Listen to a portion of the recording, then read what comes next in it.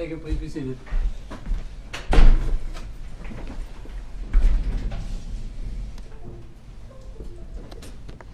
All right, we have, uh, it's nine o'clock, we have a motion that we have to deal with, dealing with the admissibility of various video. Mr.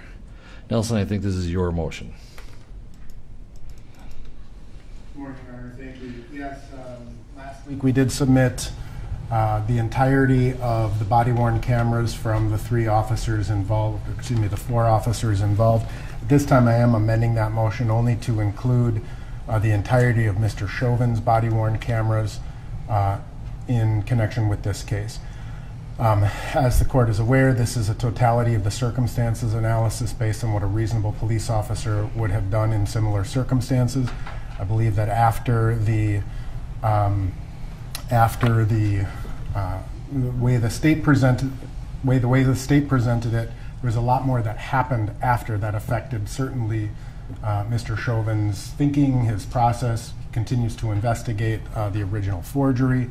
So it's showing his actions, and it's also showing what's happening with the civilians and bystanders at that same time, similar to what was happening at the time they had Mr. Floyd restrained. So I think it uh, ultimately goes to a totality of the circumstances analysis. It shows his reactions, it, you can hear his voice, and I think it ultimately becomes an important piece to present to the jury.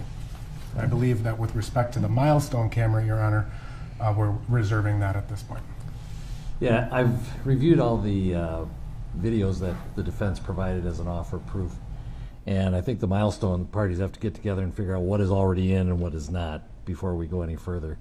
Uh, So we'll deal with that perhaps either tomorrow or Wednesday, most likely on Wednesday, because tomorrow we have to deal with the, Mr. Hall's uh, invocation of his rights. Um, Mr. Frank, what's the state's response to this motion?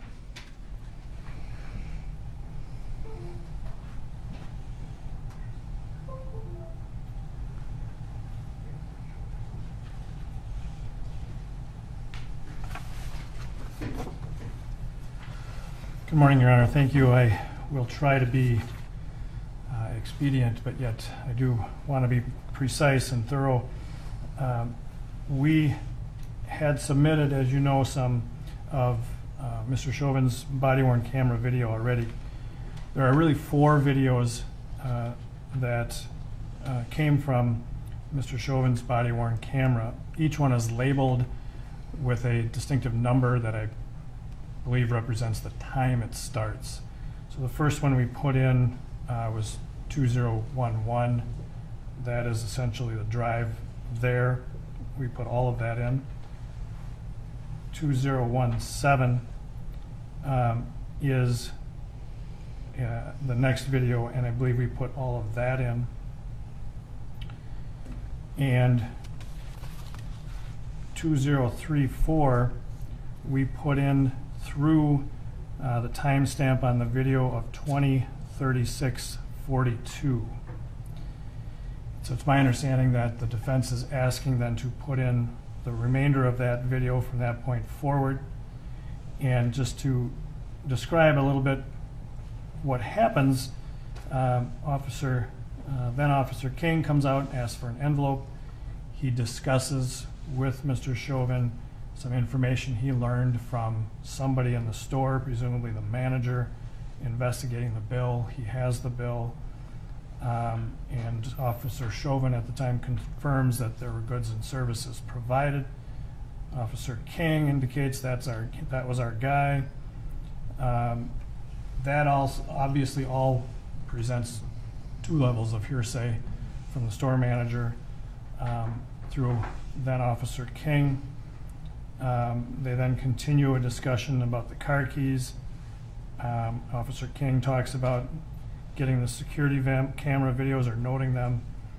And then there's a short discussion about the vehicle. So in addition to the uh, obvious hearsay problems, I think there's also a relevance problem. The totality of circumstances, of course, is judged by, from the view of a reasonable police officer at the time of the force. This is all subsequent investigation uh, that, of course, could have been done before trying to force Mr. Floyd into the back seat, um, but it now loses its relevance because it doesn't have any bearing on what the officers knew uh, or believed at the time the force was used. So it is all relevant, whether Mr. Floyd actually knowingly passed a bill is simply irrelevant to um, the officer's use of force. So that is why we object to the remainder of that video. The fourth uh, video, Your Honor, is 2045. We put in uh, through, um, we put in a short piece of that video. The remainder of that video is a conversation in which Sergeant Pleoger talks to um, Lane and Kueng and Mr. Chauvin um, with a, a brief rundown of what happened. It's Lane and Kueng speaking, and uh, Mr. Chauvin standing there not making any uh, corrections or, or additions. And so, obviously, again, a very real hearsay problem, um, and not, you know, aware of any um, hearsay exceptions that would allow those statements by the, you know, non-testifiers to come in.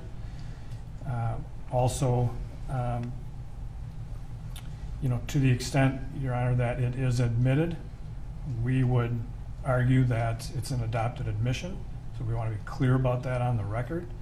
Uh, But there is an obvious hearsay problem there. Um, It's essentially, this court has seen this in its uh, service as a judge, that it's simply trying to get in uh, self-serving hearsay, uh, a defense without having to testify. It's very clearly what's, um, you know, being attempted here, and what's not permitted is to do that through hearsay. So we think that um, is irrelevant as well, um, and, uh, and prohibited by the hearsay rule. Let me ask you, on the 2045 uh, video, that discussion is primarily about what happened with Mr. Floyd, the use of force. Is that correct? Correct. Is there anything beyond that, really, in that 2045? Or, Mr. Nelson, is there anything on the 2045 tape that, beyond the discussion about what happened as far as use of force? Yes, Your Honor. Uh, There's discussions about who's going to go to the hospital, who's going to stay behind, and things of that nature. Right. That- That's correct. All right. As far as the 2034, you put in through 2036 and 42 seconds. Uh, is there anything beyond that on the 2034 video that specifically relates to the use of force or uh, dealing with Mr. Floyd? Not that I recall, Your Honor. All right. Okay, thank you. Uh, We're going to reserve argument and decision on the milestone camera until later, probably Wednesday, since we have another uh, legal issue to deal with tomorrow morning. As far as the 2034 motion, or 2034 video, um, I'm going to allow that uh, because the defense is not really offering the defendant's statements, or anybody's statement for that matter, for the truth of the matter asserted. Therefore, it's not hearsay. Uh, It's being offered more to show, it is relevant because it shows Mr. Chauvin's demeanor and his actions immediately following Mr. Floyd being removed to the hospital. And I think that is relevant for the jury to see his demeanor and what actions he took afterwards. And so the remainder of the 2034 video will be put in. On the contrary, the 2045 video is, will not be allowed. It is hearsay. I've reviewed it in its entirety, and it does appear that uh, it is primarily of Officers Lane and Kueng giving their side of the story, so to speak. It does not fall into any of the uh, 804 exceptions for an unavailable witness to allow as hearsay. And I do not find that it, it was an adoptive admission by the defendant.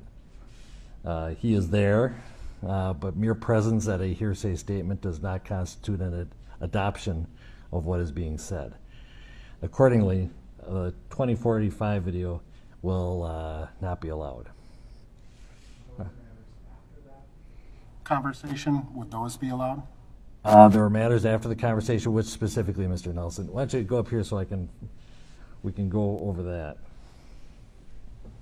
Again, specifically, Your Honor, after that commentary, uh, there's additional conversation amongst the officers about who's going where, what, what's happening, who's going to the hospital, who's, Any objection to that, Mr. Frank? Again, it's not really offered for the truth of the matter asserted. It doesn't seem just decisions on why people, why some people went, why some people did not. All right, we'll allow that. Make sure it's tightly edited so that recollections that are being reported out about what happened with Mr. Floyd are not in there. All right, I think that takes care of that. We have, uh, uh, the jury is here, so I think we can bring them in. Uh, just for the record, the next hearing is going to be on the record uh, with spectators present, but we are going to go off audio and off video, so it will not be broadcast outside this courtroom. For, I think, uh, and I'll make a record as to why we're doing that when we bring the jury in.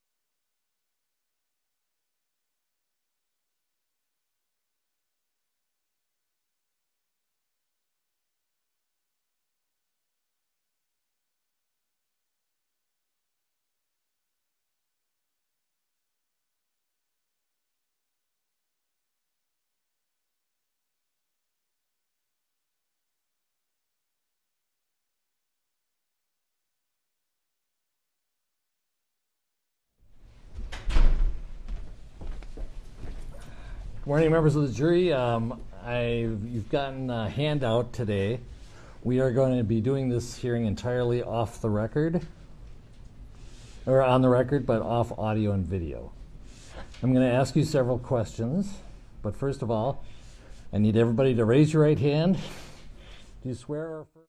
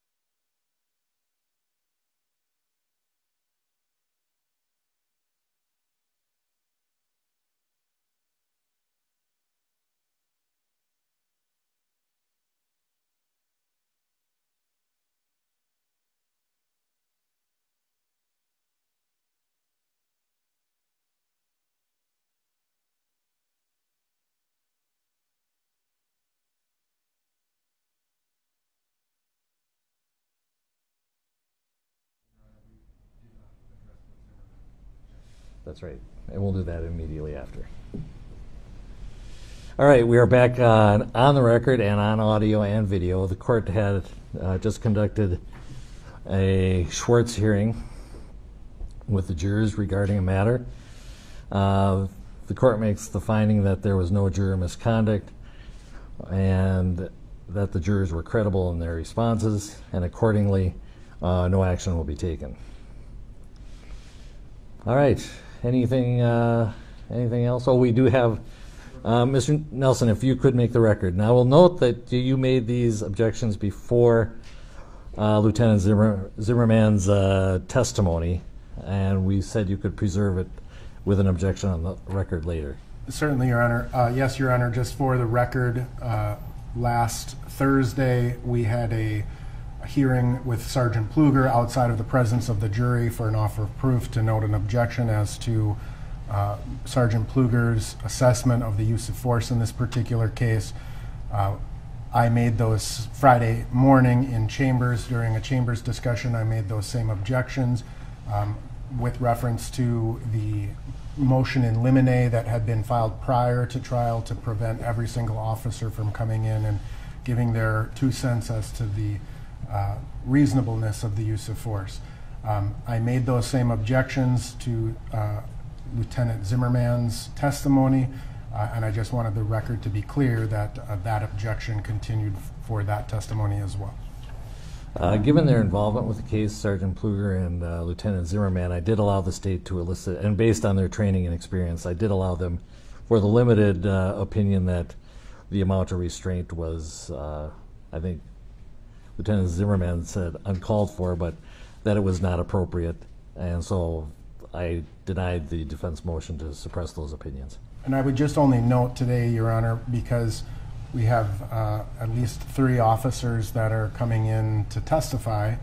Um, I understand that Chief Arradondo will be testifying today, and I understand that the court is permitting that per policy and his policy decision makings for employment purposes.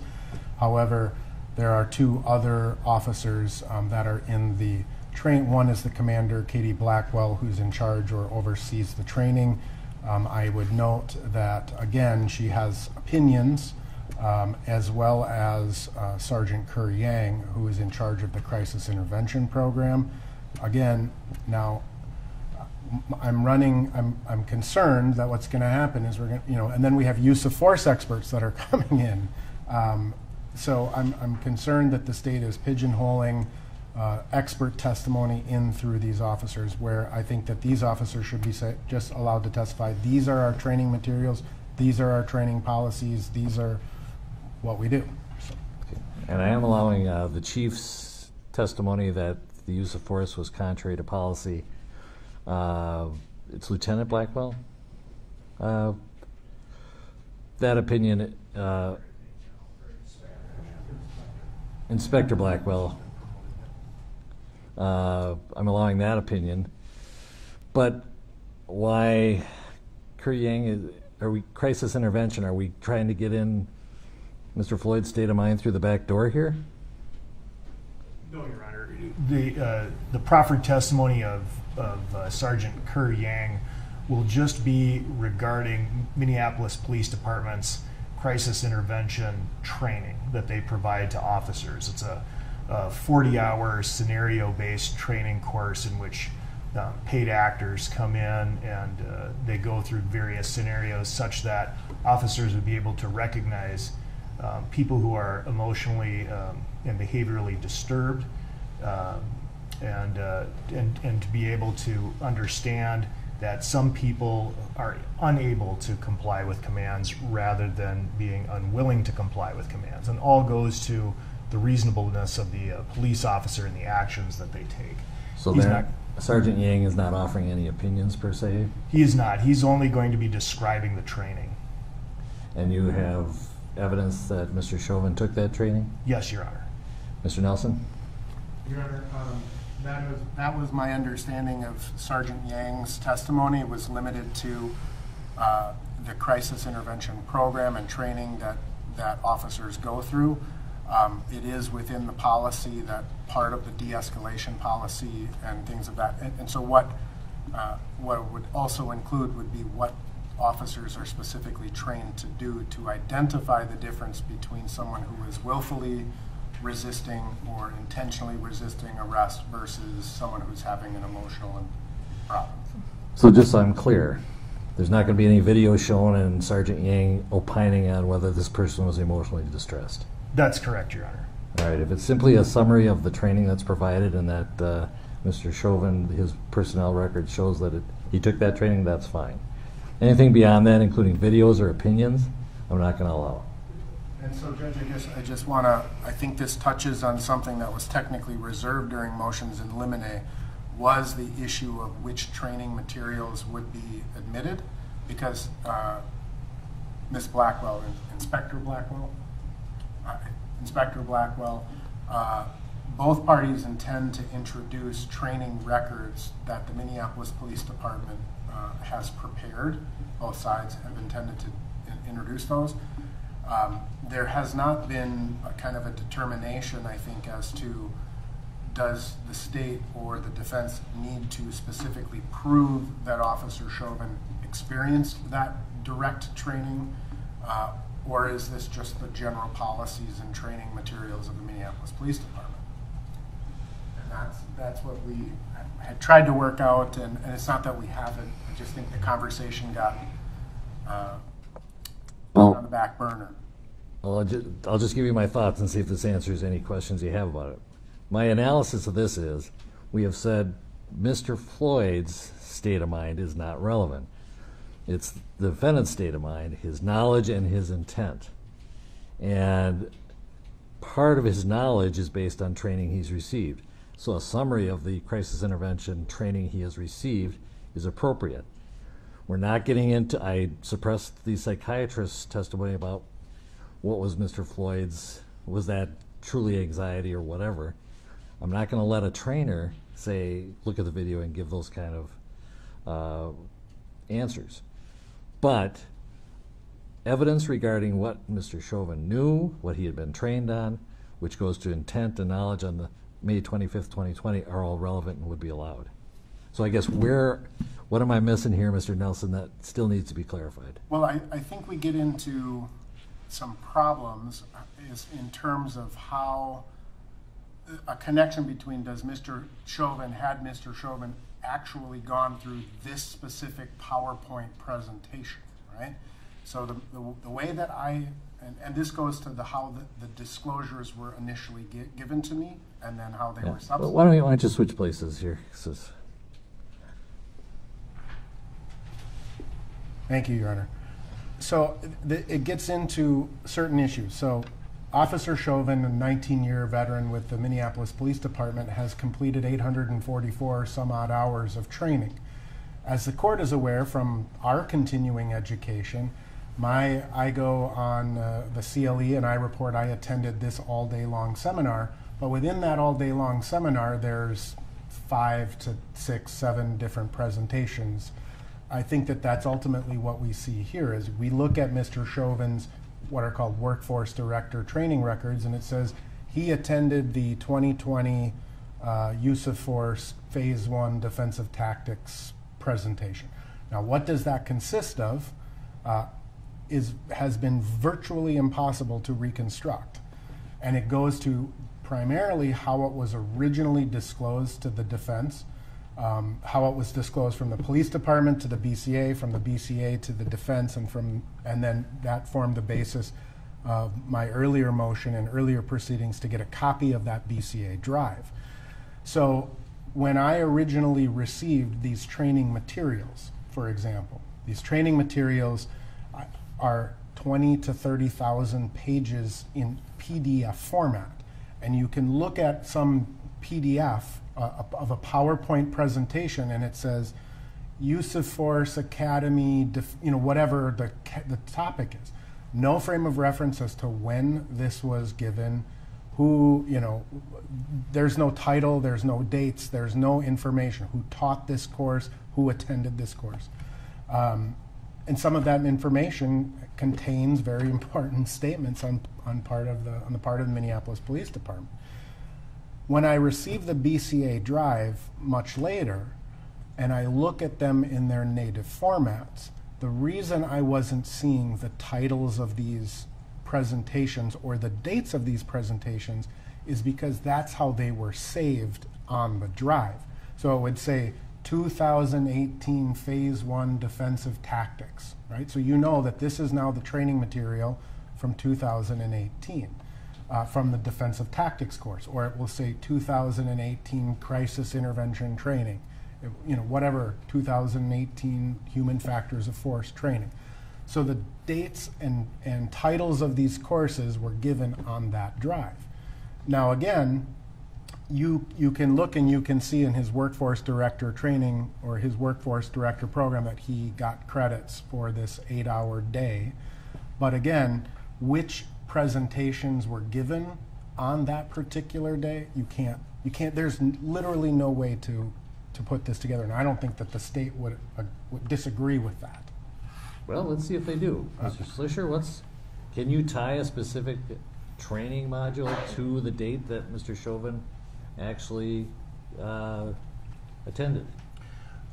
Your Honor, what we can do is first show the, uh, the workforce director training, which, you know, memorializes what particular trainings, in-service trainings, um, the defendant has attended, and the titles of those different trainings. Okay. Then what we can do is have the trainer specifically talk about the materials and curriculum that they've developed for those blocks of training.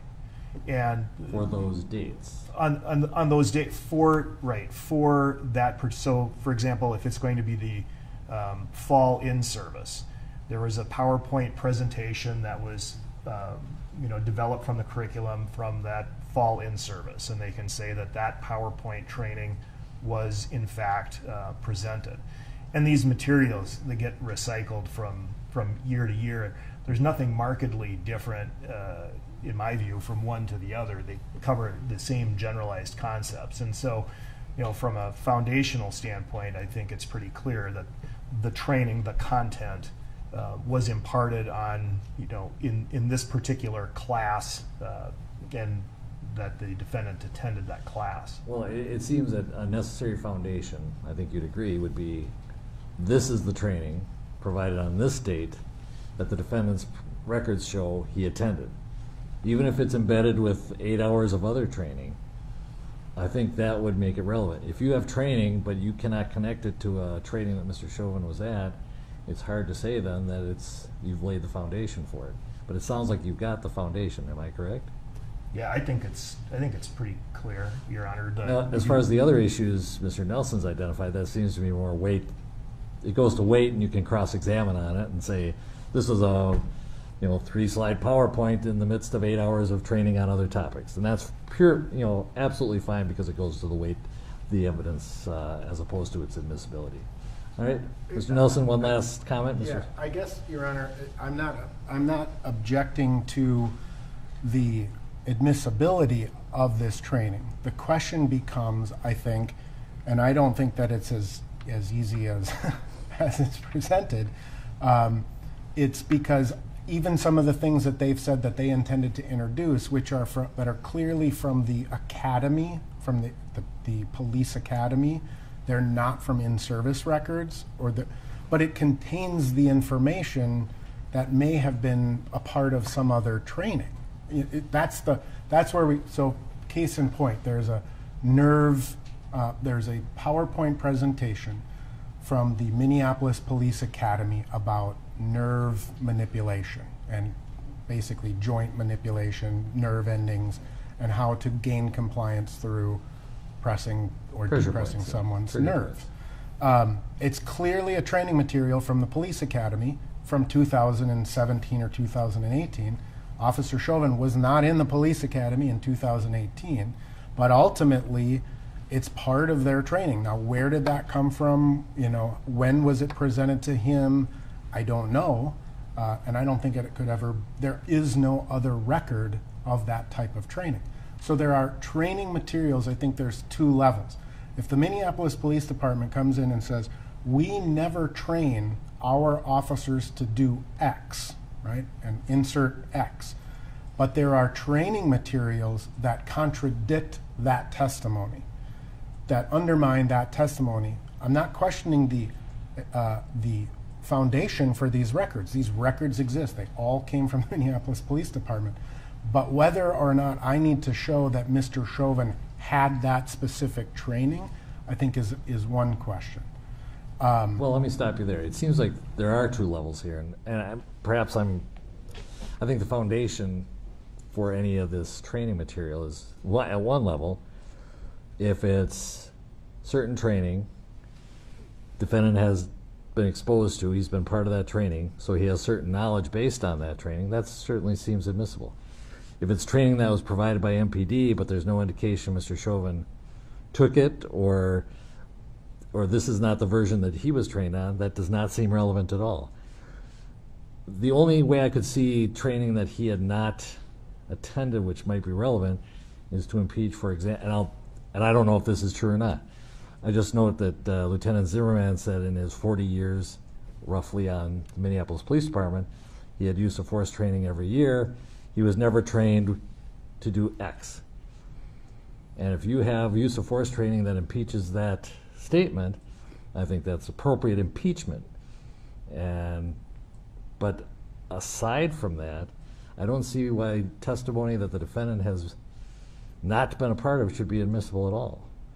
And that's, a- that's what, that was kind of the concern that I had and had raised in terms of why I thought it was important that each side identify those training materials that needed to be or were intended to be introduced. Because, again, I do, I agree with the court's analysis, is it's an impeachment question on one hand, if the, if, uh, as you, you know, Lieutenant Zimmerman says, we were never trained to put our knees on the neck, but there's a Minneapolis Police Department policy that says otherwise, and there's ample training materials that would contradict that statement. That's impeachment of, of testimony, um, and certainly should be admissible for those purposes. Now, Yeah, had he not said that, for example, I don't think it would be admissible. Because again, it's the, this is training that the defendant didn't have. And unless you can show he had that training, it's not admissible from either side. And I think that that goes to sort of some of the broad, the problems why I raised you can't have every single officer come Right. in and say this was or wasn't a reasonable use of force because the training he had may be different than the training that Zimmerman had. Right. And so we've got so far opinions from Sergeant Pleoger and from Lieutenant Zimmerman on use of force. We're going to hear from the commander or the then commander of the training unit about it. Beyond that, I think we have an expert witness from the state and an expert witness from the defense. Is that correct? Uh, Two expert witnesses from the state on use of force, Your Honor. All right. We're getting, we are getting to the point of being cumulative. We're not asking every officer because that's cumulative, but also, uh, even having two seems like it might be cumulative, but I'll, I'll deal with that later. Um, it just seems like, I, we, I, we said early on in the motions in limine, you're not going to be able to ask every officer, what would you have done differently? Uh, and we're not going to go through that. You've picked, I've given you pretty good leeway that the sergeant who was involved in the case and the lieutenant who was involved in the case, a lieutenant who's been a peace officer for roughly 40 years, gave his opinion. Now you're going to have the training unit and the two experts. That's it. We're, we're done with it, with asking other officers about the use of force. And Sergeant that- Yang, you can ask about what the training is on crisis intervention if the defendant had that training.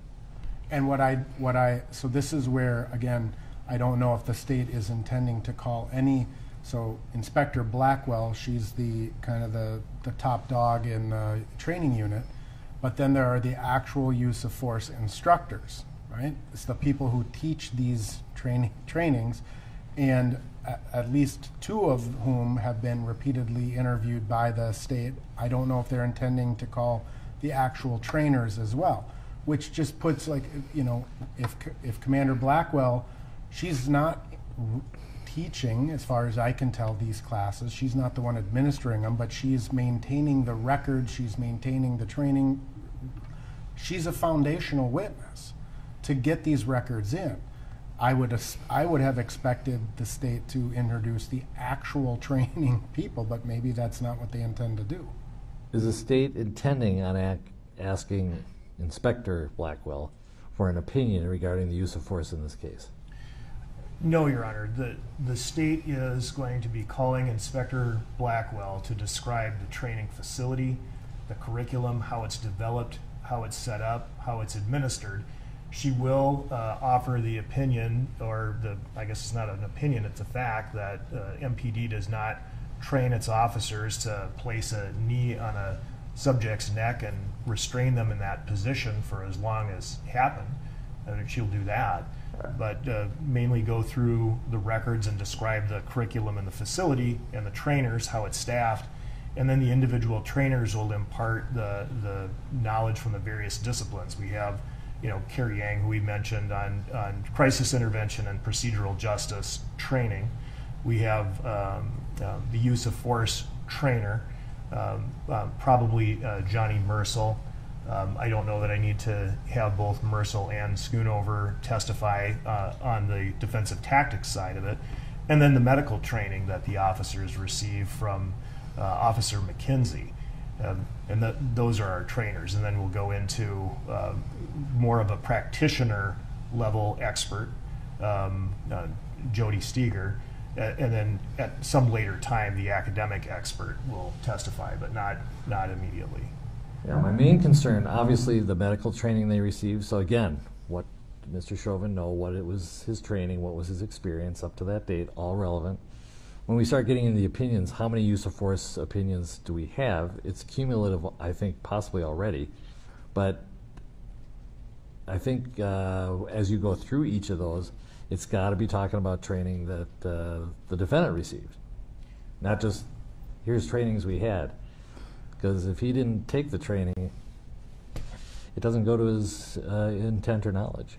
Uh, Understood, Your Honor. The, the, the workforce records specify what, you know, Right. in-service training um, the defendant has attended. And then we have the curriculum, the materials that were presented, you know, during those training blocks. And crisis intervention training seems to be relevant to this case. Use of force training is relevant to this case. Medical training is, is relevant to this case. So all those summaries of the training that the defendant received, according to his records and what your the curriculum is, that's I think all admissible. I think when we start getting into opinions about use of force, I think we should visit about that before we start blurting out opinions. We've already had several, and let's. I think we need to go And tread carefully because of whether they whether their opinion is something that is the appropriate topic even for expert testimony because some of this stuff uh, is within the jury's knowledge and they should be able to do without an expert so but i think let's just kind of go with that And, and For now. Honor, if I may just, uh, as to the cumulative discussion, just to, Right. to add to that, you know, I, you know, foreseeing um, Mr. Nelson being an able defense attorney, I would anticipate if I were to just simply try to prove my case with experts, he would say, you know, the state uh, hired some experts to say this was unreasonable, but what did the people who actually do the work say? well right? and, i think so- we've gotten two of those already and, so. and, and, and that's the reason. I'm just, uh, you know, I need to cover the appropriateness of the use of force really from, from every angle to give the full picture of the reasonable officer. I understand at some point uh, enough is enough. Well, let me let me let me be a little more clear. I think you have the right to somebody who's actually done the defensive tactics, use of force training, whatever, to give their opinion about this case. But not everybody, not every trainer. You can take one who's done the training, knows the curriculum that uh, that Mr. Chauvin actually participated in, and say and give an opinion there. But I think then then we're done with the MPD people who can give an opinion regarding defensive tactics and use of force. So, does that make a little more sense? It, it does, Your Honor. That, that was, I think that was my plan. Okay, good. Always good to have a plan that's consistent with the court's rulings. And, and, uh, it, and I guess the court will let me know if, if you feel I'm, I'm. um, Yeah, let's just go sidebar if we have to in the Yes. midst of all this. Because as we know, everything is fluid, so. All right, we'll get the jury.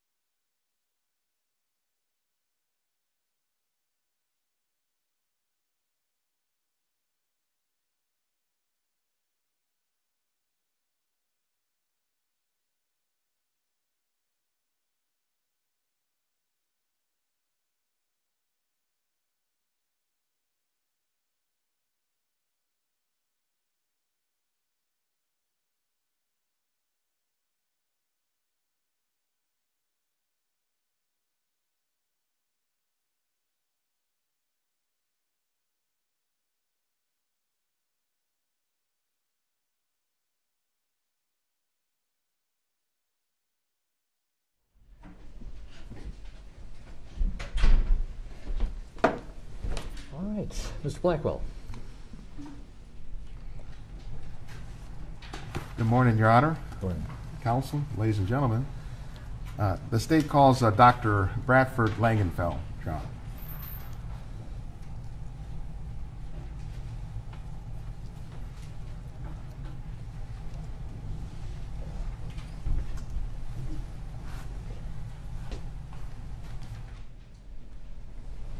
Give me stand right behind the chair.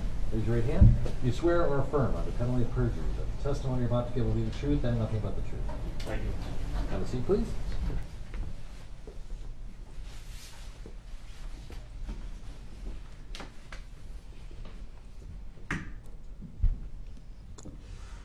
And before you begin, uh, a couple things. If you feel comfortable taking the mask off, we, we'd prefer that you do that, but Sure. as a doctor, I can tell you I've had both my shots. if that helps. Uh, but we'd like you to state your full name, spelling each of your name. Sure. So Dr. Bradford Wankhede Langenfeld, B R A D F O R D, W A N K H E D E L A N G E N F E L D. Mr. Blackwell. And we can just call you Dr. Langenfeld. That's fine. Dr. Langenfeld, did you provide emergency care uh, to the, the body, to George Floyd, after he was taken to Hennepin County on the evening of May 25th? I did.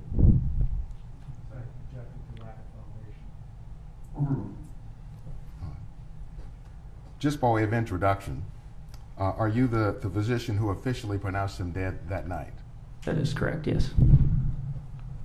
Were you one of the physicians who tried to save his life?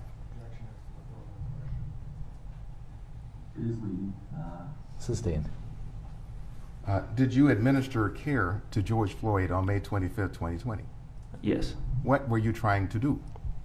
We were trying to uh, resuscitate Mr. Floyd. To save his life. Correct. So why don't we learn a little bit about your, your background, Dr. Langenfeld? Where are you currently employed? Uh, currently, I'm working at Grand Itasca Clinic and Hospital. Um, it's up in Grand Rapids, Minnesota. It's my primary practice, and I also work in Waconia, Minnesota, at Ridgeview Medical Center. And Waconia is in Carver County here. That's correct. Grand Rapids is several hours driving away from here. That's correct. Uh, why Grand Rapids? Uh, I was born there. It's my hometown. It's also the hometown of Judy Garland, isn't it? It is, yes. Uh, are you licensed in emergency medicine? I have a Minnesota State medical license and I practice emergency medicine. Would you tell the ladies and gentlemen of the jury what is emergency medicine as a practice for a doctor? It's a very broad practice, but primarily uh, involves taking care of patients suffering from critical ailments. Oh, sure. Critical ailments such as strokes, heart attacks, car accidents, um, other emergencies such as that, but also um, less emergent conditions, sore throats, urinary tract infections, things like that. When were you first licensed? uh, May of 2020. W- would you tell the ladies and gentlemen of the jury a little bit about your educational background? So I attended um, medical school at the University of Minnesota Twin Cities, and then residency training at Hennepin County Medical Center And when did you finish your residency then? last summer. Have you ever had any occasion to testify in a court before? No, I have not. This is the first time. That's correct. Let's go to uh, Monday, May 25th, 2020, uh, last year, Memorial Day. Uh, do you recall uh, whether you were working that evening? I was, yes. Uh, where were you? I was in the emergency department. At, uh, at the Hennepin County Medical Center? That's correct. And what was your position or title there? I was the, one of the senior residents. Um, we're involved with direct patient care, including both critical care and overseeing some of the junior residents. Do you recall what time your shift began and ended? It began at about 1 p.m. that day and ended at approximately 11 p.m. And as, as a senior resident, What, what was your role? My role was primarily direct patient care. I work underneath um, attending physicians as a resident.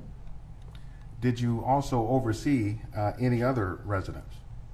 Yes, Which residents would you have overseen? more junior residents earlier in their residency training. Now, in terms of any, was, was care administered to George Floyd uh, on May 25th uh, by yourself? Yes, Yeah. Uh, Who was the person primarily responsible then for George Floyd's care in the Hennepin County Medical Center Emergency Department? I provided the majority of direct patient care under supervision of Dr. Ashley Strobel, who was my attending physician at the time. Were you the primary decision maker? I was. Were you the person responsible for much of the direct patient care? Yes. When Mr. Floyd's uh, body, when Mr. Floyd was brought in, uh, would you describe it as an emergency situation? Yes, absolutely. Uh, what was his condition in terms of his cardiac condition? He was in cardiac arrest. And does cardiac arrest mean that he had had a heart attack, or what does that mean? Not Overruled. not necessarily. Uh, what does cardiac arrest technically mean?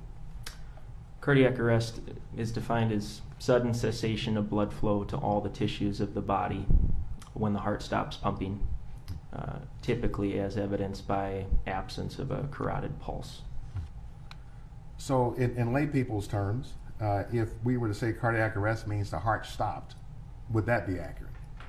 That's yes. What was your uh, your immediate objective when Mr. Floyd uh, comes in and he's in cardiac arrest? What were you immediately trying to do? Find a way to get the heart to pump on its own again. The primary goal in cases such as this is to achieve ROSC, uh, which means return of spontaneous circulation. And part of that process involves trying to identify the cause of the arrest to see if there's any reversible causes um, and continuing CPR and other life saving measures. And time is of the essence. Yes. How did you first learn that Mr. Floyd was being transported to the emergency department at Hennepin County Medical Center? I received a, we call it a zip it page. It's basically a EMS notification. Now, first tell us what EMS is. Emergency medical services. And, uh, and a zip it, is it uh, essentially a text type message, or what would you, how would you describe a zip it? It's, it's sort of like a, a you know encrypted text. What, what time did the zip it come in? I don't recall exactly. Um, maybe around 8:50 p.m.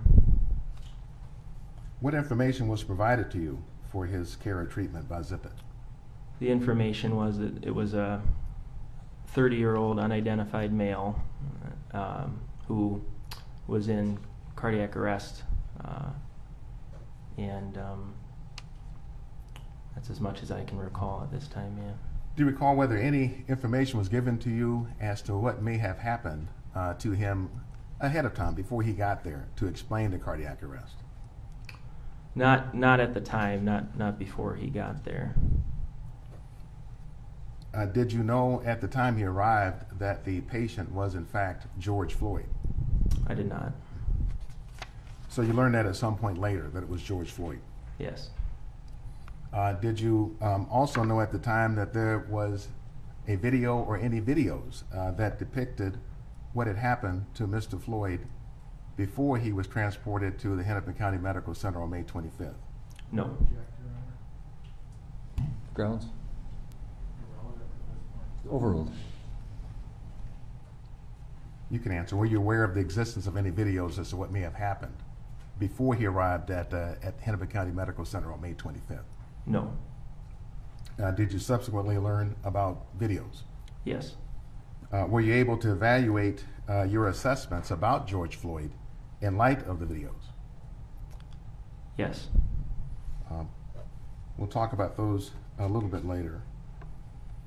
So when you received uh, this zip it, what did you do in response to it? We prepared a bay in our stabilization room, which is a, essentially a large room with a lot of critical care resources. Um, we sort of prepped a team and got ready to take care of the patient when he arrived. Do you recall roughly what time uh, Mr. Floyd's would have arrived in, uh, in the in the emergency room? Approximately 8:55 p.m. And when he arrived, uh, then uh, was had CPR been started? Yes. Um, any mechanical devices or other things being used to help to uh, stabilize it? Yes, there was a Lucas CPR device, which is a basically a mechanical device that sits across the body with uh, something that almost looks like a plunger and pushes against the chest to provide CPR or chest compressions.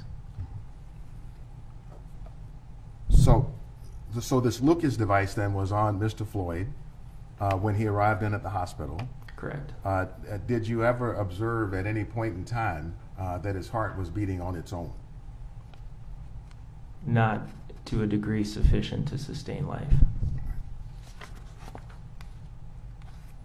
Do you recall who brought Mr. Floyd into the emergency department? I do. Uh, I do recall two paramedics, um, and possibly one or two other people, but I don't remember exactly. Do you recall whether there were any police officers there also? I don't personally recall that. No.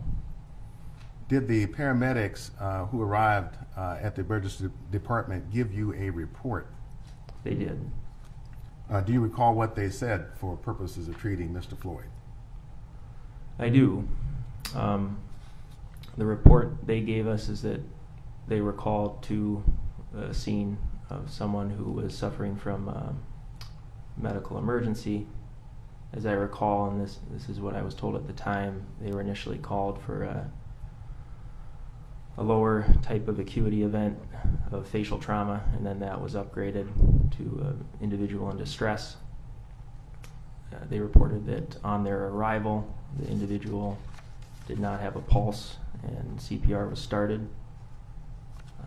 They placed an i-gel, which is a supraglottic airway device. It's basically a A super what? device? supraglottic airway device. It's just a sort of a tube that goes down into the throat and can ventilate the lungs. Um, and then they gave medications, including epinephrine and sodium bicarbonate, um, to try to resuscitate Mr. Floyd as CPR was ongoing. Did they tell you that Mr. Floyd was in police custody? They did mention that he was uh, being detained at the time. Now, did you recognize uh, either one of the paramedics who came in? I did. I, I did recognize both of them, um, and I worked with one of them several times before. Um, Uh, Derek Smith, uh, did you know a Derek Smith? I believe so. Yes. And do you recall having worked with a Derek Smith before? I do. Um, how often? Several times um, throughout the course of my training. When, when the paramedics bring a patient in uh, to the emergency department, is it standard protocol for them to tell you why they are bringing the patient in? What's the emergency? Yes. Uh, in, in what the paramedics told you when they brought in Mr. Floyd, did they also then give you information um, when they brought Mr. Floyd in? They did. They essentially gave the report that I just that I just told you. Yes.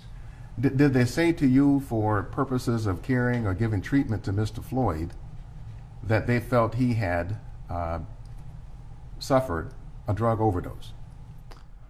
Not in the information they gave. No.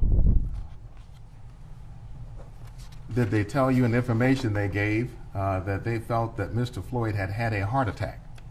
No.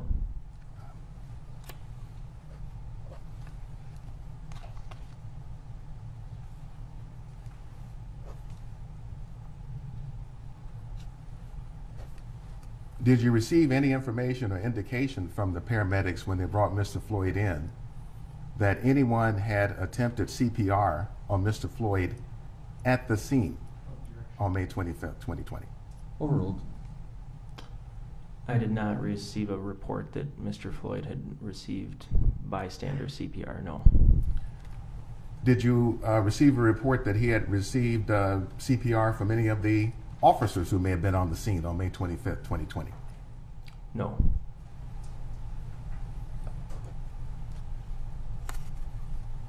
Is uh, the administration of CPR uh, right away important for you to know uh, when you're dealing with a patient who has suffered cardiac arrest? Is important for you to know about that? It is in the sense that it informs the likelihood of survival. And, and what do you mean by that, Dr. Langenfeld? It's well known that any amount of time that a patient spends in cardiac arrest without immediate CPR um, markedly decreases the chance of a good outcome. Uh, approximately 10 to 15 percent decrease in survival uh, for every minute that CPR is not administered.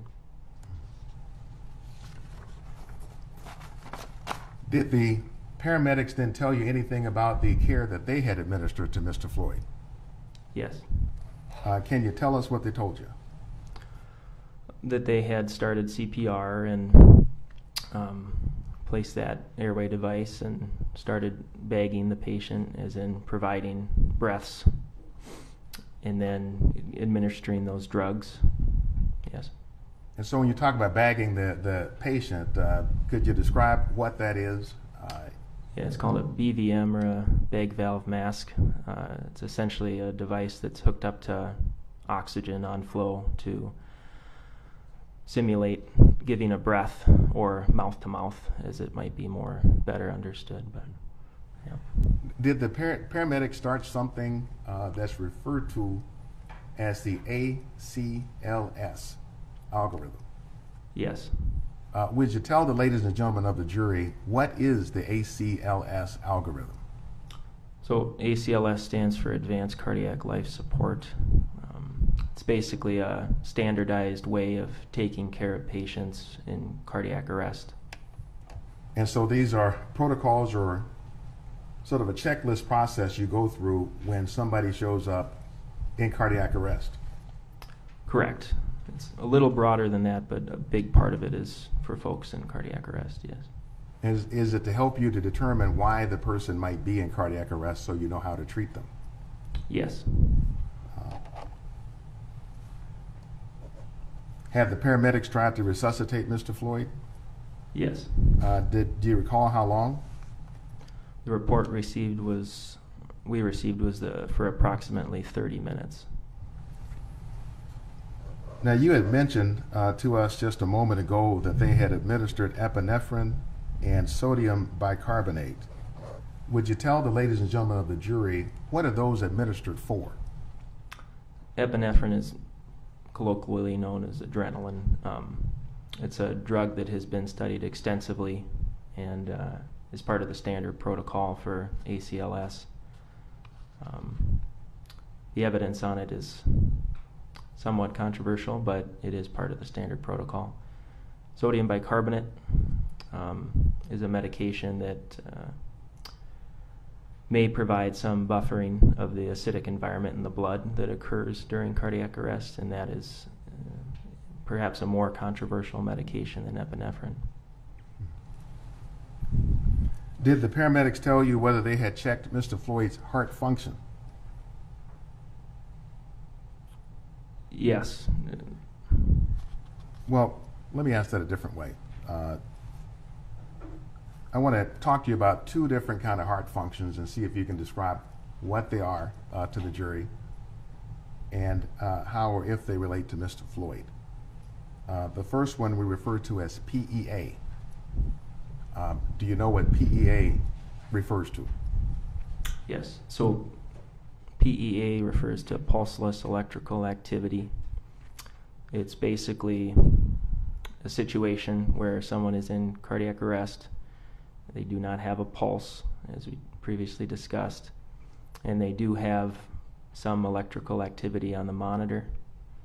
Um, and that suggests certain underlying causes that are known to be uh, more common. The most common cause of someone being in PEA arrest, uh, the most common causes are hypovolemia, either from typically bleeding or from hypoxia or low oxygen. So we'll talk about those in more detail. But was Mr. Floyd in PEA status, pulseless, electrical activity, when you saw him on May 25th? He was, yes. And there is uh, another term I'd like to talk about and have you explain to the jury. Uh, systole, I think it's called. Um, am I pronouncing that right, by the way?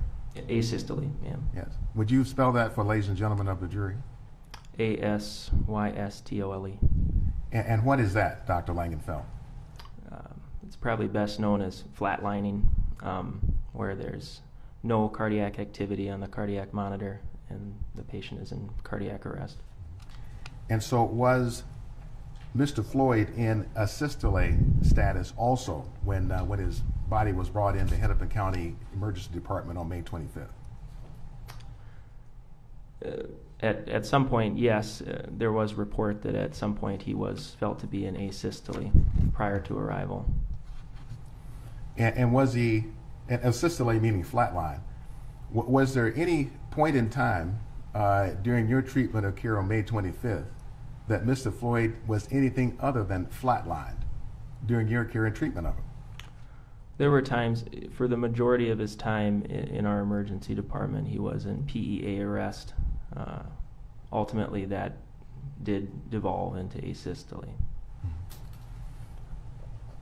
Uh, is uh, pulseless, pulseless electrical activity, PEA arrest, asystole, are those conditions of the heart where you can simply apply a shock and potentially bring the patient back?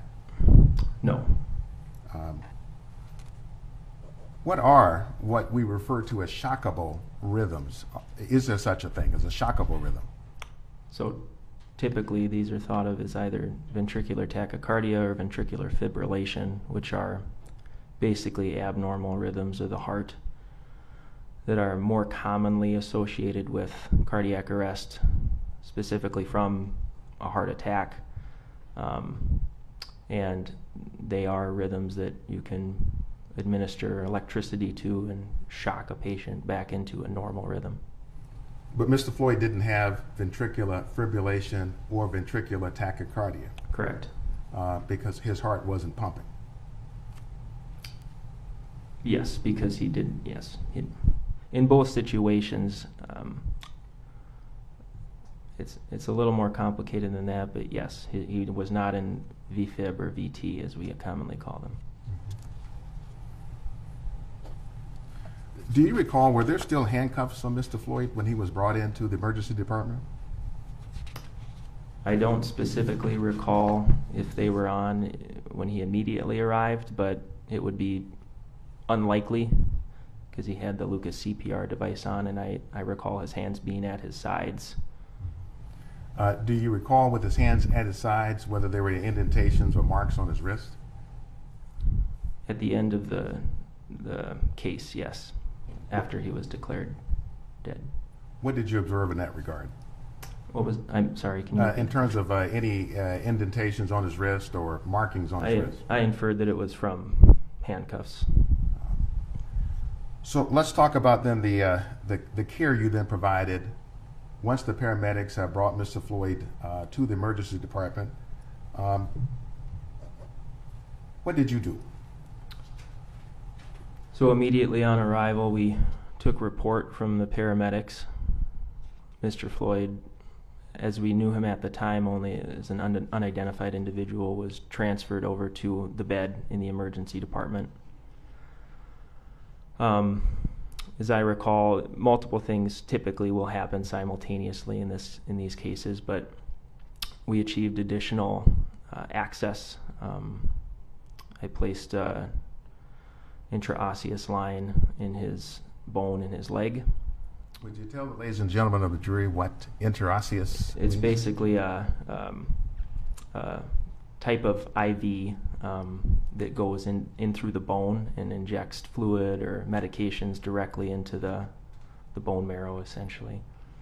Um, it's a type of access that's easier to achieve in someone who's in cardiac arrest.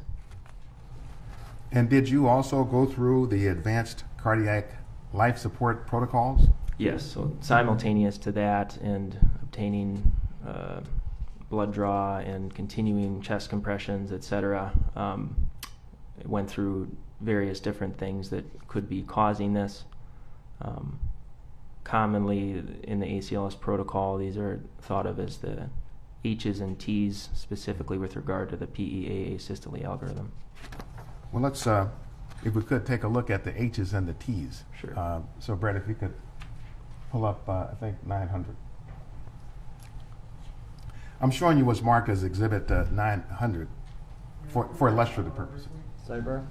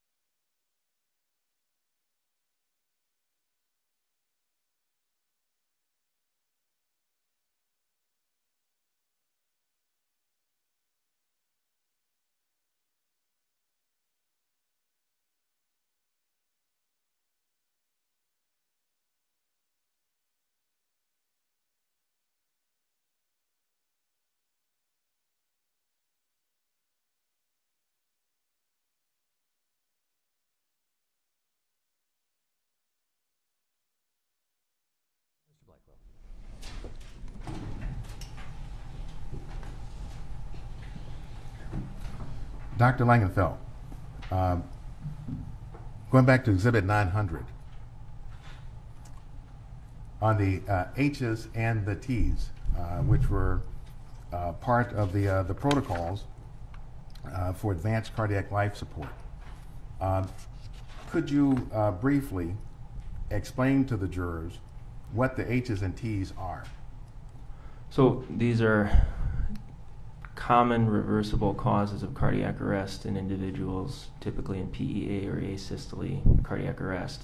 Um, a lot of these etiologies are perhaps best evaluated through an ultrasound based approach, but I can go through all of these. So, hypovolemia, typically hemorrhage or bleeding. Um, so, we would think of that more in a traumatic cardiac arrest. Hypoxia, low oxygen. Um, again, those being the two most common causes of PEA asystole arrest. Hydrogen ions. Um, uh, acidosis can be from any number of causes, but essentially where the pH in the blood gets so low that the heart cannot function. Hypohyperkalemia is low or high potassium, um, it being a very important electrolyte for proper cardiac function, and disturbances on the extreme can lead to cardiac arrest. Hypothermia, very cold. Um, toxins, there's a lot of different toxins that can cause cardiac arrest. And that's from poisons to potentially drugs. Correct. Um, tamponade specifically refers to fluid around the heart uh, that can prevent the heart from filling um, and then lead to um, the heart stopping. Um, tension pneumothorax is air around the lung, between the lung and the chest wall, that um, essentially expands to the point where it prevents blood flow from returning to the heart um, and therefore leading to cardiac arrest. Cardiac thrombosis um, specifically can refer to a heart attack um, or a ruptured plaque in one of the coronary arteries of the heart. And then pulmonary thrombosis or pulmonary embolism is a blood clot in the pulmonary arteries um, that prevents blood from flowing from one side to the other of the heart and therefore leading to the heart no longer functioning. It, you, you mentioned ultrasound. Uh, what is the role of ultrasound in studying or trying to assess the cause of cardiac arrest? Ultrasound can be used to evaluate many of these different causes. Um, I think people would be most familiar with ultrasound from you know movies where they look at the baby uh, using an ultrasound device or a small probe on the abdomen, but it's the same technology.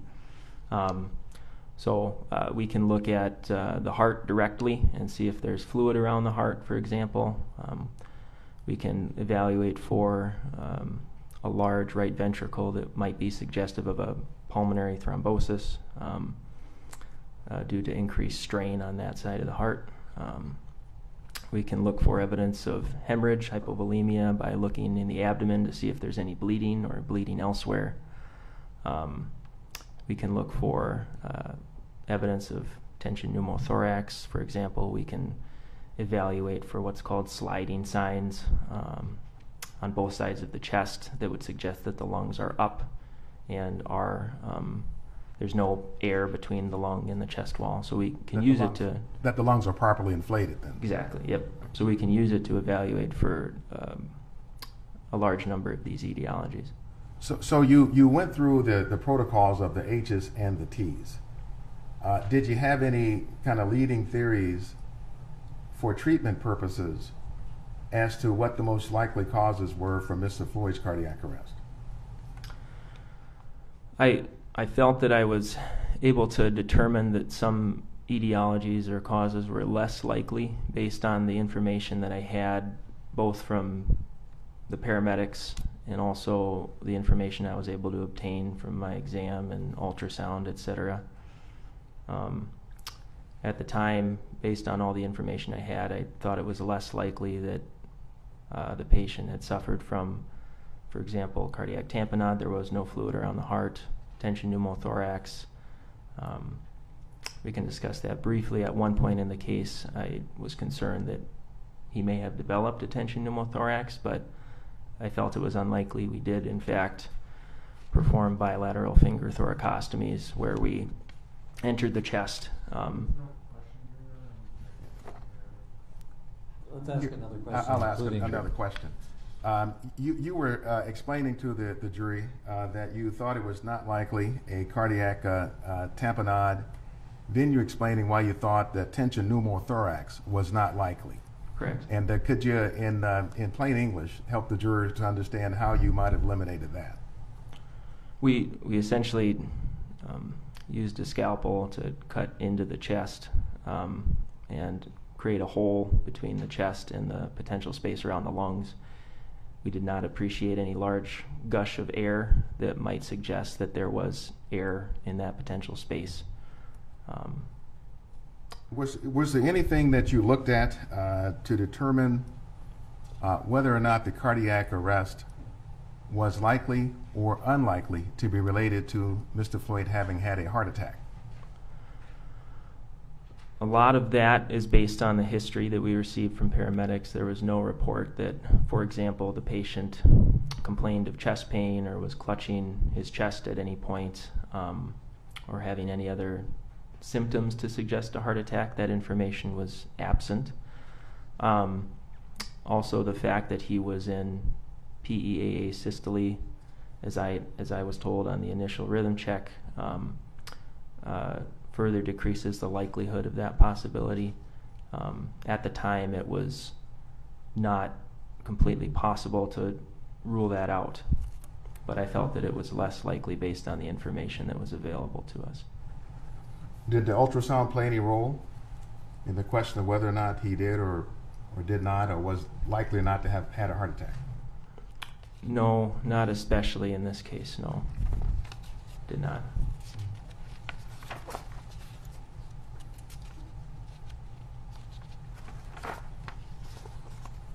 Did you uh, consider uh, the possibility of toxins, for example, being uh, responsible for Mr. Floyd's cardiac arrest, including potentially drugs? In the sense that it might have informed our care, yes. Um, I didn't, there was again no report that this patient had, for example, overdosed on a specific medication such as uh, calcium channel blocker or any other medication for which there might be a very specific antidote. Um, and so, in that sense, I didn't feel that there was a, a specific toxin that we could give a medication for that would readily reverse um, his arrest. And what about then hypoxia? So hypoxia being, again, one of the most common causes of PEA asystole just in general. Um, I did then, as I'd mentioned, uh, use the ultrasound to look in the abdomen and did not see any evidence of hemorrhage. There was no uh, obvious significant external trauma that would have suggested that he suffered um, anything that could produce bleeding sufficient to lead to a cardiac arrest. And so, uh, based on the history that was available to me, um, I felt that hypoxia was one of the more likely possibilities. And, and hypoxia as an explanation for his cardiac arrest, meaning uh, oxygen, oxygen insufficiency. Correct. Um, Did you have any other uh, leading theories as to why Mr. Floyd's heart may have stopped uh, other than oxygen deficiency? Yes. Um, I also considered uh, an acidosis. Um, in in particular, uh, excited delirium, which is a controversial diagnosis, but it, it was in the differential in this case. And were you able to make any assessments about uh, so-called excited delirium based on your examination of Mr. Floyd?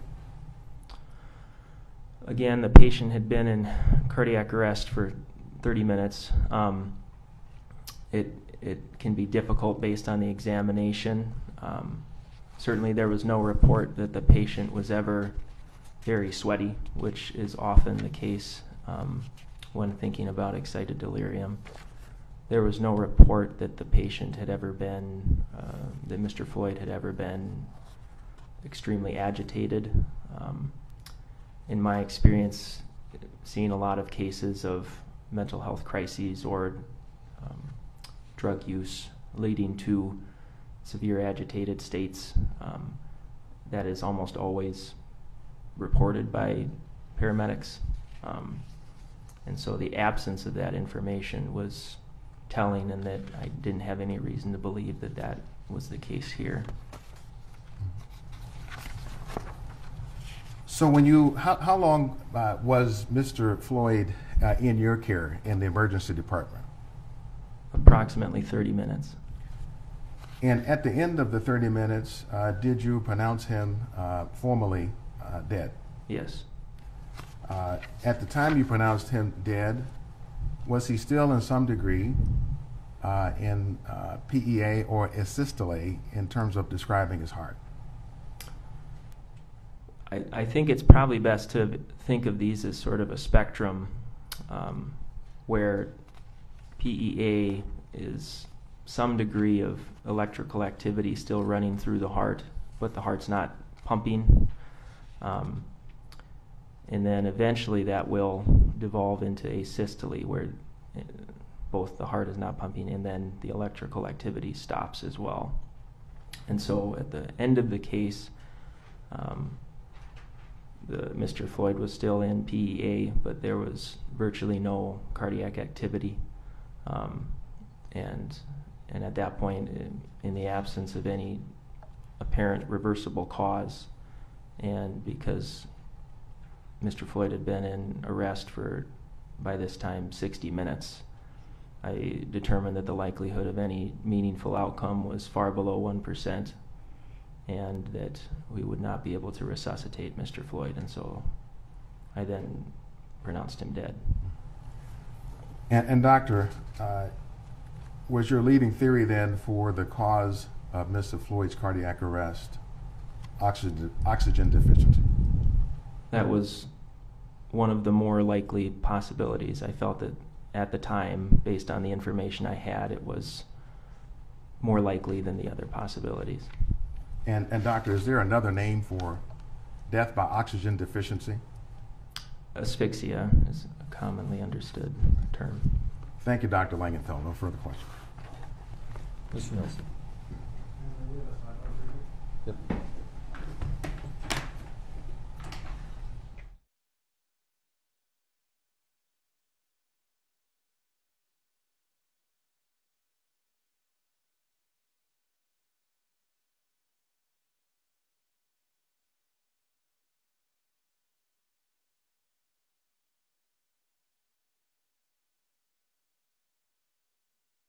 Since nine o'clock, so we're going to take our 20-minute mid-morning break. Thank you.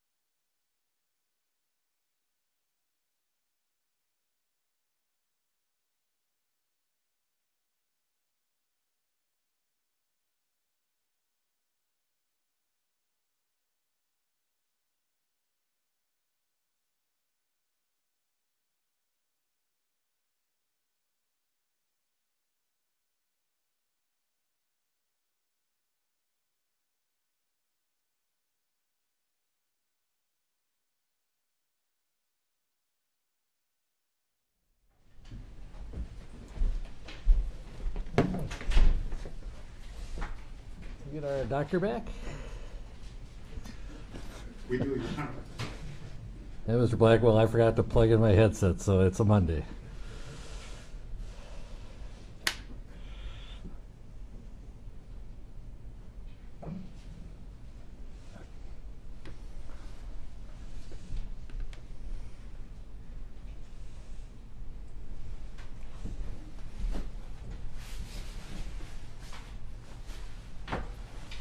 And just a reminder, Doctor, you are still under oath. Mr. Nelson.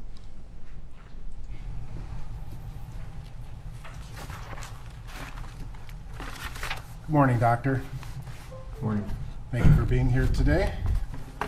Uh, I have a few follow-up questions for you, kind of picking up right where we left off. You were discussing hypoxia kind of being consistent with asphyxiation, right? Correct. Hypoxia is the lack of oxygen to the brain, correct? Correct. And um, there are many things that cause hypoxia that would still be considered asphyxiation. Agreed? Correct. Drug use. Certain drugs can cause hypoxia. Agreed? Yes. Specifically fentanyl. That's correct. How about methamphetamine? It can. Combination of the two? Yes. All right. Now, you testified about certain um, things that happened during your care of Mr. Floyd. You were running all sorts of different tests. You were you used the uh, I'm sorry the uh, Ultrasound. Ultrasound. Yep. Thank you. Used the ultrasound. You took some blood samples as well, Correct. and you took some blood gas samples as well. Correct. Correct. From the s- from the blood samples. Yes. So, can you explain what the blood gas samples are? So the blood gas samples are analyzing different parts of the blood, um, specifically looking at uh, the pH or how acidic or basic the blood is, um, looking at uh, the amount of oxygen in the blood, um, the amount of carbon dioxide, the amount of bicarbonate. different And. Carbon dioxide levels in this case were pretty high, weren't they? correct.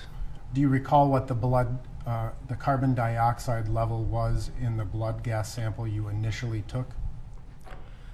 I believe the initial blood gas sample I took was a venous blood gas sample, um, which is less preferable as opposed to an arterial blood gas sample. Um, at the time, I believed it was a venous sample, and I believe the the CO2 level in that sample was around 100. Okay. A little over 100 perhaps? Yeah, And that indicates an, uh, an exceptionally high carbon dioxide level. Agreed? that yes. What would the average, if, uh, for a healthy person, what- and you did a blood gas sample, what would you expect the CO2 or carbon dioxide level to be?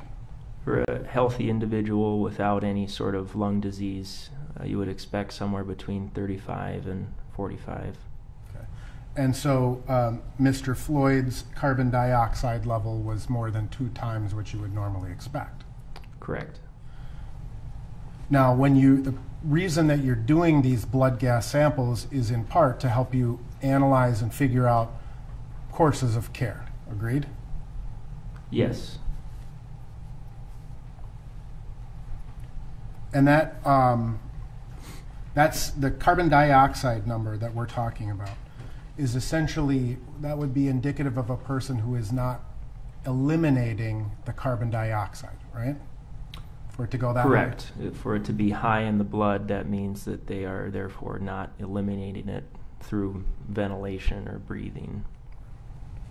And that's a po- that points to a possible respiratory problem, right? It can, yes. And that that increase in a carbon dioxide from a 35 to 45 to over 100, that takes some period of time in order to climb that high. Yes, it, it can happen relatively quickly depending on how severe the ventilation problem is, but But it generally it could take 30, 40, even an hour to climb that high. It could take that long. It could take much less time, yes. The use of fentanyl, do you know that to attribute to high carbon dioxide levels? It, it can cause high carbon dioxide levels um, because it depresses the ventilation or the breathing. So when someone ingests fentanyl, it, it can cause them to feel very sleepy because of an increased carbon dioxide level. Agreed? Correct. And that's one of the reasons ultimately that fentanyl is so dangerous because it suppresses the respiratory system. Agreed? The primary reason it is so dangerous. Yeah. Now, you testified that when the paramedics uh, gave their report to you, uh, they did not give you any reference as to potential drug use, correct? Correct. They did not tell you that they had min- administered Narcan or naloxone during their care, correct? Correct. And during the course of your care of Mr. Floyd, you did not administer Narcan or naloxone, did you? No. And um, when you talk about those drugs that are immediately able to reverse the effects, uh, that's what that does. Narcan reverses the effects of uh, fentanyl toxicity. Agreed? Correct.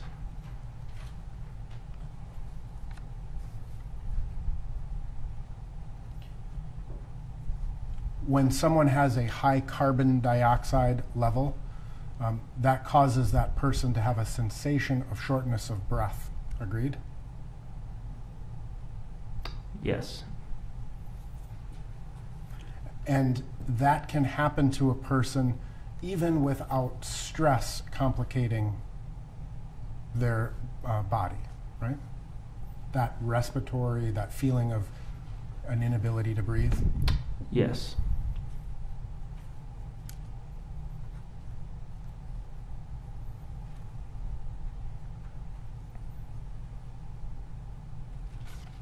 Are, fam- are you familiar with um, the impact of um, taking certain narcotics interrectally, rectally? Yes. And that ultimately can provide a more powerful uh, or rapid onset of an impact, right? Yes. Simply because a person has a history of chronic opiate abuse, does that mean that fentanyl can't kill them? No. When someone is hyperventilating, anxious and hyperventilating, they're actually decreasing their CO2 by doing that, correct? Correct.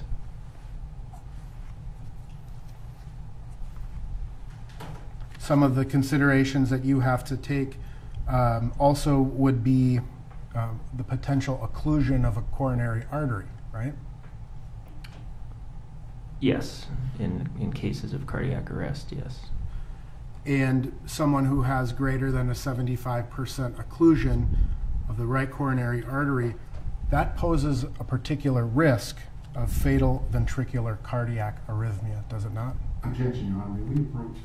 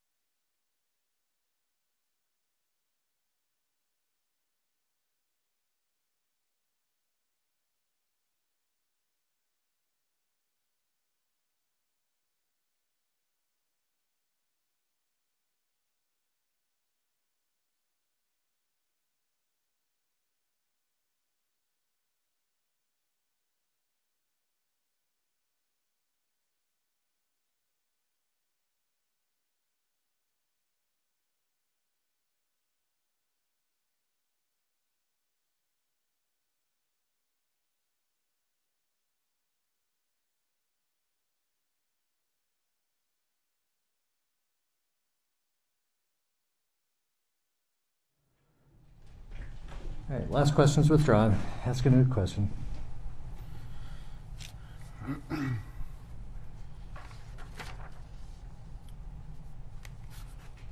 Only a physician uh, can declare a person dead, correct? Depends where you're practicing. In the state of Minnesota? Yes. A paramedic can't declare a person dead. No, not without consultation with a physician. So just to, um, based on your treatment, again, of Mr. Floyd, uh, Mr. Floyd, you- based on these uh, tests that you did, had an elevated CO2 level, correct? Yes. And um, that CO2 level was exceptional, considered to be exceptionally high, correct? Correct. And you did not, uh, in the course of your uh, consideration, uh, provide na- naloxone or Narcan. No. Okay. And it would be, is it fair to say that the administration of Narcan, if you do not have opiates in your system, is a safe procedure? Uh, yes. And if you do have opiates in your system, the administration of Narcan uh, could be life changing, life saving. Yes. Not in this case. Prior to the, um, but again, the, the paramedics, also based on your information, did not administer Narcan. Correct.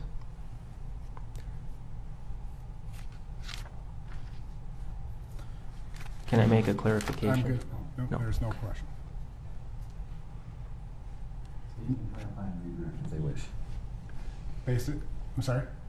I said the state can clarify. the Direct if they wish. And you would agree that Mr. Floyd arrived at HCMC at approximately 8:53? If we have seen evidence previously. That sounds correct. Yep. I have no further questions, Your Honor. Mr. Blackwell. Thank you, Your Honor.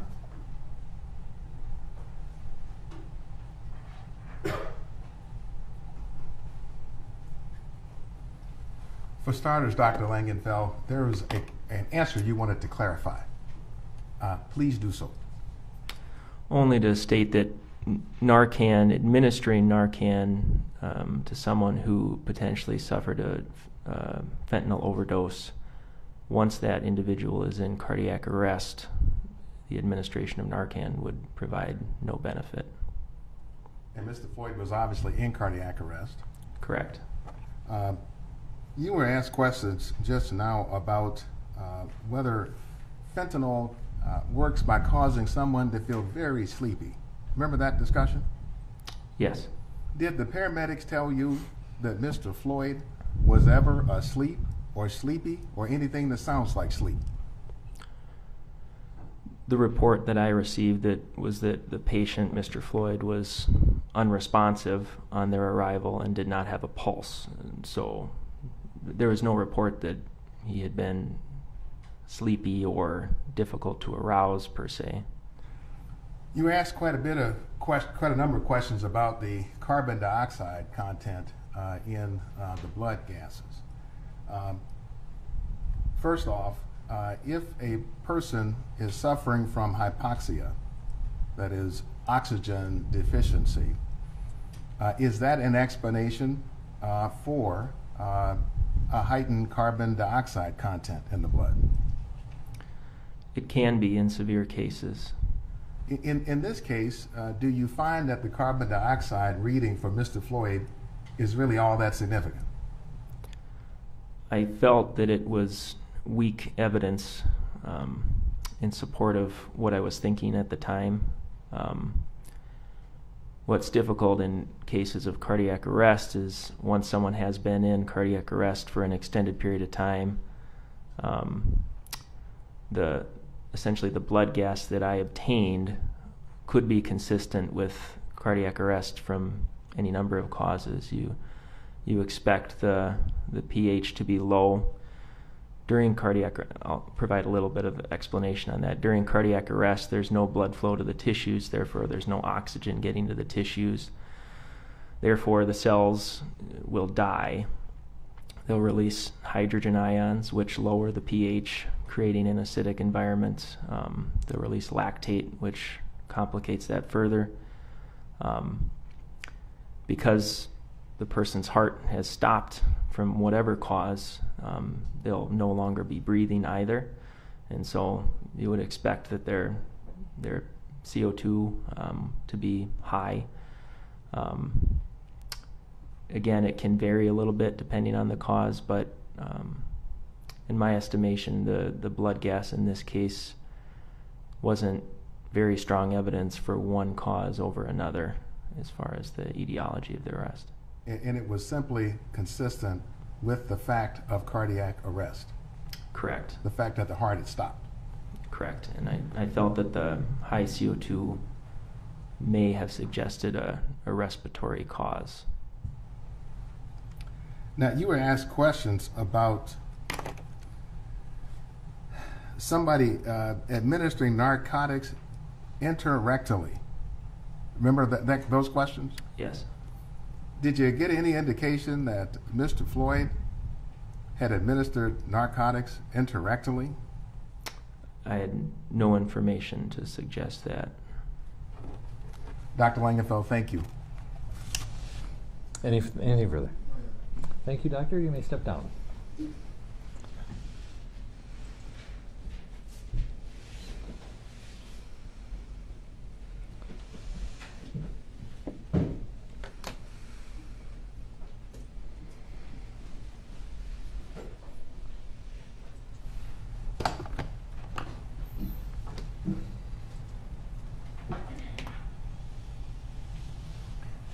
Mr. Schleicher. Thank you, Your Honor. Your Honor, the, the state calls Chief Medaria Arradondo.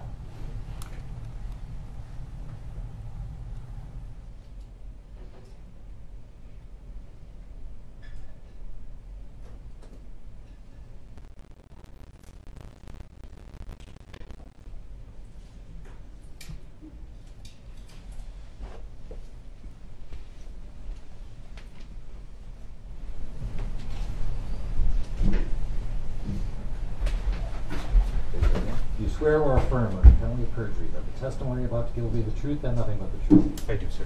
Let's see.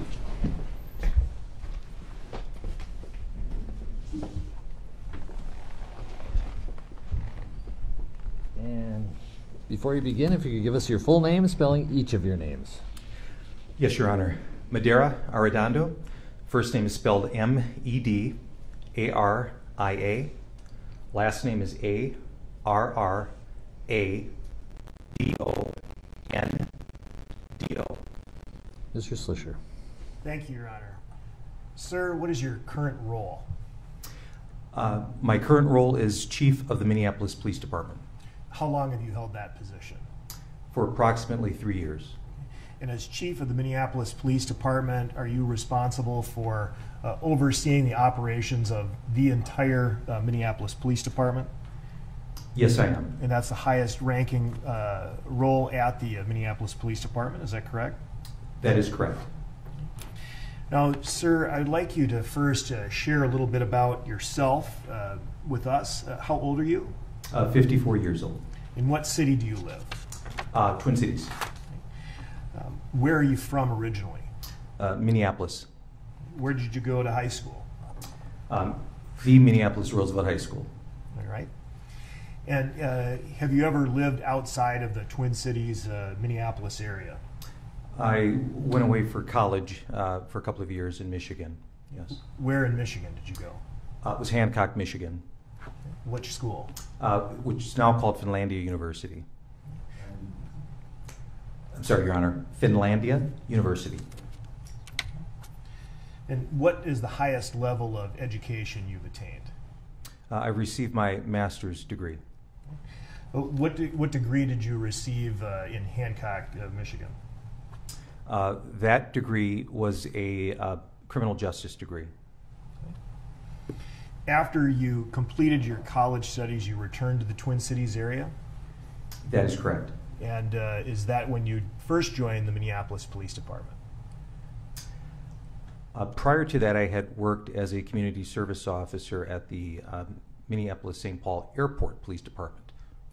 Uh, what years did you do that? I believe that was from 1987 to 1989. And then in 1989, did you join the Minneapolis Police Department? I did. In what capacity? Uh, I started my career as a Minneapolis police cadet and then uh, was hired as a Minneapolis police officer that year. And Chief, why did you decide to become a police officer?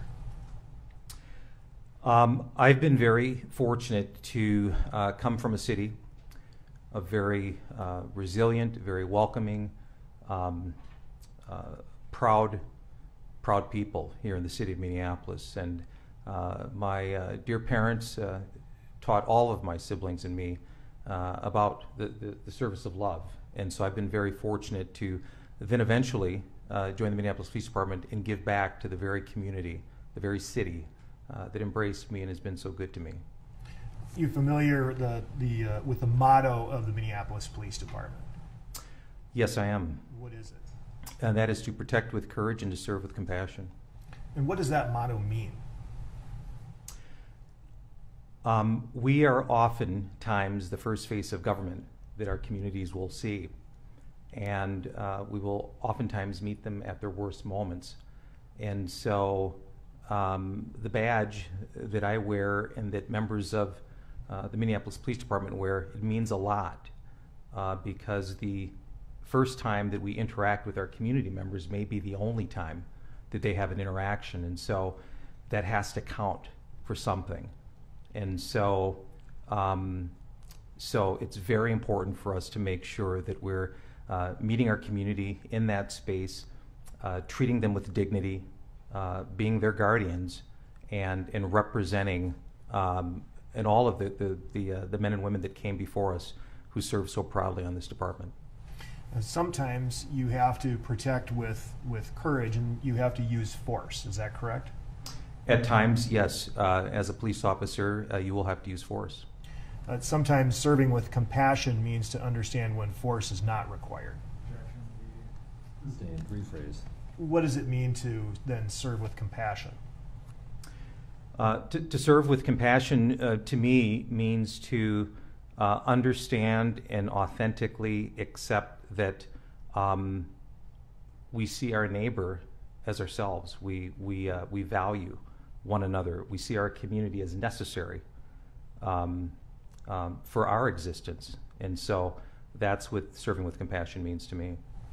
Now, you've told us a little bit about your educational background. I'd like you to um, share with all of us a little bit more about your specific law enforcement training.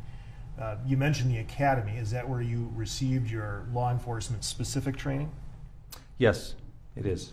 Uh, please describe how that training occurred. Uh, I was a um, member of the first Minneapolis Police Cadet Program, and uh, along with many other candidates, we received training, both um, academic training on uh, the laws um, of the state of Minnesota. Uh, we received training as it relates to uh, everything from um, uh, driving and defensive tactics, um, uh, community relations. Um, and so uh, we also, there's post requirements of Minnesota Post Officer Standards and Training to receive our license. Uh, there was a test that we had to take then. Um, there was also scenario based training as well um, uh, to grade and assess how we uh, performed um, during that training in the academy. Um, and so that was that was part of that that important training that I received along with my candidates at the uh, at the academy. And that was the that was the very first Minneapolis Police Academy. That is correct. And a trainee at the academy is a, uh, that trainee referred to as a cadet. That is correct. Uh, your employment, you've been continuously employed uh, as a Minneapolis in the Minneapolis Police Department since was that 1989. That is correct, sir. Uh, has the academy changed uh, since you first uh, were a cadet back in 1989? It has, and and while I certainly believe that at the time back in 1989 that training was important, um, like any police department, um, we should not be monolithic. Our communities are not monolithic. Our, our training should evolve. Uh, we should be focused on what are national best practices. And so uh, the training that our uh, recruits and cadets get today, um, and rightfully so, is far better uh, than the training that uh, I received uh, those years ago. Well, we'll circle back to that a little bit later. Uh, you also mentioned that you take post credits, is that right? Yes, that is correct. And post stands for Peace Officer Standards and Training. That is correct. What is the requirement for um, post training? How many how many courses are you required to take in a given period? Yeah, every sworn uh, peace officer in the state of Minnesota um, receives their license through the uh, POST, or Peace Officer Standards and Training uh, Board, and so uh, POST will will change up what some of those requirements are from time to time. Uh, but uh, some of the ones that I think of right now would be uh, uh, crisis intervention training. Um, um, there's certainly uh, defensive tactics training. There's there's uh, um, now a form of procedural justice training that is required, and so um, Minneapolis police officers receive that mandated training. But we're also very fortunate that um, we're able to receive additional training above and beyond what is required of the uh, post board. And you personally participate in this training in order to maintain your post license? That is correct. Uh, chief, you uh, began your career in 1989. You're now the chief of the police department. Fair to say you've had many roles within that department. Is that correct? That is correct. Uh, At this time, I'd like to publish Exhibit 209, if I may. And uh, we'll leave that up, uh, if we may, while you testify. What was the first position you held within the department after you completed your academy training? Um, I was uh, sworn in as a Minneapolis police officer. Now, we've heard that term "sworn officer" uh, before. Can you please explain to the jury what that what that means? Uh, sworn officer, um, after you complete the required educational uh, requirements, and certainly after you complete your um, performance measures at the academy, uh, then you are uh, eventually sworn in at a location, and uh, um, traditionally our city clerk has been there, and you take an oath, and uh, you're, you're, you're sworn in as an official a member of the Minneapolis Police Department, but also as a City of Minneapolis employee, and you start your employment with the city then.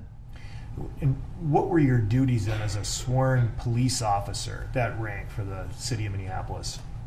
Uh, primary duties was to be a 911 responder, uh, to work in a geographical area of the city of Minneapolis in a district, uh, at a precinct, and uh, respond to 911 calls on a given shift. Are those also called uh, calls for service? That is correct. And as a um, as a patrol officer at that time, well, how long did you remain a patrol officer? Approximately five years or so. And can you tell the jury what geographic district you served as a patrol officer? Yes, I, I served uh, for a short time in the third precinct, and then um, I think the bulk of that time uh, in the Minneapolis fourth precinct, which is located in North Minneapolis. Uh, during uh, that time period, that five years as a patrol officer, did you ever have occasion to arrest a suspect? Yes, I did. Um, how about a non-compliant suspect? Yes, You've had to place handcuffs on someone who was not compliant. that is correct. Yes. Approximately, would you care to guess how many times?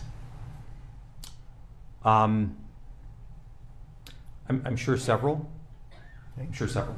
Uh, this is something that's uh, fairly regularly, a fairly regular occurrence uh, as a police officer, as a patrol officer. Is that right? That is correct. You've had to be in situations where you've had to use force. Is that right? That is correct. Have you also been in situations where you've had to de-escalate or talk someone into compliance? Yes. And is that a regular part of your job as a patrol officer? Yes, it is. Even in from 1989 to approximately 19, or I'm sorry, uh, 1994. Yes. Then, after serving this period of time as a patrol officer, what was your next position at MPD? Um, and approx- I, I believe in 1997, I was then promoted to the rank of uh, sergeant in the Minneapolis Police Department. And what do you have to do to be promoted to the rank of sergeant? What are the requirements? Um, it is a uh, civil service test uh, that you take, um, and um, you have to successfully pass that and receive a grade from that. And um, I'm trying to recall if there was an assessment center that was also part of that testing process. Um, but uh, there is a number of years that you have to at least have served as a police officer before you can take uh, the sergeant's uh, uh, test and promotion. And what is the role of a sergeant in the Minneapolis Police Department? Uh, sergeant's role, uh, and I've often said it is the most influential role in the police department. How so? Um, it's it's most influential because you have the most proximity uh, to the men and women who are out there serving in the community. Um, you're there for them at the roll calls. You are a mentor. You uh, give them guidance. Um, they are going to see you far often than they would ever see the chief of police, for example. Um, and you set the tone in the attitude, and so um, um, so that that's really uh, a, a very significant role within the Minneapolis Police Department. That's Uh, a first line supervisory position, correct? yes, it is. And uh, sergeants or people with that rank within MPD would serve in a variety of jobs or functions. Is that correct? That is correct. And how did you serve as a, as a sergeant when you were first promoted?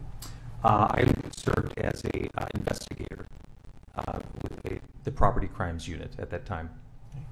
Uh, how many people approximately did you supervise? At that time, I did not supervise any. I worked as a, um, a detective or investigator alongside other detectives. Okay. Uh, how long did you hold that position? Uh, approximately two years. And after that? Uh, then I served as a sergeant in our Minneapolis Police Department Internal Affairs unit. Describe what a sergeant in internal affairs does.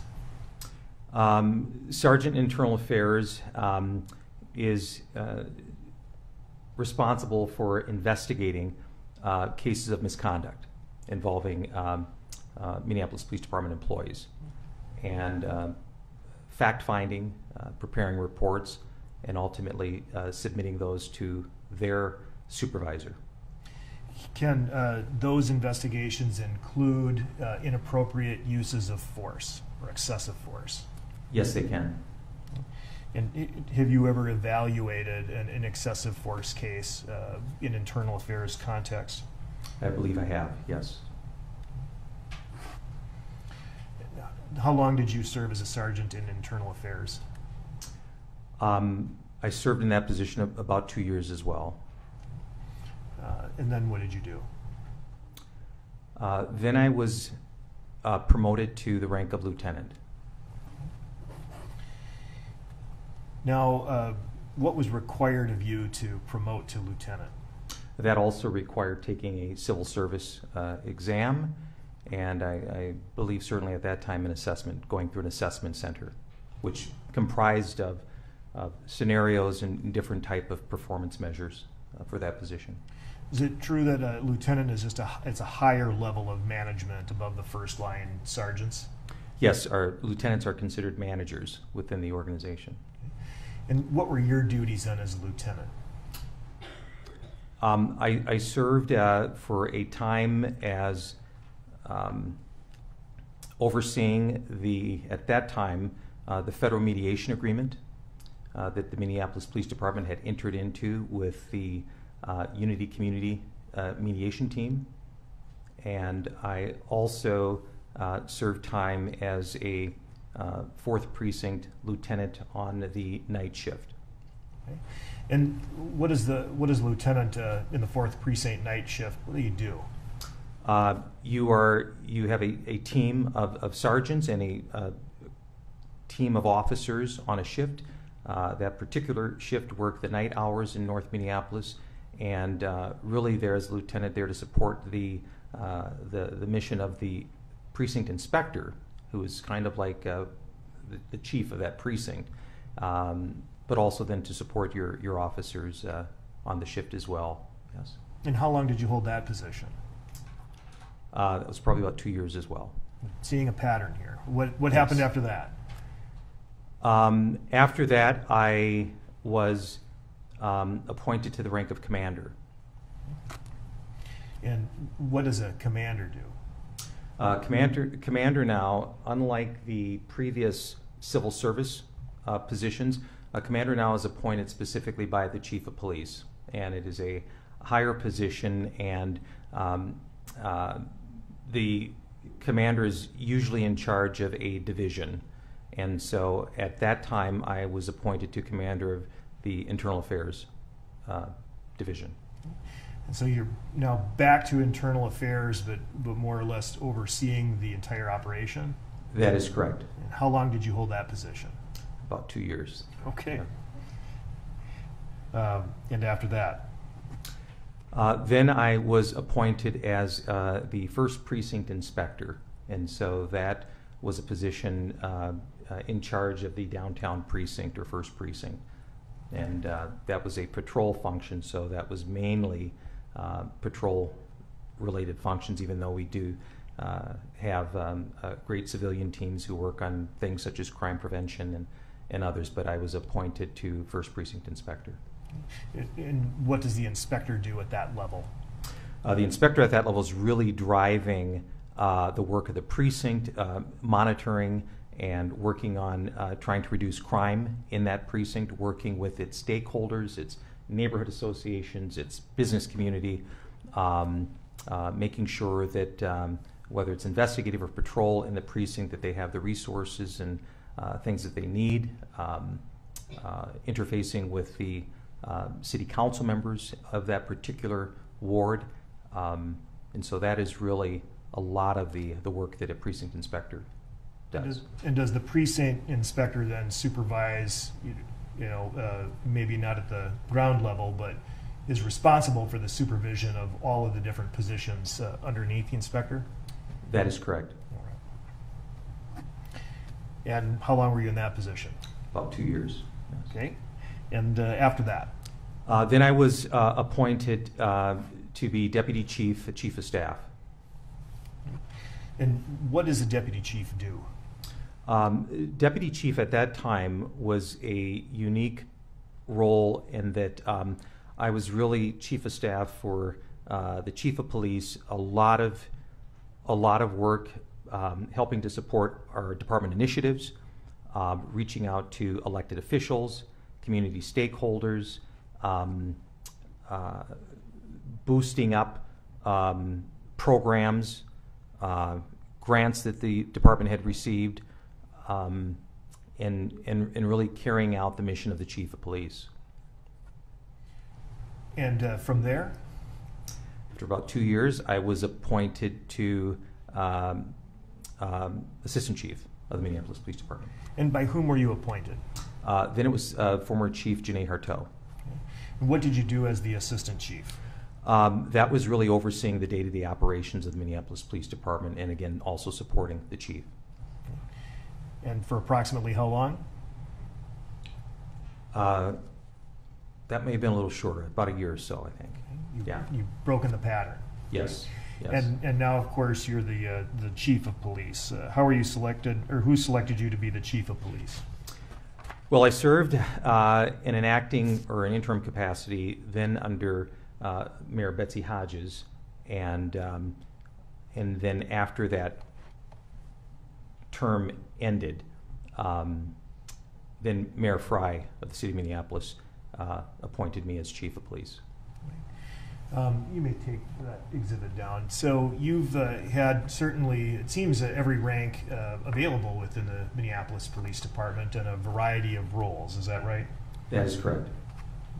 And as such, are you familiar generally with the day-to-day operations, uh, I guess from the patrol level all the way up to the level you are now? That is correct. Uh, What I'd like you to do at this time is, um, is provide us with a little bit more information, sort of an overview of the Minneapolis Police Department and how it serves the city of Minneapolis. Um, MPD's jurisdiction is within the geographic uh, limits of Minneapolis, is that right? Yes. And what's the, what's the approximate geographic area that you're, that you have jurisdiction over? Well, uh, to the north, we border uh, Brooklyn Park, Brooklyn Center. Uh, to the south of Richfield. Um, uh, to our east, just right up against uh, the River St. Paul. Um, and to the west, Golden Valley. And so it's a pretty large area. Would you agree that's about 58 square miles, give or take? Yes. Uh, And are you aware of the current population of Minneapolis? Roughly about 420, 30,000. Uh, How many sworn officers work for the Minneapolis Police Department? Currently, uh, around 700. And as the chief, are you generally familiar with the officers who work for you? It's a lot of people. Um, it's a lot of people, um, and so it it it, uh, it can it can be taxing to try to. We've you know we've got a lot of people that work in different areas, but uh, um, but I have a pretty good understanding of where folks are throughout the organization. Yes. As we go on, I'll be asking you if you recognize some of the names of different people we may have met to this point. But at this time, uh, up until May 26, 2020, an individual named Derek Chauvin was a Minneapolis police officer. Is that right? That is correct. And are you aware of who this person is? I am. Do you recognize this person in the courtroom today? I do. Would you please point to him and describe what he's wearing? Uh, Yes, uh, it- uh, Mr. Chauvin's right there. Uh, He appears to be wearing a uh, navy blue suit uh, with a light blue tie and white shirt. Thank you, Your Honor. May the record reflect that the witness has identified the defendant. Pay attention. So I'd like you to please uh, describe for the jury how MPD is structured to deploy law enforcement services to about 420,000 people over a 58 square mile area, uh, 24 hours a day, every day. Uh, administratively, how is the department organized? Uh, it- Administratively, we are broken down into bureaus. And so, uh, as I may have mentioned, you have the chief of police that uh, really leads the organization and its mission and vision and goals. And then we have an assistant chief that oversees the day-to-day operations. Uh, After that, there are three deputy chiefs. And uh, we have a deputy chief of patrol, um, and uh, the deputy chief of patrol is responsible for the five geographical precincts uh, throughout the city of Minneapolis. Um, we also have a deputy chief of professional standards. And that deputy chief oversees really two main functions, and that is our training for our entire department, as well as um, uh, the internal affairs uh, portion of our department. Um, and then we have a deputy chief, the third one, of investigations. So all of the uh, uh, employees who work, whether it's homicide unit, robbery, assault, um, that deputy chief oversees uh, the investigations bureau. And um, we also have commanders who oversee these divisions. I, as I mentioned, they're above the civil service rank, they're appointed, um, and they serve in different uh, divisions. Uh, and the precincts, as I mentioned, there's five geographical areas. We have five precinct inspectors, and uh, they are like the chiefs of police uh, for those precincts. Yes. And, and so, it, by my count, there were three bureaus. You have investigations, patrol, and professional standards. Is that right? That is correct. And the investigations bureau has a number of individual units within the bureau. Correct? That is correct. For example, what what type of units are within investigations? Yeah, Investigations Bureau um, has homicide, assault, robbery, um, crimes against children. Uh, there are several several different uh, investigative units. So within the investigative bureau, you mentioned homicide. That's where Lieutenant Zimmerman would work. Is that right? That is correct. Okay. And the patrol bureau uh, that provides services such as uh, 911 response, like you did when you were a patrol officer. Is that right? That's correct. Crime prevention, traffic control, emergency services, all within the uh, patrol bureau. Yes. And uh, in, in individuals, sorry, And uh, within the Patrol Bureau, in order to provide those patrol services over the geographic area, we've heard about um, precincts. Is that right? Yes. And if we could publish Exhibit 269.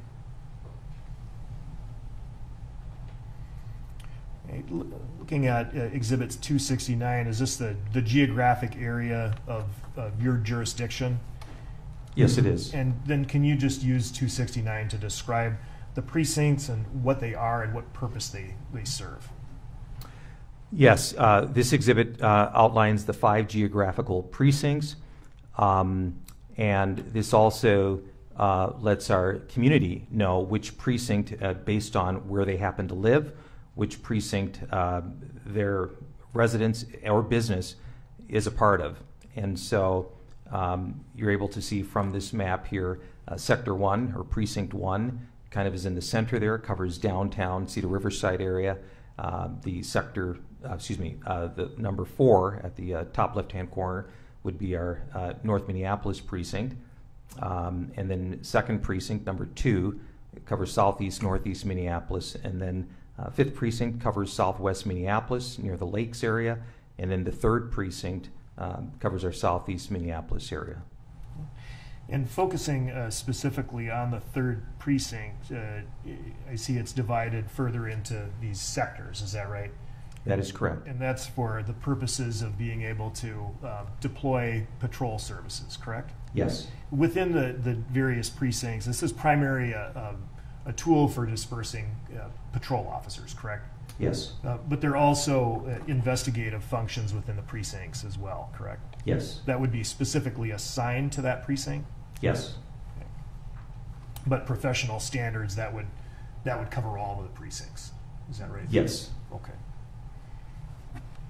Um, if we could publish 268, I'd like to focus specifically on the third precinct. Oh, it's a little hard to see, uh, but y- you can see the. Um, that- that's much better. Thank you. Uh, you can see the different uh, colors. Uh, it, it appears the sectors that we looked at um, in, the, in the previous exhibit are listed here. Uh, and if you take a look at Sector 1, that would be represented as uh, 310 on the exhibit 268. Is that right? Yes. And then Sector 2 would be exhibit 320. Yes. All right. And we won't go through uh, each of the sectors, but uh, the purpose of these uh, sectors, again, is to uh, further distinguish different geographic areas within the third precinct or any precinct so we'd be able to have, say, dispatchers deploy law enforcement resources there. Is that right? That is correct. dispatchers like Jenna Scurry, for example, could send a car to a particular location based on the different sectors that are within this precinct map. Is that right? That is correct, yes. And a Professional Standards Bureau, uh, you can take that down, please. The Professional Standards Bureau, what does a Professional Standards Bureau do? One of the functions is training. Uh, we have a commander, again, that is one of the appointed ranks, who oversees the training division, and uh, they're responsible for making sure that not only are our officers um, uh, in compliance with our mandated post board educational requirements every year, but also really looking to make sure that we continue to evolve and that we're uh, staying on top of necessary training that's important for us, that um, has a benefit to our communities that we serve. Um, and so that's that's a core piece to what our professional standards training division does. And so within uh, professional standards, you have the training services, and that's staffed at the, I guess it's at the commander level, led at the commander level. That is correct. And who is the current commander of uh, the training division? Uh, the current commander for the Minneapolis Training Division is Commander Darcy Horn. Last year, who was your commander? Uh, last year, it is n- it, she's now Inspector Katie Blackwell, but she was Commander Katie Blackwell uh, last year when she led our training. And she would have been uh, the training commander on May 25, 2020. Is that right? That is correct. Okay. There's other divisions within uh, professional standards. I think you mentioned internal affairs, um, but there's also an administrative services division. Is that right? Yes. And what does the administrative services division do? Um, Administrative Services Division um, can deal with everything from, from grants, uh, different types of programs that the city of Minneapolis is embarking upon, um, um, employee personnel matters as well, Also, um, you know, business software and equipment, technology, business software, yes. body cameras, milestone cameras. Yes. And we met Jeff Rugel, and that's where he works. Is that right? Yes, Lieutenant Rugel's part of that, yes. I'd like to talk to you a little bit about the Minneapolis Police Department and reacting to calls for service. Um, the role of the Minneapolis Police Department is generally to, to serve the community's law enforcement needs. Is that right? That's correct. And most requests for service come in through uh, the 911 system. Is that right? Yes. You respond, or officers respond to uh, different calls for service. Um, could you please describe the types of calls for service uh, Minneapolis Police Department commonly responds to? Um, calls for service can absolutely range from everything from uh, tenant trouble to a loud party dispute to domestic assault uh, to shooting and to even homicide. So it can it can really range from a, a wide variety of types of calls. People will call to report a crime and request assistance. Is that Yes. right? People also uh, call to report, you know, general emergencies. Yes, they can.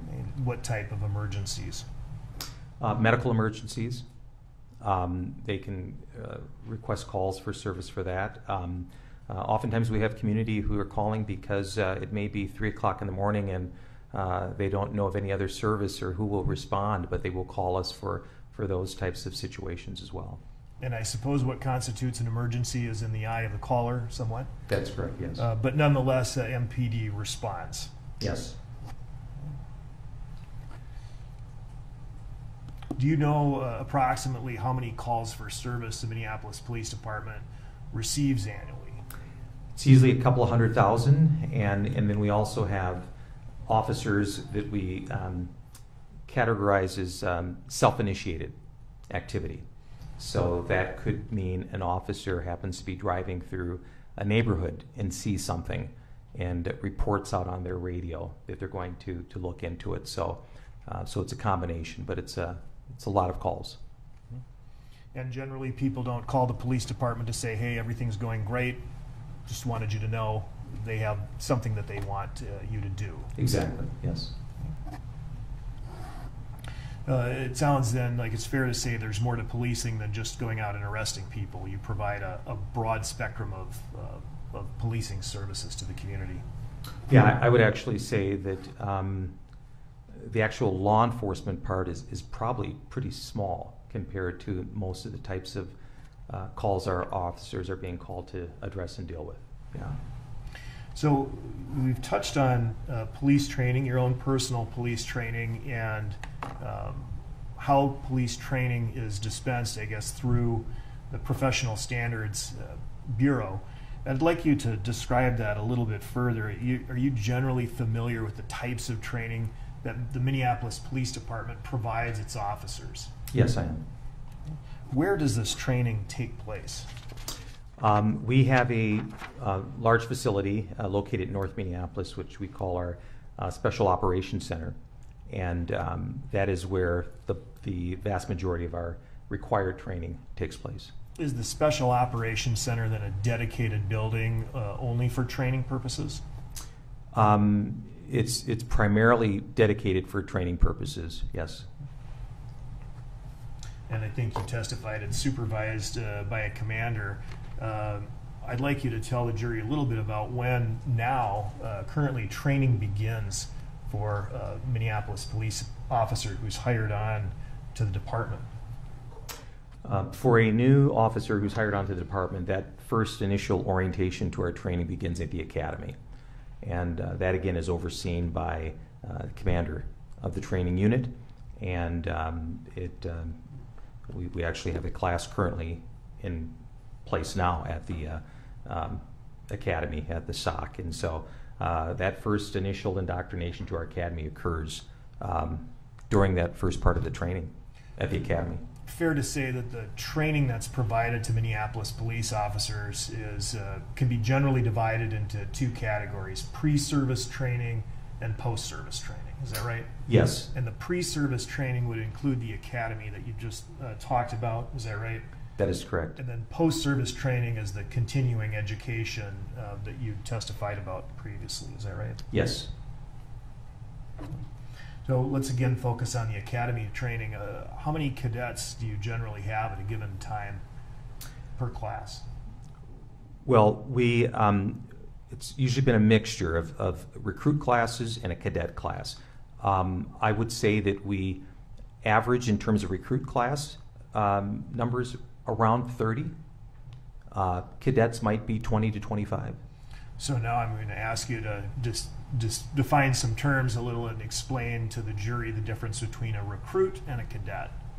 Um, uh, recruits are typically individuals who've already been focused, laser focused on a career. Uh, being a Minneapolis police officer is what I wanted to do. They typically have already at least their two year uh, criminal justice or law enforcement degree.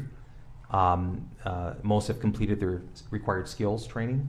Um, cadet was um, was really created to capture diversity um, of candidates, and so the cadet might have individuals who may have had a um, psych, uh, psychology degree, uh, but it's really streamlining them in. It's a little lengthier um, process, but it's really getting them on board so that they meet uh, the state requirements, uh, the post requirements to get to be hired. And so uh, the cadet program was a is a wonderful way for us to capture uh, diversity within our police department. And so, uh, but they both once their programs are finished, they're both classes, whether you're recruit or cadet, you are ready to successfully become a Minneapolis police officer. Do you also take lateral candidates? Yes, lateral candidates. We, we certainly have had um, hirings of laterals in the years past. Yes. And do those individuals also go through a similar training as a recruit? Uh, yes, the laterals can. It's usually much smaller in length of time just because laterals are uh, individuals who've already served as police officers, perhaps in another jurisdiction or another part of the state, or out of state, actually. We'll get a, a more detailed description from another witness, but just at a very high level, can you describe what uh, the, the trainees do at the academy during this pre-service training? Uh, trainees at the academy during pre-service, they're really it's their first indoctrination uh, into this world of being a police officer. So they're being taught about city and statutory laws. They're uh, being um, uh, trained on procedural justice and critical thinking, uh, defensive tactics. Um, they're having uh, community members come in and speak to them about different um, aspects, whether it relates to um, um, things in our, our cultures uh, within our city. Um, uh, technology is a is a huge piece to that. Learning uh, how to write reports on our computers. It's, so it's they're, they're really getting that basic indoctrination into the Minneapolis Police Department. As far as the methodology, uh, is it typically classroom delivery? Do you also have um, practical application? How, how does that work? Yeah, it's it's a it's a layered approach. Um, it's it's both the practical academic studying, um, uh, examinations that occur, but it's also scenario based. And so uh, there's scenarios that they will go through, and whether that's uh, crisis intervention training or other aspects. So it's a layered approach to the training. And in this pre-service uh, training, then once the officer uh, or candidate has completed the pre-service training, what's the next phase before becoming a, a, a fully functioning uh, police officer? Um, once they com- complete that training, um, they're making sure, obviously, that they've met the requirement for the licensure for the Minnesota Post Board, and then ultimately uh, they're going to get um, sworn in and hired on as Minneapolis police officers. Are you familiar with a program called the uh, Field Training Program or FTO? Yes, I am. Is that part of the pre-service training? That would be, yes. Can you just give us a general description of what the FTO or Field Training Program is? Uh, the, the Minneapolis Field Training Officer Program is really once the uh, recruit um, has gone through that series of pre-service training, it's now teaming them up with a, a mentor, basically. And uh, they're being gauged and judged on certain performance measures. Um, and it takes course over a period of several months, usually about five months. And uh, they're given instruction. They're, they're seeing how well they are able to handle certain types of situations, calls. Um, and uh, they're also having feedback, uh, not only from their FTO, but they're also having conversations with the, uh, the supervisors in the uh, training bureau and seeing how they're doing. They're assessing uh, their progression. Um, in the event um, a candidate um, is, is not progressing, they're making sure that there's support mechanisms for that. Where do they need extra help? Uh, and yes, at times, um, we have candidates that don't successfully complete it. And so, but that's really getting uh, them to the point where they can ultimately um, be really on their own and be able to function on their own as a sworn Minneapolis police officer. And so once they've completed the field training program, and I think as you know, per your uh, testimony thus far, the training doesn't stop there. You have post requirements that you have to fulfill every year in your, in your post-service training, is that right? That is correct. And is that delivered through uh, a series of in-service trainings that occur at the same training facility you mentioned? Yes. Is that training uh, optional? Uh, Can, a- can an officer go somewhere else to get their post credits and skip the in-service, or is that training required? Uh, that training is required annually. Do you have to take it? Yes, I do. What type of uh, training is provided in the, uh, in, in the post-service training? Um, some of the training that is provided uh, in the annual uh, training can be uh, critical incident training, uh, CIT training, um, CIT is crisis intervention training? crisis intervention training. Thank you. Yes, crisis intervention training, uh, defensive tactics, um, s- basic CPR or first aid. Um, uh, those are those are some of the types of uh, training that is required annually. Yeah. Um, even though they've already ostensibly been trained on all of these things before, you- you're still doing the same training annually? That is correct. Why is that? Um, a lot of that is just to reemphasize um, the importance of the training itself, muscle memory, um, because all of our department members are being taught the same thing. Um, we may have officers that are working in a patrol capacity one year, and the next year they may be in investigations, uh, but they may be called to assist upon. And so it's, it's making sure that all of us have that basic, necessary, uh, core fundamental training uh, to better help serve our communities. So if you could give the jury kind of an idea of the amount of time that is spent training your officers. it's it's it's a lot. We we put a lot of time, energy, and resources into our our training. Um, I believe last year, uh, the Minneapolis Police Department, in terms of our mandatory in-service training and leadership training, we probably spent about eight and a half million dollars. In our pre-service and in-service training, that was probably about four and a half million dollars. So, training is absolutely vitally essential uh, to us as a department. And, and officers are paid while they're being trained, is that correct? Yes, they are.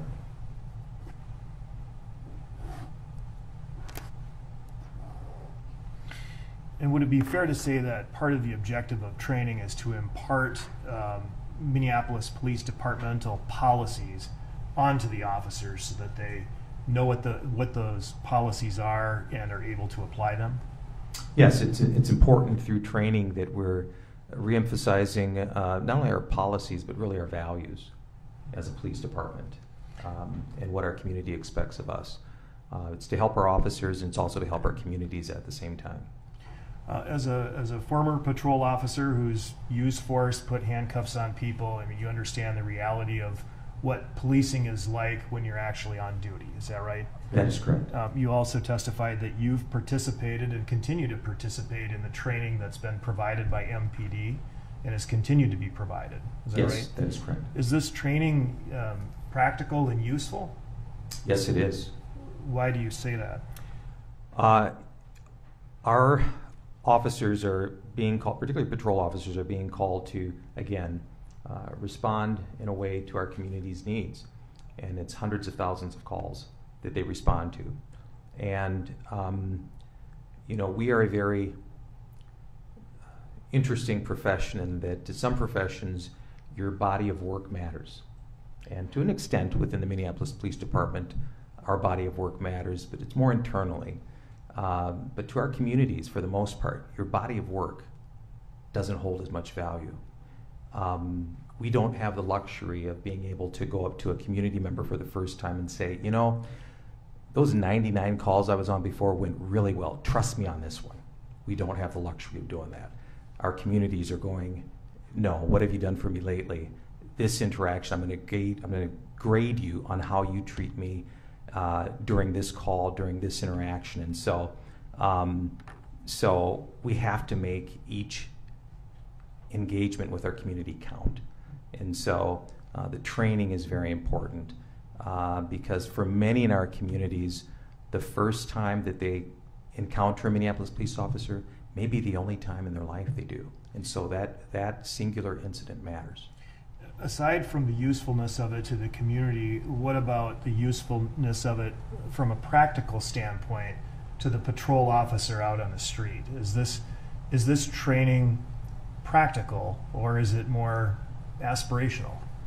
No, it's, it's, it's very practical. And as I had mentioned earlier, it's so important that we evolve as a police department and meet our communities um, where they are. And I'll, I'll, give a couple examples if, if you don't mind.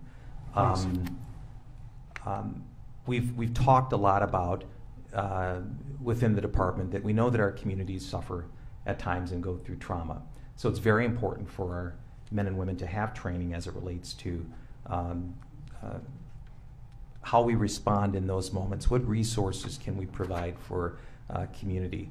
But one of the things that we have not talked about in this profession, and uh, sadly, is the impacts of trauma on our own officers. And so, wellness, we do a great deal of training and work on officer wellness because uh, we need to make sure that our officers are well when they're interacting with our communities uh, uh, in that in that regard.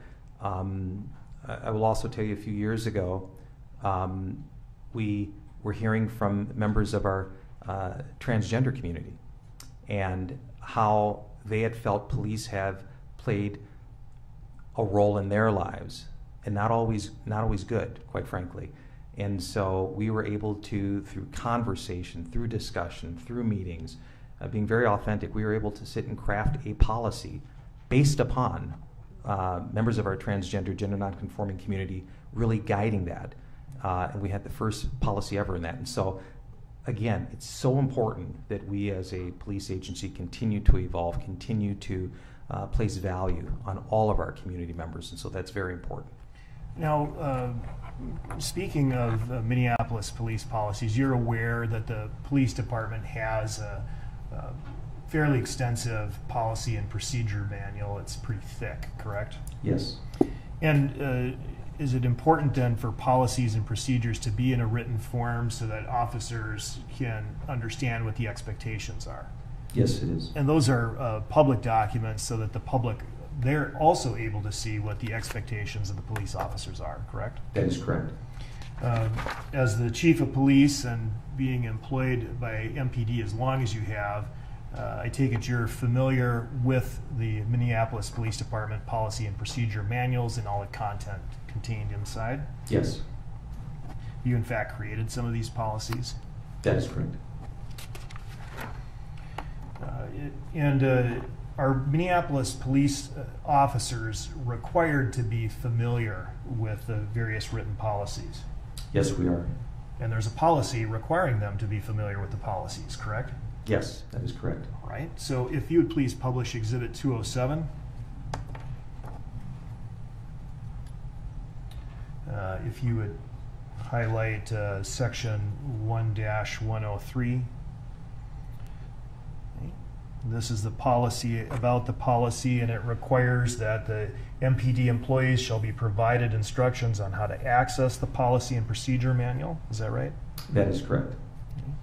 and they're accountable for knowing how to and where, how and where to access, and for knowing the contents of the manual. Is that right? That is correct. And they're also required to sign a receipt acknowledging their responsibility for knowing the contents of the manual, correct? Yes. Because, you know, the first uh, policy manual that you would receive as a patrol officer might not be, you know, 30 years later, uh, what you're going to be looking at, correct? Yes. So the policies are changing, but they're published, they're public, and officers are required to know what they are and to sign something saying that they uh, will continue to review them. Is that right? That, It's preliminary, overruled. yes. All right. Well, uh, if you could take that one down, please. Um, At this time, uh, asked to just uh, display to the witness Exhibit 274 for identification. Um, Sir, do you recognize this the general form here of being an electronic version of the MPD Policy and Procedure Manual acknowledgement? Yes, I do. This is uh, uh, an example of an acknowledgement form that a Minneapolis Police uh, Department employee patrol officer would sign upon being hired. Is that right? Yes. Just indicating that they're aware that there are written policies and committing to um, reviewing them and accessing them. Is that right? Yes. Um, you- uh, At this time, I'm going to offer Exhibit 274.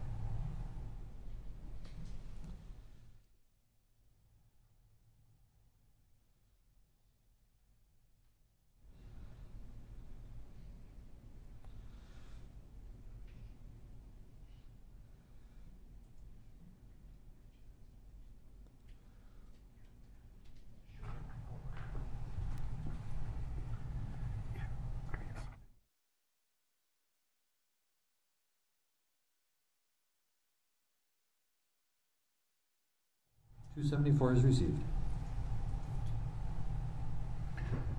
All right, if we could then publish Exhibit 274 to the jury. And you see, this is, uh, again, um, one of the forms that was signed by a particular officer upon hire. And if you could please highlight the name. And that's uh, signed by Derek Chauvin, Chauvin, I'm so sorry, Derek Chauvin, um, badge 1087, December uh, 28, 2001. Is that correct? Yes. If you could take that down, please.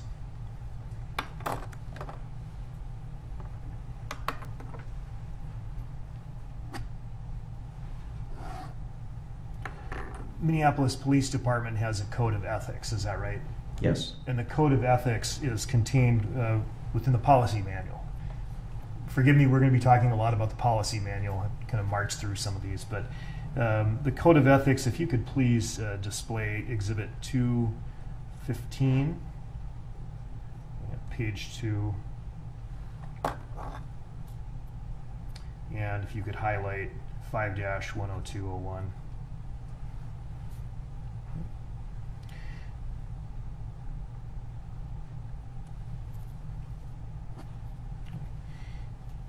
And as the uh, Code of Ethics provides in the policy manual, law enforcement officers' fundamental duty to serve mankind and safeguard lives and property, and to protect the innocent against deception and the weak against oppression and intimidation. Is that right? That is correct.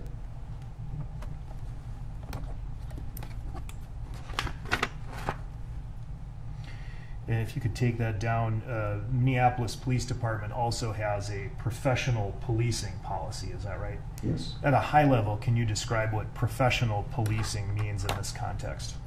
Yes, uh, our Minneapolis Police Department, professional policing. Um, it's it's really about treating people with dignity and respect, ab- above all else, at the highest level.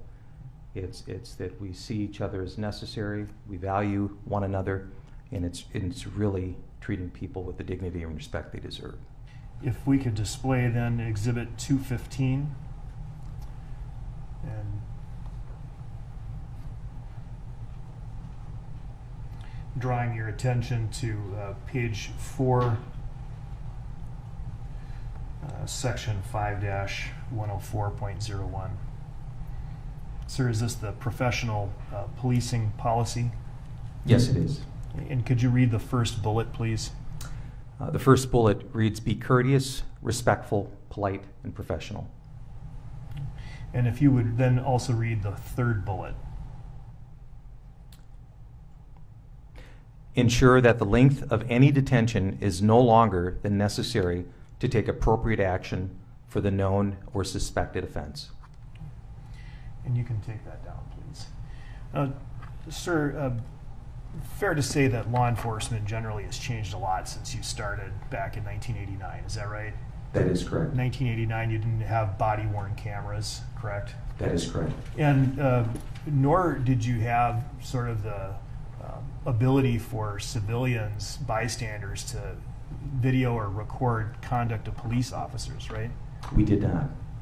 Um, because we didn't have smartphones, That's true. and now we do. Yes. And as you indicated, the policies and culture of the police department has to change with the times. Is that right? Yes. Um, and so, in terms of understanding that sometimes bystanders do use their smartphones to take uh, video images of police officers, have you, or has the Minneapolis Police Department imparted any training or uh, constructed any policies to prepare officers for people recording them?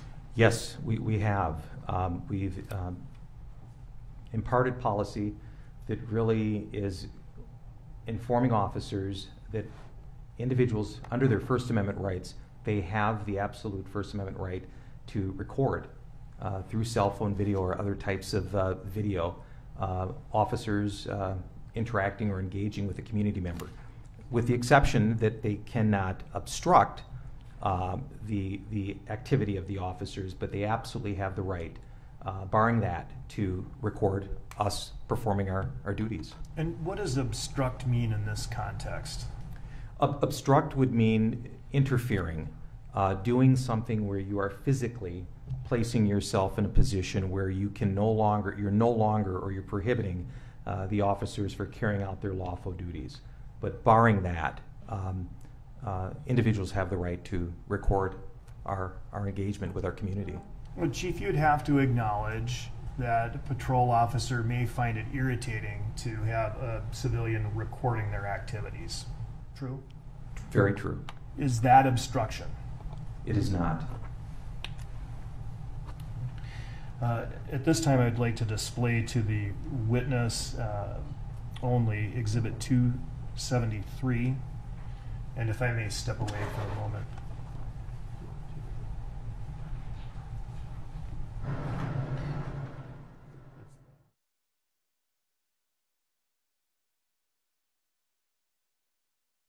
And at this time, I will offer Exhibit 273. Any objection? No objection. 273 is received. if you would publish uh, 273, and I'd like to draw your attention to uh, section 9-202.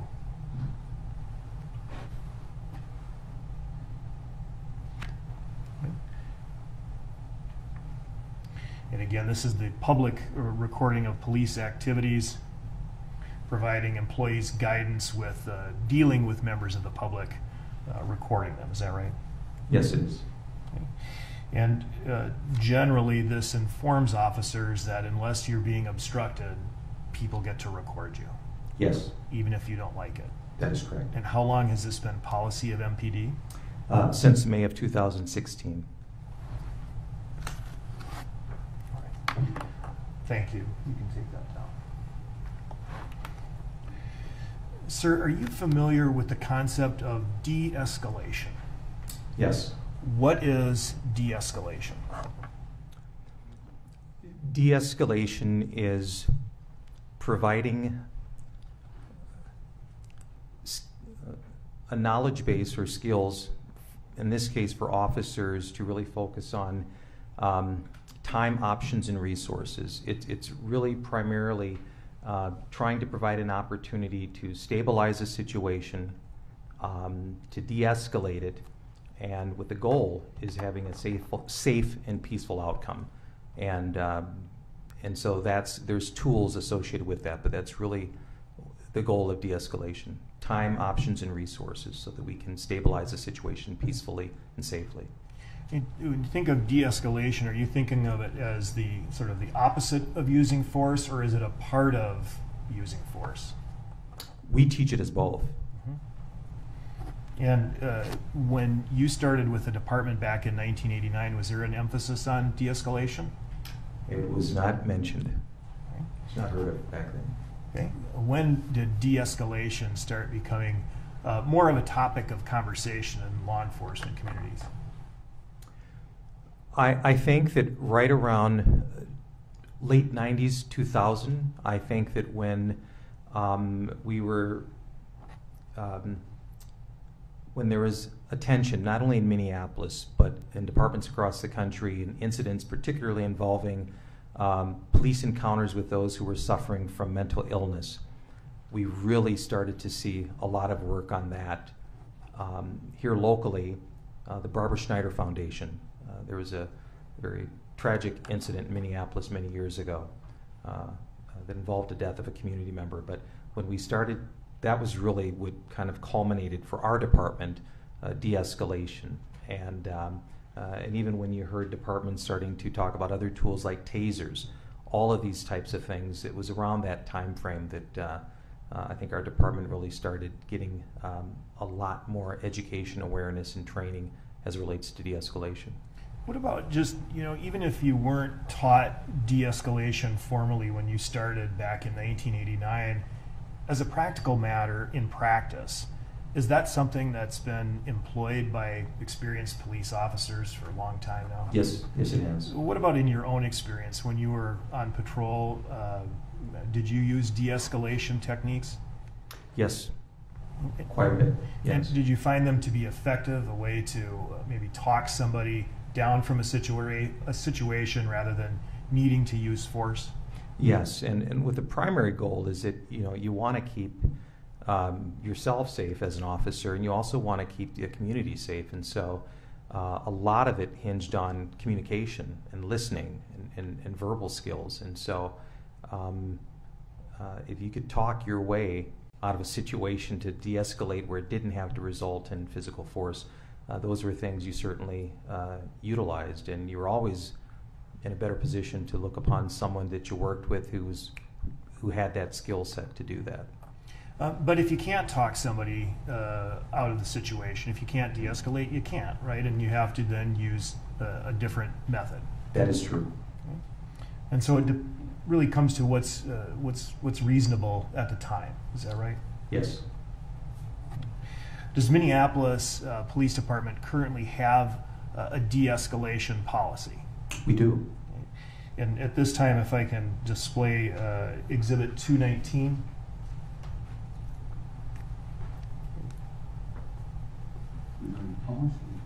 If you have this one, okay. I think it is admitted. I just want to make sure you have it. Okay. Yes, if we could publish Exhibit 219.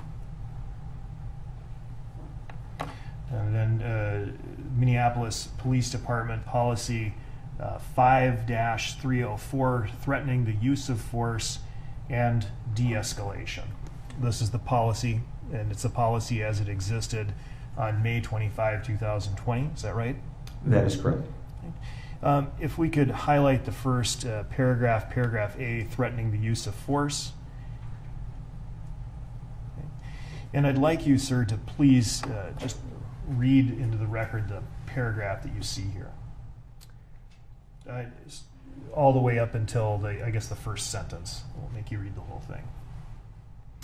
Uh, as an alternative and/or the precursor to the actual use of force, MPD officers shall consider verbally announcing their intent to use force, including displaying an authorized weapon as a threat of force when reasonable under the circumstances. And uh, I guess, is it an either or alternative? Is it like you either de escalate or use force, and once you start using force, you just give up on de escalation?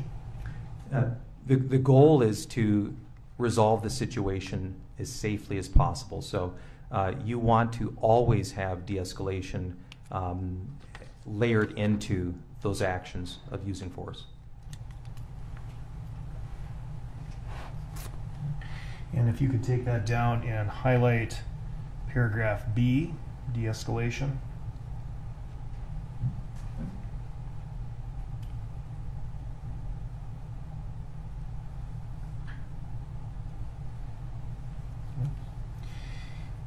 In accordance with the policy, uh, officers, the language here is mandatory when reasonable, whenever reasonable, shall use de-escalation tactics to gain voluntary compliance. Is that right? Yes. And to seek to avoid or to minimize the use of physical force, correct? Yes. And seeking to minimize uh, physical force, that can be happening while physical force is being employed, can't it? Yes. An officer can be using physical force and during the course of that, still maintain attempts to de escalate and defuse the situation. Yes. Okay? And uh, if you could clear that, please.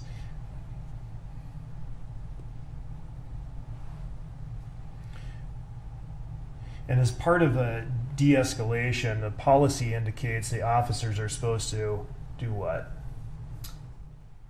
Attempt to slow down or stabilize the situation so that more time, options, and resources are available.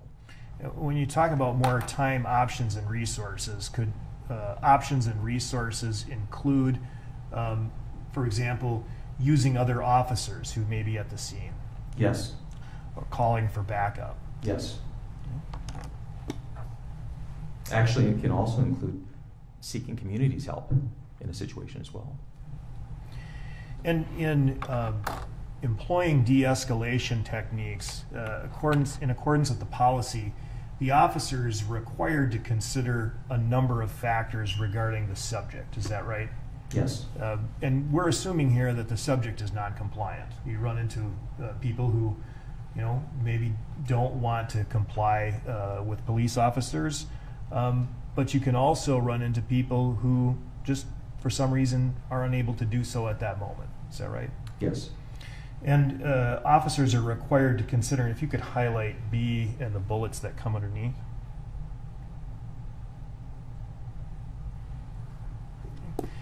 The officers under the Minneapolis de-escalation policy are required to consider whether the subject's lack of compliance is a deliberate attempt to resist or an inability. Is that right? Yes. And if you could read, uh, you know, first, uh, the first bullet is uh, medical or medical conditions, correct? Yes. We have mental impairment, um, developmental disability, uh, physical limitation. Some of you may just be physically unable to comply, correct? Yes. Um, uh, language barrier. Uh, you know, city of Minneapolis uh, has a variety of people who speak a variety of different languages. Someone just may not understand you, right? That is correct. And if you're not considering that, you know, perhaps the situation could escalate into something greater than it would need to be. Yes. Um, the last two bullets, um, first, uh, could you read the second to the last bullet? Yes. Um, one of the other considerations officers should take into account is the influence of drug or alcohol use. How so? Um, we know the research says that um, people can react differently when they're under the use of alcohol or drugs. And so, um, you trying to give verbal commands, um, if someone's under the use of alcohol or drugs or you're doing force, it, it may have a different reaction to them. So, that should be something that uh, you should be considering. And um, twelve thirty. Um, sir, uh, drug or alcohol use. I mean, in this context, is being uh, required that the officer consider to determine if de-escalation is appropriate. It can be true that being people, some people who are under the influence of drugs or alcohol can become dangerous, correct? That is correct. Um, but isn't it also true that some people react completely different and they are not necessarily dangerous if they're under the influence of alcohol or drugs? That is correct. Uh, in fact, uh, they may not be more dangerous, they may actually be more vulnerable. True. And it's important that the officer considers that when determining whether to go the route of force or continued force or de escalation. Fair? Yes. Um, behavioral crisis is the last uh, bullet I'd like you to discuss. What do you mean by behavioral crisis? Uh, behavioral crisis, um, of, of all the bullets, sometimes that is probably the one that our men and women experience uh, in our communities most. Uh, if someone loses a job, that can, that can trigger a behavioral crisis. If someone loses um, a loved one, that can trigger a behavioral crisis. Um, if someone has uh, um, uh, themselves got the worst diagnosis from their doctor that day, that can trigger a behavioral crisis. And so we want our folks to take all of those things into consideration. When I talk about meeting our community where they are, that's probably the one that we need to really focus on. Yeah. And as you testified earlier, the, the police just don't get to meet people on their very best day, do they? No, they don't. And uh, the behavioral crisis, uh, as the kind you've described here, can in fact be a barrier to compliance. Uh, in, in a, would cause an inability to comply, even if not, uh, you know, an intentional inability to comply. That's fair. Let's go to Liz, Yeah. please. Yeah. Thank you. Um, and, and so the purpose of the, uh, I'm sorry, of the listing a behavioral crisis as a, as a point of consideration for a law enforcement officer is what? Um, again, it, it's recognizing that um, when we get the call from our communities, uh, it may not often be their best day, and they may be experiencing something that is very traumatic. Um, but we're going to respond, but we have to take that into consideration uh, because, as I mentioned again, we may be the first and last time they have an interaction with a Minneapolis police officer, and so we have to make it count. It matters. Would this be a good time to stop before I go in the next line? I'm sorry, I was trying to push it to the time limit, so. Just whatever's good thing. All right, members of the jury, we'll take our lunch break, come back at 1:30. Chief, you may step down.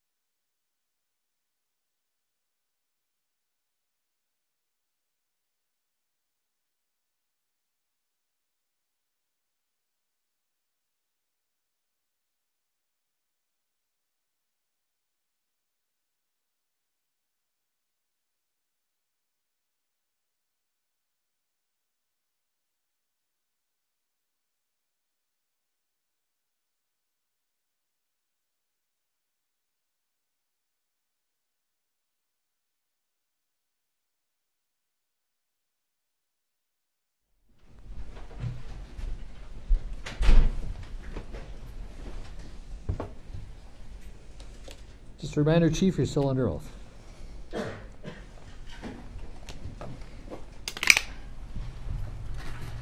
If you could please display and publish Exhibit 219 again.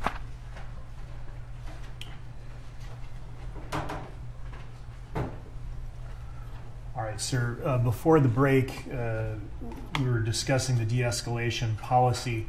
I'd like to now ask uh, whether the actual de-escalation techniques are uh, embedded within the policy itself. And so I'm drawing your attention to, again, uh, Exhibit 219, which is MPD Policy 5-304. And uh, if you take a look at the section here that's been enlarged, de-escalation tactics include but are not limited to. If you would please just uh, summarize for the jury the different bullets that you see here.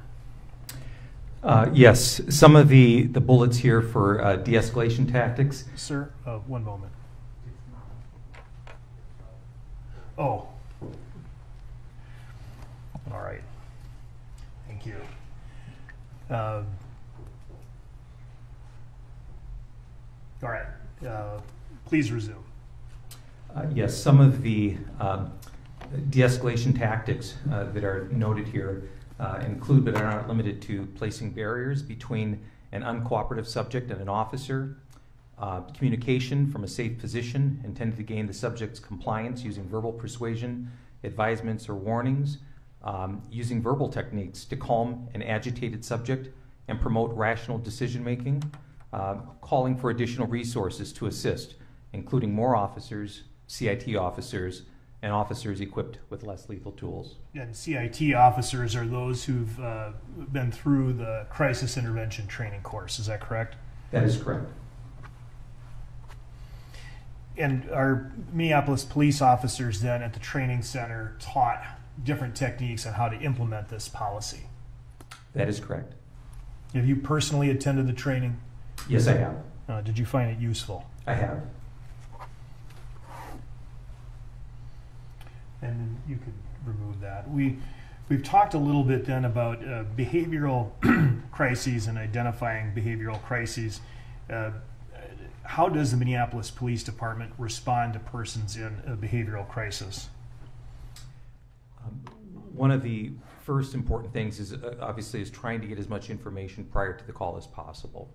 Um, but as soon as uh, officers at least have knowledge that this could be a potential situation with that caller, um, uh, this de-escalation piece should kick in. And, and that they, um, while they may not know exactly what they're going to encounter when they uh, arrive on the scene, um, this body of knowledge that they've been taught uh, should at least be kind of forefront in terms of the different tools that they'll be used, using possibly uh, to help de-escalate that situation. Uh, what is an EDP? What is that acronym? Uh, the acronym EDP um, is labeled through our Minneapolis Emergency Communications Center as a emotional, emotionally disturbed person. And so when our Minneapolis police officers receive a EDP call, uh, that is prompting them that there's at least initial information that they're going to be responding to someone who may be in crisis. And that's something that the officer would then be communicated uh, by a dispatcher prior to going to the scene, correct? That is correct. Uh, however, when they if, if that information is not imparted upon them, they make their own assessment at the scene as to whether the person could potentially be an EDP. Is that correct? That is correct. It, you indicated that uh, the Minneapolis Police Department receives uh, over 100,000 calls a year, calls for service. Is that right? Yes. Do you have an idea of how many calls for service involve people uh, in crisis? Um, I believe in 2019, Minneapolis police officers responded to uh, about 4,500 uh, of those signified as EDP calls. Yes. Now, in terms of teaching officers how to recognize uh, a person who may potentially be in crisis and therefore unable to comply with commands, uh, you uh, place these different uh, signs into MPD policy. That is correct. And I'd like to direct your attention now to Exhibit 231 and ask that to be published. And this is uh, 7 809, the Crisis Intervention policy, you say it begins here, oops, sorry, but we'll uh, go ahead and over to page two. And uh, I'd like to highlight, please, for the jury, the definition of a crisis. And again, uh, in the definition of a crisis under uh, MPD policy, uh, generally speaking, uh, we're talking about some of the same things that we saw before in the de-escalation policy. Is that right? That is correct. Um, there can be uh, mental illness. Is that right?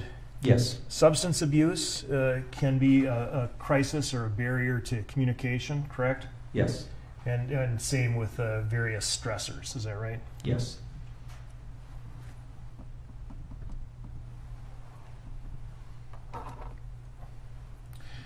And then further, if you can uh, emphasize the crisis intervention definition. And officers, when they uh, either respond to an EDP call or are aware that the person may be in crisis, can attempt a crisis intervention uh, method. Is that correct? Yes. And generally speaking, what is uh, the officer supposed to do to a person in crisis? Uh, it's an attempt to de-escalate that, that situation.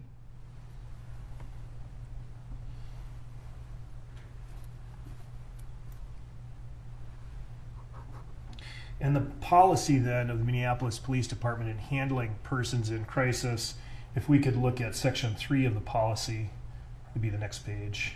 Highlight Roman three.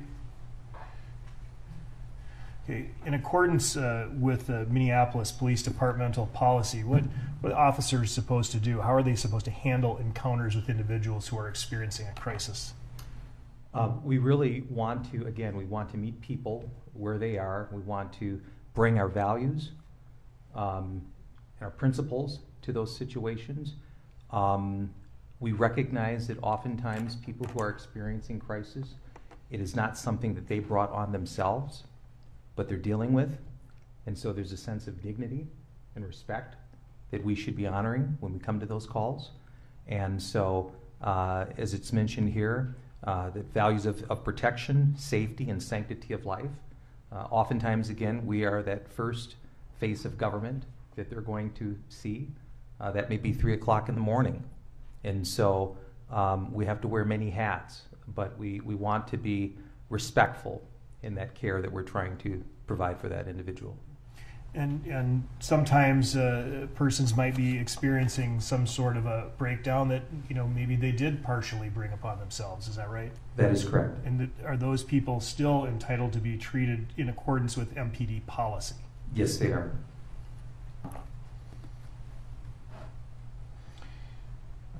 And this uh, this policy again is imparted in training at the training center uh, by that group. Is that right? That is correct. Now, I'd like to, if you could take that down, please, uh, talk to you uh, a little bit about uh, officers' role as first responders in terms of providing basic uh, medical care. All right? And so, uh, with that, can you uh, tell the jury are Minneapolis police officers trained to provide basic medical care? Yes, we are. Can you please describe what, what level, I'm aware there are various different levels of medical care that someone could be um, trained in. So most of uh, department members will have at, at least basic training in terms of uh, first responder, the ABCs, airway, breathing, circulation, um, uh, the effects of um, um, applying direct pressure on wounds to stop bleeding. Uh, many of the things um, that we will respond to, perhaps just because we're closer to a call than perhaps our EMS or our fire before they get there, and they're obviously have a higher degree level of training. But um, the training that we have and that we receive, it's very vital because those seconds are vital. Uh, our officers carry tourniquets. Uh, we respond to situations where members in our community uh, will have gunshot wounds.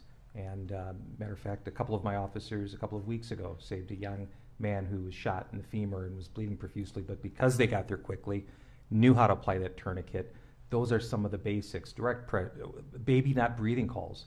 our officers have saved the lives of, of children uh, who've choked or what have you because they've applied or they've been able to help start uh, emergency breathing for them. So those are those are some of the basic types of first aid uh, that are uh, chest compressions, uh, those types of uh, basic first aid. And are officers then, uh, you know, specifically trained at the training center to provide this basic sort of uh, first aid? That is correct. And do, is the does the Minneapolis Police Department have a policy uh, regarding any duty that an officer would have to apply that training to a real life situation? Yes. Um, we, we recognize, again, I mentioned that we are oftentimes going to be the first ones to respond to someone who needs medical uh, attention. And, uh, and so we absolutely have a, a duty uh, to render that aid. And that, of course, is in the policy and procedure manual. Is that right? Yes. If I can display Exhibit 230, which is uh, MPD Policy 7 350 Emergency Medical Response. And, and under Roman 1, you see that the purpose of the policy is to uh, lay out in writing the roles and responsibilities of Minneapolis Police Department employees in incidents involving a medical emergency. Is that right? Yes. If we uh, could take a look at the policy itself, itself under uh, Roman 2, does that uh, explain what a Minneapolis police officer is supposed to do when they come upon a medical emergency or a medical emergency develops on a call? Yes. What are they supposed to do? Um, one, while awaiting EMS, MPD employees assisting an individual having an acute medical crisis shall provide any necessary first aid consistent with our MPD training as soon as practical. And so then that presumes, of course, they're waiting for EMS or waiting for some kind of emergency services. Is that right?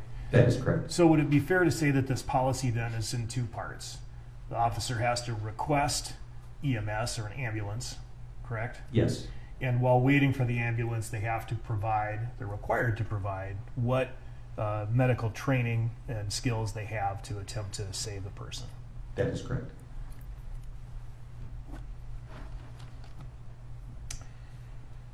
Uh, are Minneapolis police officers provided uh, naloxone or Narcan kits?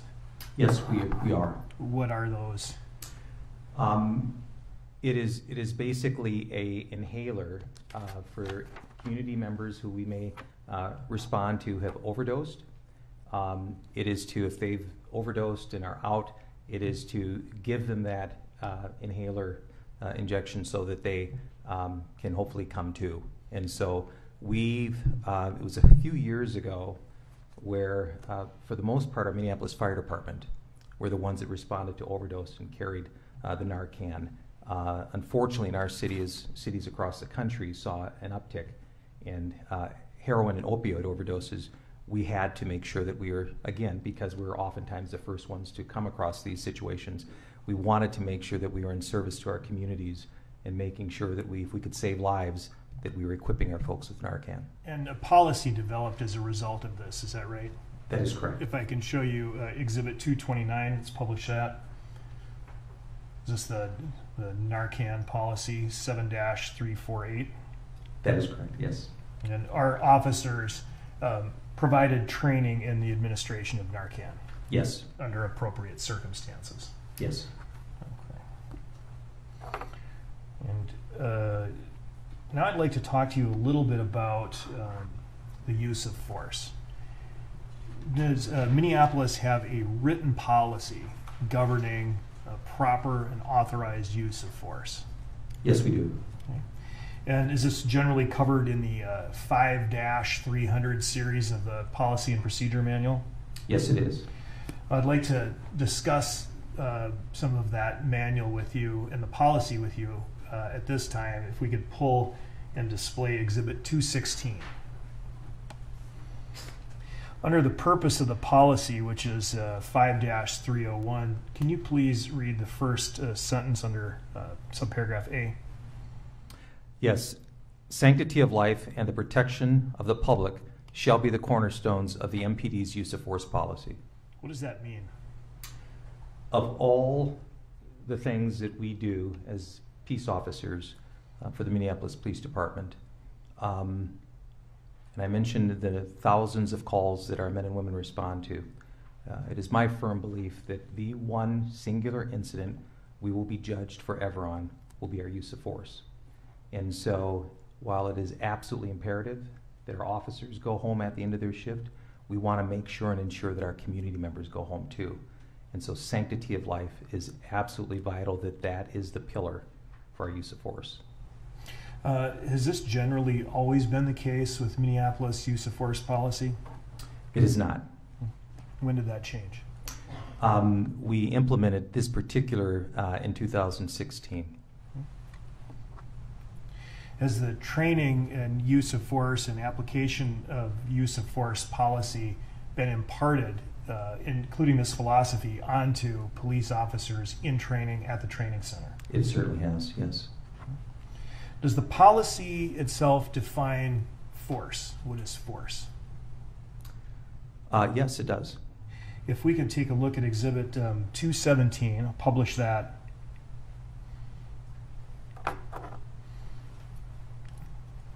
If you'd highlight use of force.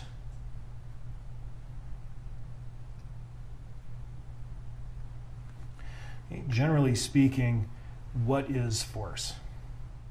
Um, it can be your uh, any physical contact. It can uh, be with a weapon. It could be with a vehicle. Uh, but it's any sort of physical contact that is more likely to render harm or injury uh, to someone. Uh, is a restraint, is the use of restraint considered force? That would be considered force. And what type of force is authorized under uh, departmental policy? Um, we, uh, under 609, the, um, we operate under the use of force, the Graham v. Connor statute, objectively reasonable force. And if I could display Exhibit 217.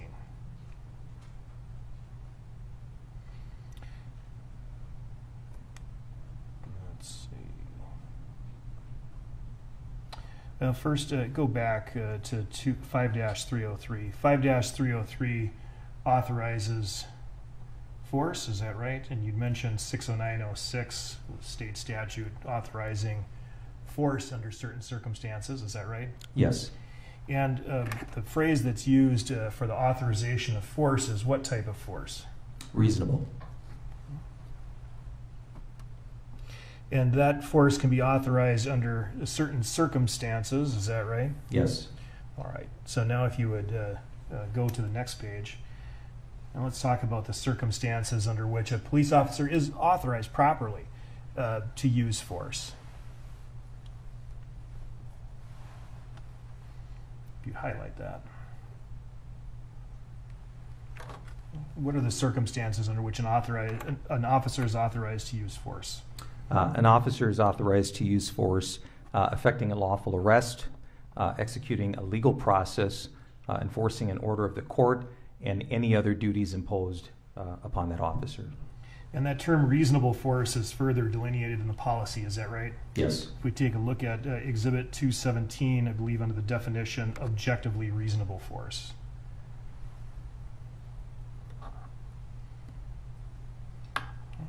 Could you please read that definition? Yes. Uh, the amount and type of force that would be considered rational and logical to an objective officer on the scene, uh, supported by facts and circumstances known to an officer at the time the force was used. Oh, you discussed a, a case, the, the Connor, right? The Connor factors.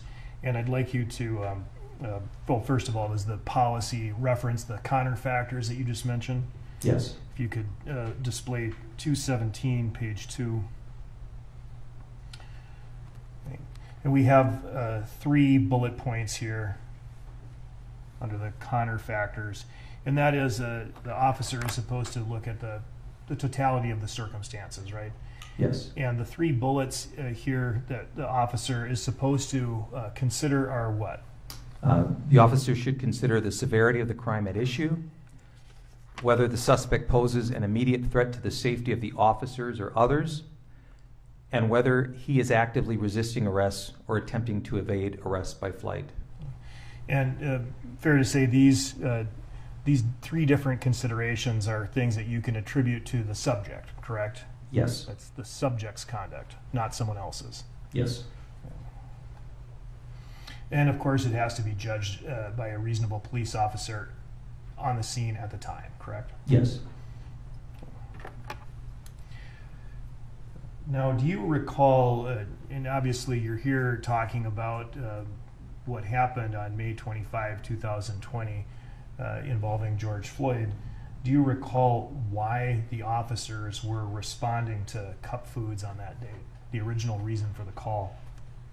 Uh, the, the original reason for the call was a response regarding um, a counterfeit um, uh, situation at the store at the intersection of 38th and Chicago.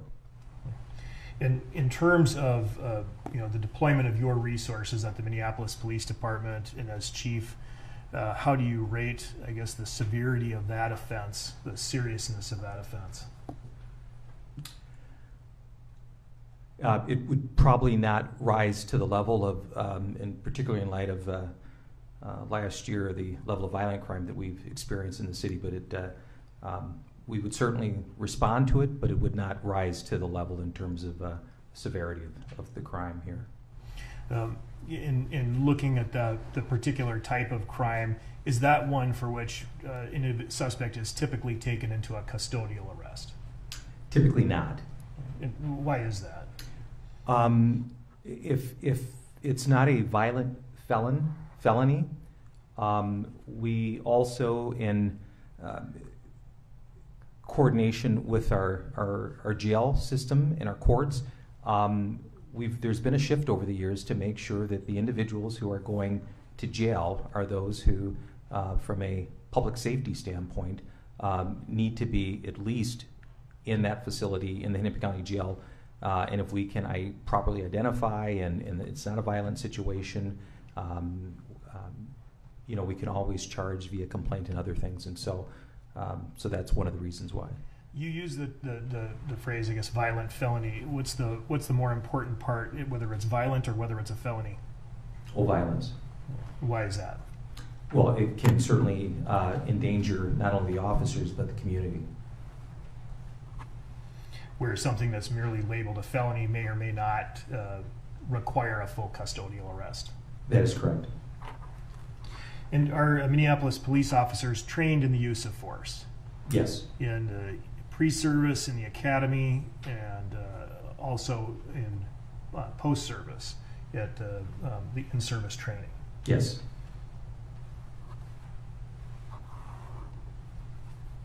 And are officers taught the standard that force must be reasonable at the time it is applied, Yes. the entire time it's applied? Yes.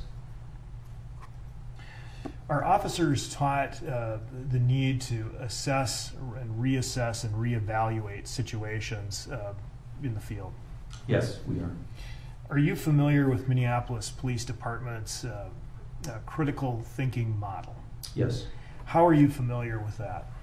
Um, it was something that I wanted to embark and uh, make sure that it was part of our training curriculum that also includes um, the aspects of procedural justice. And uh, procedural justice is really, it's, it's actually research and evidence based um, learning that has shown that if police departments um, treat people with respect, give them voice, um, establish neutral engagements, and um, build areas of trust, it, um, our communities are more likely to cooperate with us. We're likely to be seen more as legitimate. Uh, it is actually shown that our employees are uh, come to work, their wellness is better, and so um, so this is very important uh, work. And so it's it's part of that procedural justice I just mentioned is part of that critical thinking in our training.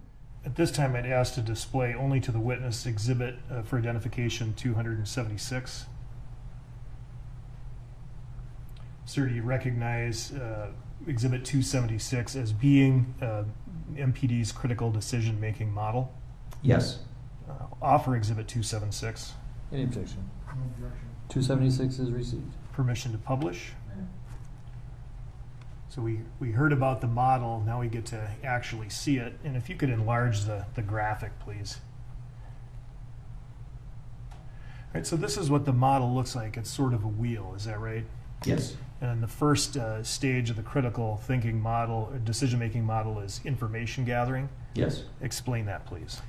Uh, It's, it's very vital. Um, We rely upon um, trying to gather as much information as possible so that we can um, try our best to effectively um, go in, respond, and, and manage that situation.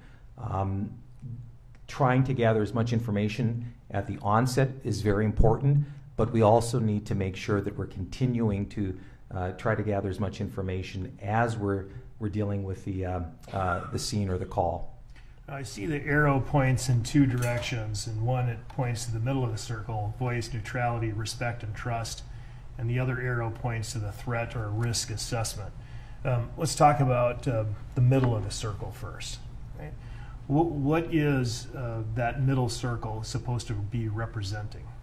Well, that's, that's the principles, really, of what continues to guide us. So, for example, information gathering, while we may associate it specifically with uh, receiving a 911 call and the dispatcher uh, giving us information, but um, information gathering could be that officers come across a call that they weren't dispatched to and they need to talk to a community member. If they don't treat that community member with respect or give them voice, it's likely that uh, they will receive less information that will be less helpful in them resolving that call. So that voice neutrality, respect, and trust, that has to guide and be a part of all of that critical um, decision-making model. So let's go to the next step. The officers gathered some initial information, and now uh, the officer is in a position to need to think about it or assess it. Is that right? Yes. And so the next uh, step is the threat or risk assessment. Um, is there a difference between a threat and a risk? Um, there, there can be in terms of in terms of um, what is being played out at, at the time, um, and you're you're constantly evaluating that, and of course the information that you're receiving, uh, which may be fluid, is is going to dictate that threat or risk.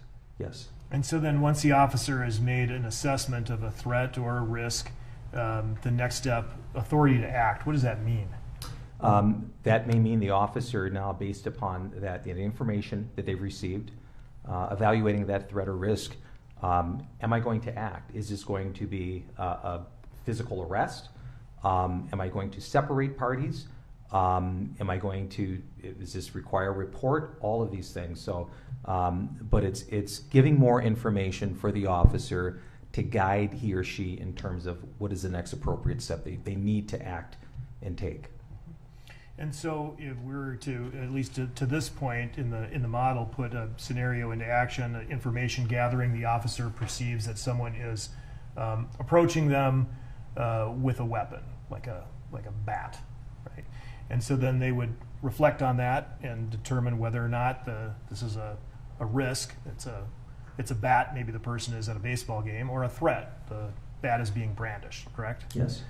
Then after that, under authority to act, if they've determined that this in fact is a risk uh, and that they're being threatened, they would look at the authority back to the MPD policy and procedural manual. Is that right? Yes. Under what is the use of force policy?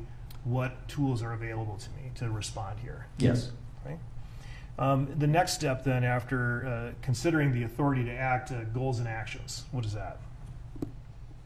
Uh, the, the goals are the officer is making an assessment. So, with the Authority Act, will an arrest resolve this situation?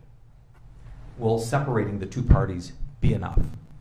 Um, um, is is taking a report will will that be enough of a goal or an action? Um, uh, it may mean a combination of things. It may mean that I'm going to have to, or the officers are going to have to make an arrest, but we may need additional resources here because the situation is still could have the potential to not be stabilized. And so, uh, so all of that is part of that goals and action. And then uh, to review and reassess, uh, assuming that means exactly what it says. Exactly. Yes. And it, uh, information is going to flow. Dynamics can change, and so it can be a constant just review and assess, reassess the situation to make sure that we're trying to get to uh, the best possible outcome in this peacefully and safely. Because circumstances can change, the situation can change, correct? Yes. And force that might be appropriate at one moment might not be appropriate at a different moment, uh, or more fight force might be needed at, a, at yet another point. Is that right? Yes. This uh, particular critical thinking model, Exhibit uh, 276, uh, we see examples of this throughout training materials uh, that are provided by the trainers at the facility. Is that right? Yes. And why is that? Uh, it's to, to really embed that knowledge that, um, you know, we don't want to fall susceptible to kind of check the box training. This, this training is important for all of our officers uh, to have a knowledge and understanding of, um, and that our community members can expect this to be consistent as, as they have encounters or engagements with our officers. All right. Um, if we could take that down, please. And I want to shift a little bit to talk about, um, we've talked about use of force and the policy. Does Minneapolis uh, Police Department train its officers in specific defensive tactics? Yes. And where does that training occur? Uh, that training occurs at our Special Operations Center. And does the department provide uh, training for officers in handling uncooperative uh, individuals? Yes. Uh, does the department tr- uh, provide training for um, handcuffing uh, reluctant suspects? Yes. And when you provide the training, you're, assuming you're taking someone into custody. Do you also teach officers their responsibilities, um, their personal responsibility with respect to the person they've just taken into custody? Yes, we do. And, and what responsibility does an officer have to a person they've taken into custody or restrained? So, the, the American policing profession, which I believe is the best in the world, and I will tell you why, and it's really two reasons. Uh, rephrase your question. Y- Yes, Your Honor. Um, Sir, you have a responsibility, I guess, uh, and that's imparted throughout officers in various forms of training as to what, uh, once someone is in their custody, Oh, yes. We, we have, we have a duty of care. And so when someone is in our custody, um, regardless if they're a suspect, uh, we have a obligation to make sure that we provide for their care. does that include um, people to whom uh, uh, defensive tactics are being applied? Yes. Why is that? Um, they are still in our, um, they're still in our custody, and um, they have rights. And um, the humanity of this profession, we need to make sure that we're taking care of them. So, how often are officers required to participate in defensive tactics training? Uh, it's usually yearly annual training. Uh, do you know that you know when we're talking about the training and policies in effect uh, on May 25, 2020, were neck restraints and chokeholds taught and authorized by uh, MPD policy at the time? At that time, yes. And they were taught pursuant to the uh, defensive tactics training as well. Yes. Uh, at this time, I'd like to uh, publish Exhibit 224.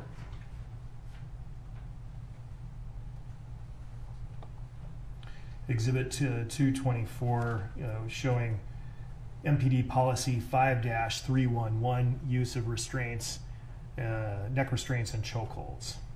You see a chokehold is considered a deadly force option, is that right? Yes. Okay. If you could go to the next page, please.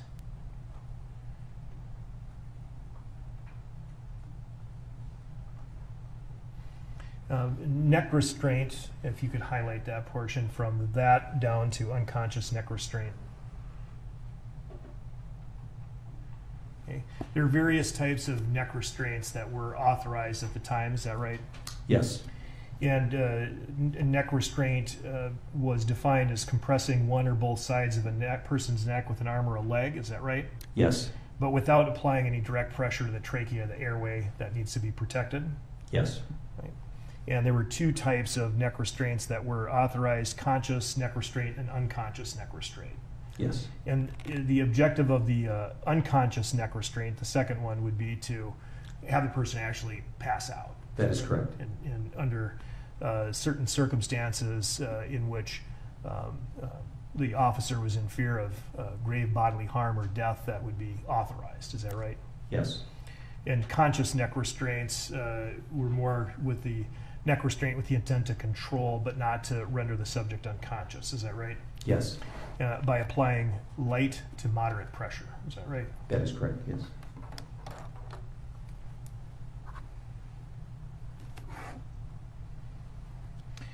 And if you could uh, go to Roman 2 on the same policy, highlight that. Okay. Conscious neck restraint uh, can be used for someone who is actively resisting, correct? Yes. And an unconscious neck restraint could be used for a person who is using, uh, exhibiting active aggression or to save a person's life. Is that right? Yes. or in a subject who is um, exhibiting active resistance if lesser attempts would have uh, or would likely to be ineffective. Is that right? Yes. But not no not uh, neck restraints were not to be used against persons who were merely passively resisting. Correct. That is correct.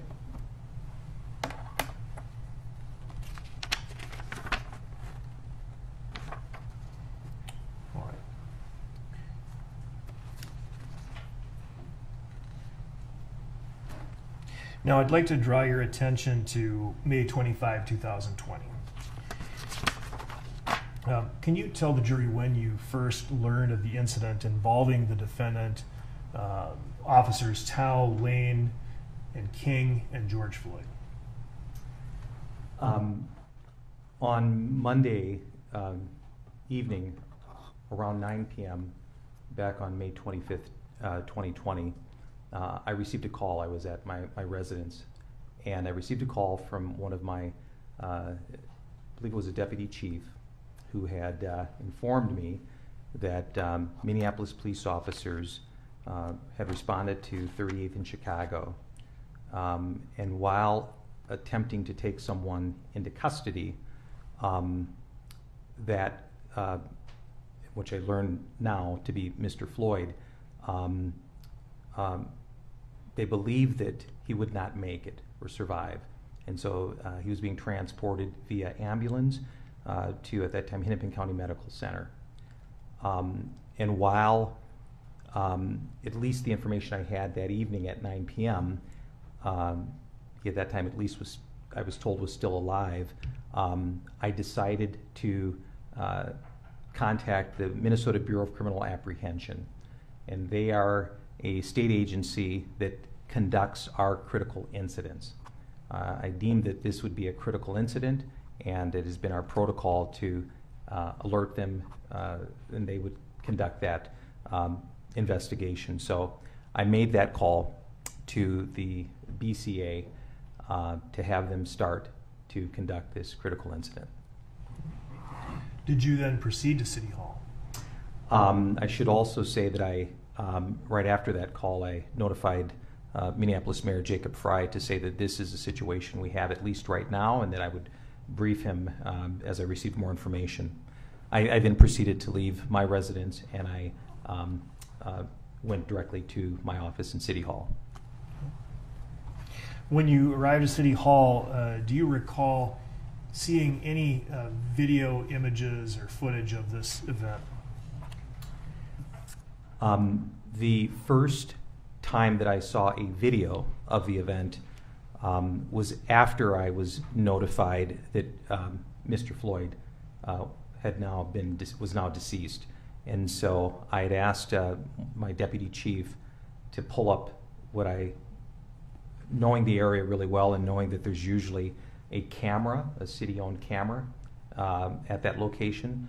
I asked him to uh, locate that video so that I could review it. And it, that's what we would refer to as the milestone camera or milestone footage. That is correct. Did you watch the footage from the milestone camera that evening? I did watch that. Can you describe for the jury what you saw when you watched the footage? Um, when I first viewed this milestone video, um, what I was able to see, and I should just note that um, it was from a distance uh, from where the officers were with Mr. Floyd. And so all I could really see were the back sides of the officers. Uh, there was also no audio uh, to this milestone video. And so um, I viewed that video uh, in its entirety, and uh, quite frankly, there was really nothing in terms of the actions of, of at least again this non-audio video that really jumped out at me. Uh, after a few minutes, it, it seemed um, a paramedics vehicle pulled up to the scene, and it was at that time for the first time that I uh, saw a glimpse of Mr. Floyd when paramedics placed him, placed his body on the gurney, and um, uh, transported him away from the scene. Uh, but that was really uh, my first uh, observation of that incident from that from that night. At some point, did you become aware of another video that had been taken by a bystander? Yes, uh, uh, probably close to midnight, a community member had contacted me and said, uh, Chief, uh, almost verbatim, but said, Chief, have you seen the video of your officer choking and killing that, that man at 38th in Chicago? And so once I heard um, that statement, I just knew it wasn't the same milestone camera video uh, that I had saw. And um, eventually, within minutes after that, I saw for the first time uh, what is now known as the, uh, the bystander video. Fair to say that this was a much uh, closer video and it had audio. Yes, this um, I was able to see the occurrence, see um, the the officers involved. Um, I was able to actually see Mr. Floyd.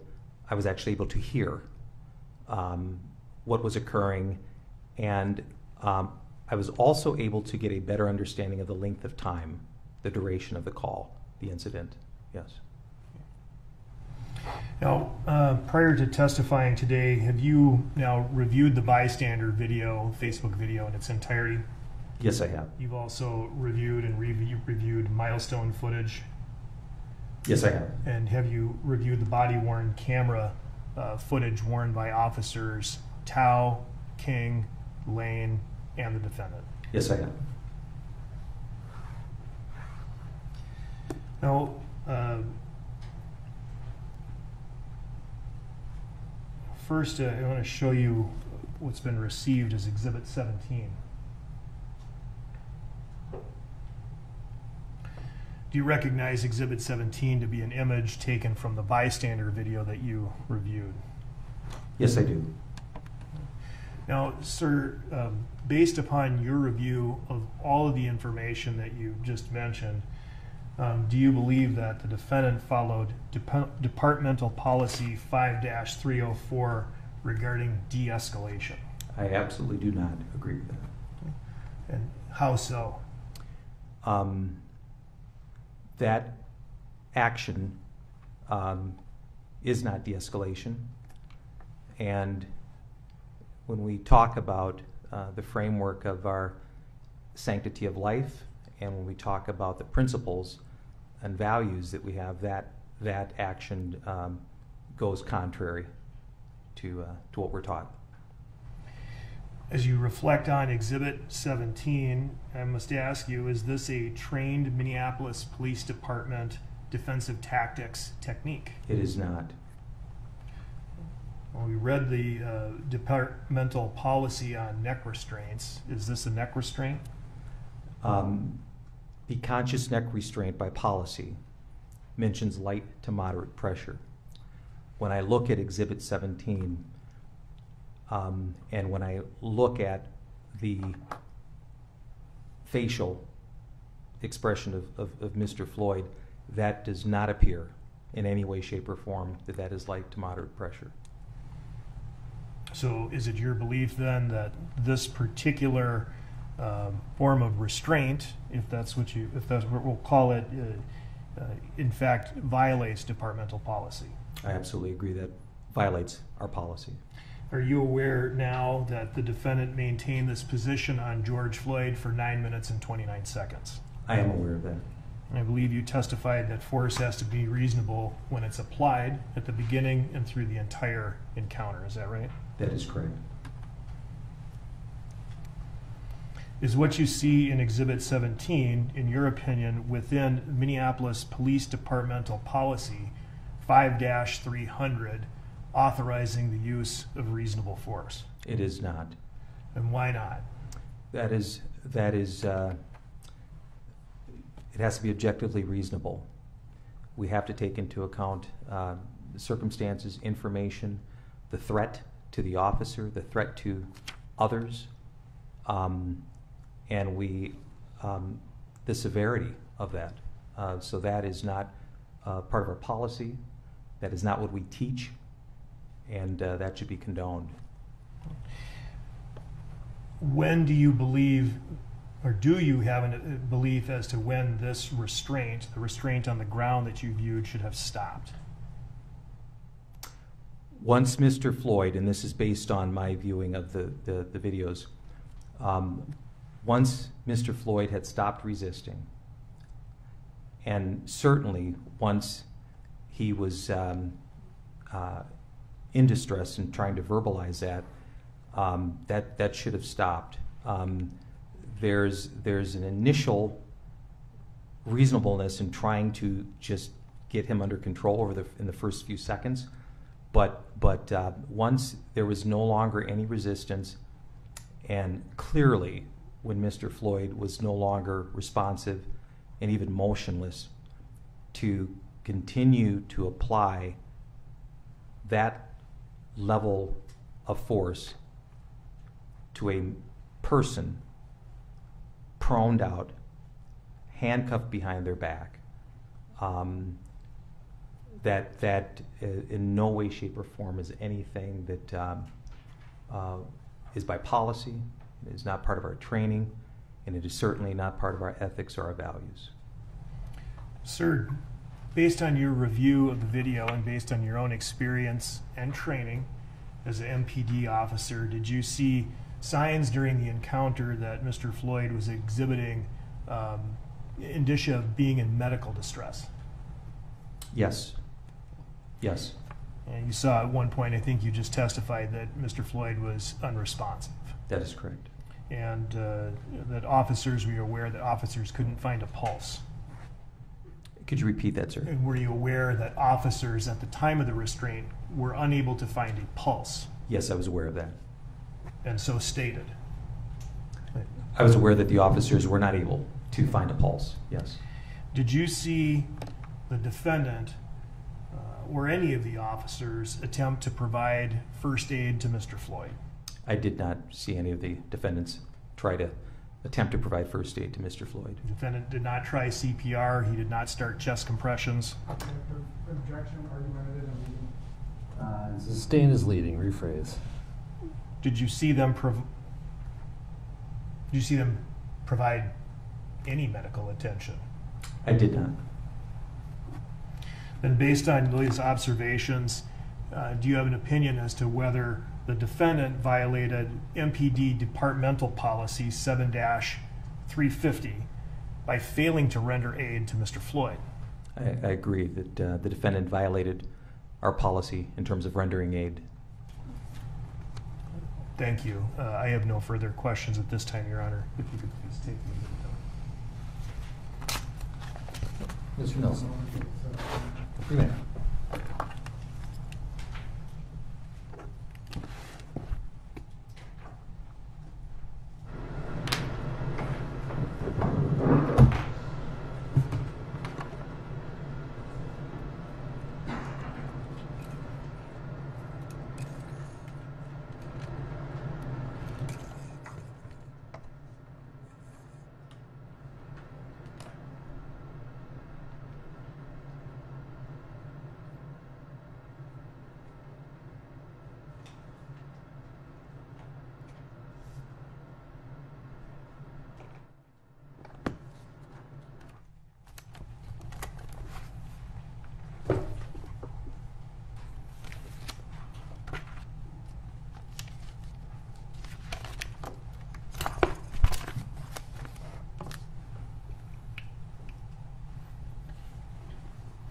Good afternoon, Chief Arradondo. Good afternoon, Counselor.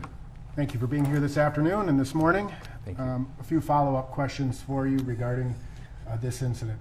Your deter- your determinations today are in reference to employment policies uh, and Mr. Chauvin's actions violating the departmental employment policies, correct? That is correct. Now, as the police chief, I assume that you're not out on the street day-to-day arresting people. That is correct. Can you just give me a general sense, when's the last time that you've actually, I don't mean to be dismissive, but actually arrested a suspect? It's been many years, sir. Yeah. Yes. Your, your role as the Minneapolis police chief is sort of grander in its scope, right? I mean, it's, It's, it's um, large in context and, and uh, the operations of the uh, department, yes. and part of that job is to be sort of aware of issues in policing, kind of policy changes, use of force changes. All of these things under, fall under the umbrella of your role as the chief. Agreed? Yes. And you're, you're sort of the general in a sense, right? Formulating the, the plan for your police department. And, and delegating some of those to our, our subject matter experts, yes. Correct. Um, when you talk about training of a police officer, you would also include um, the, the training that the Minneapolis Police Department uh, goes through, but you may go to other trainings out, out of state, listen to speakers talking about issues that confront policing, right? Yes.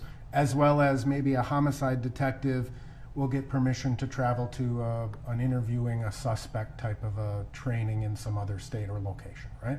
Yes. And so there's there is a variability within the training depending upon your role as a, in uh, in the police department, right? Yes. So that you've got sort of your rank and file basic patrol officers, and they go through all of the trainings that you've described: the defensive tactics, medical assistance or basic uh, medical training, um, crisis intervention, things that we've been talking about here today, right? Yes. And then the investigative type officers, they might, may go to some addition, they have to go through that training, but they may go through some additional training in terms of how to interview suspects or how to properly collect evidence, et cetera, unique to their role, right? Yes. And then you, as the police chief, or those who are in the more management or administrative side of the police department, you go to the, the kind of the big picture uh, training sometimes. Yeah, that's correct. All right. Um, so I want to review with you um, a few of the policies that we've already talked about today.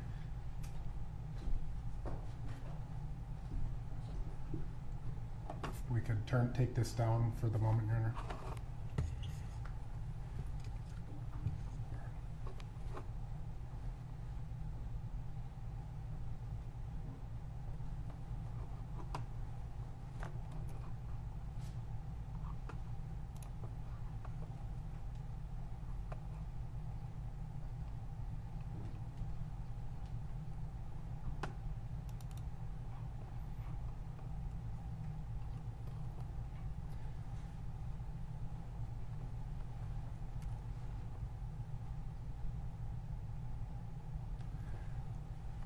Um, First of all, I'd like to show you what has been introduced as Exhibit 216, 216, which is the use of force policy uh, for the City of Minneapolis Police Department.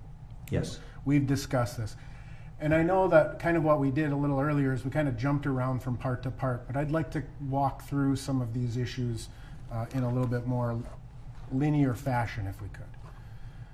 So you've described um, under policy 5-301.01 that the Fourth Amendment's reasonableness uh, standard applies to the use of force in Minneapolis, uh, of the Minneapolis Police Department. Agreed?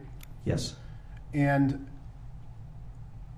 that goes on to say that MPD employees shall only use the amount of force that is objectively reasonable, and it continues in light of the facts and circumstances known to that employee at the time the force is used. Correct? Yes. So the reasonableness standard or the objectively reasonable standard applies to the facts and circumstances that are known by the officer at the time the force is being used. Correct? Yes. Now, 5 302 gives some definitions in terms of uh, the use of force, and it differentiates between active aggression and active resistance. Can you describe the difference between active resistance, excuse me, active aggression and active resistance? Um, active aggression, uh, behavior initiated by the subject uh, that may or may not uh, be in response to police efforts to bring the person to custody or control. Uh, the active aggression, when presenting behaviors that constitute an assault, or in the circumstances reasonably indicate that an assault or an injury to any person is likely to occur at any moment. That's So for me- active aggression. Yep, let me just stop you there. That's active aggression. So that's where a suspect is essentially fighting with a police officer or doing something that is aggressive behaviorally speaking. Agreed? Yes, And that, that is aggressive in its nature. yes. Now, can you read active resistance? Uh, active resistance is a response to police efforts to bring a person into custody or control for detainment or arrest. Uh, subject engages in active resistance when engaging in physical actions or verbal behavior reflecting an intention to make it more difficult for officers to achieve actual physical control. So essentially, what we're talking about here is behavior that may or may not be physical in its nature that simply makes it harder for an officer to take a person into custody. Agreed? Yes. And sometimes that is maybe not uh, uh, trying to punch the officer, but pulling away or hiding his arms or doing something that just makes it more difficult physically, right? Yes. And sometimes it's, you're not going to take me alive, you dirty cop. You know, like they're saying something uh, to to prevent the officer from arresting. Yes. Right.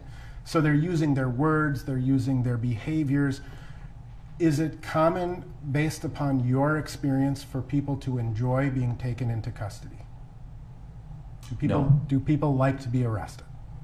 Typically not. Right. And in your experience, is it common practice for, for people whom are being arrested to say things in an effort to try to get the officer to not arrest them?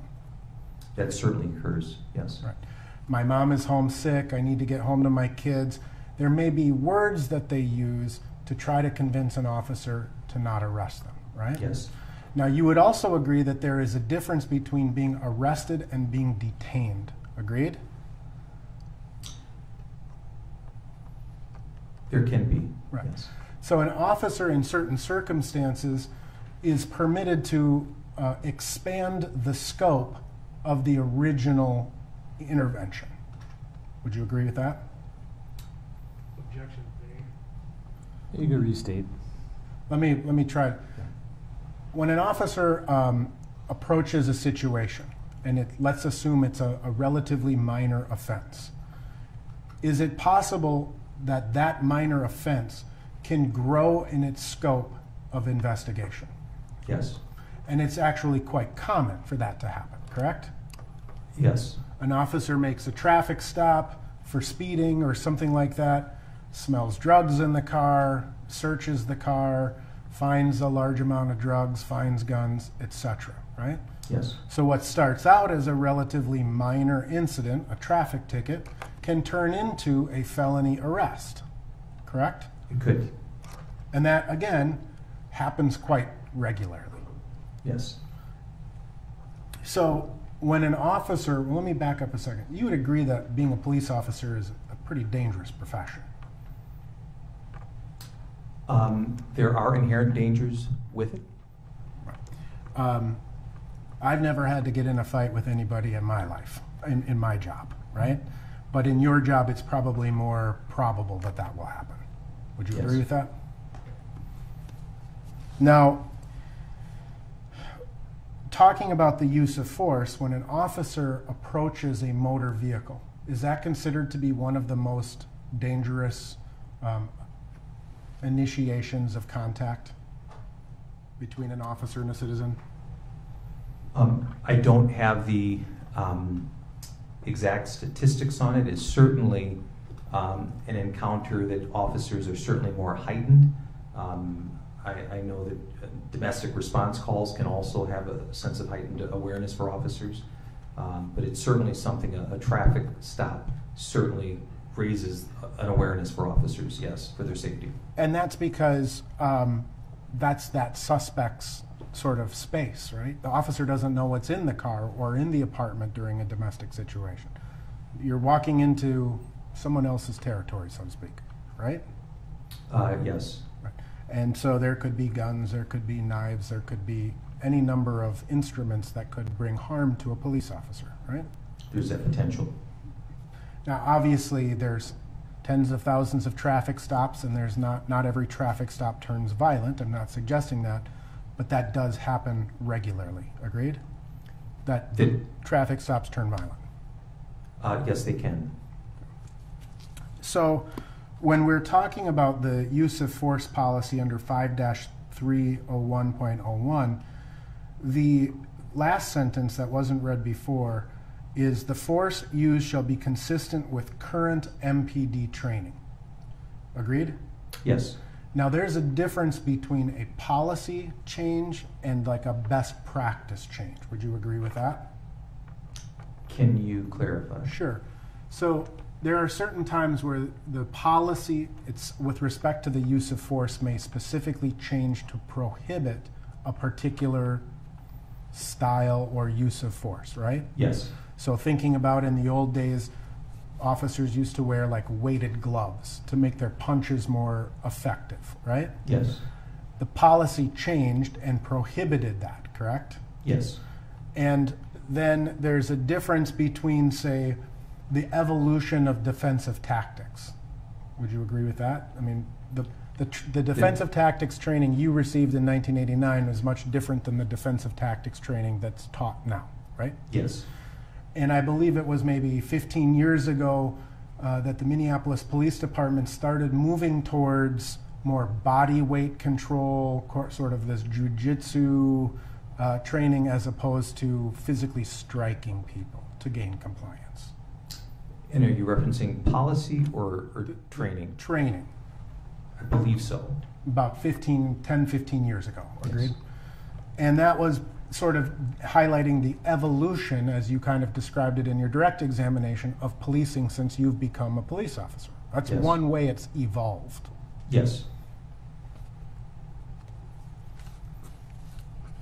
And when something changes per policy, can't wear weighted gloves anymore, for example, that's it, no more. Agreed? yes, I agree, yes. But if the policy, if, if training, for example, evolves into a best practice, it doesn't prevent an officer from learning a, a technique he learned earlier in his career. Just may not be the best practice anymore. So I, I pause just to, when you say that they're learning something, but if it's, if it's not in alignment with our policy, then that would not be prohibited, if, if, if I'm Well, hearing so- you correctly. Let me let me try to explain. Like so, if an officer was trained in a particular handcuffing technique, and then they go to their defensive tactics training and they say this is a better way to handcuff a suspect. It's not a policy change; it's just a best practice change, and they can still use the old way they did it. Uh, it would, uh, Counselor, it would, it would have to be something that the training staff would have to, uh, not just an officer saying, I want to do it this way, and, I mean, it's something that would have to be authorized through our, our training So- staff, yes. So we could talk about that kind of thing with the training, the use of force defensive tactics training, right? That would be the better place to talk, better people to talk to about that. Yes, yes. Okay. All right. Now, when we're talking about active aggression and active resistance, sometimes those two things are happening simultaneously. Agreed? It can be, yes.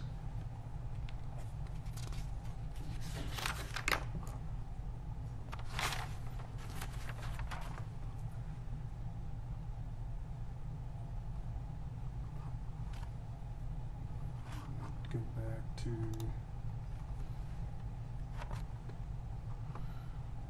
So now we were talking then about, um, again, the Graham versus Connor case. and how that is incorporated into the Minneapolis Police Department policy. And I'm showing you Exhibit 217 now. It should be up in front of you. What we're basically talking about was a United States Supreme Court decision that, that outlined the objectively reasonable use of force standard, right? Yes. And Graham versus Connor is not limited to those three factors that you were read before, right? The Graham versus Connor analysis. Yes. Correct. Those are three that are kind of listed, but ultimately it's not an all inclusive list of considerations for the reasonableness of the use of force. Agreed? That would be my understanding. Yes. And in fact, what the policy reads is that the reasonableness of a particular use of force must be judged from the perspective of the reasonable officer on the scene rather than with the 2020 vision of hindsight, right? Yes. So we're looking at it in the instant and the moment based upon the objective standard, right? Yes. Now, it also, the policy also includes that the calculus of reasonableness must embody allowance for the fact that police officers are often forced to make split second judgments in circumstances that are tense, uncertain, and rapidly evolving about the amount of force that is necessary in a particular situation, right? Yes. And that's because when officers go to a situation, kind of like what we talked about before, what can be very initially very minor can grow into something major. Agreed? Yes.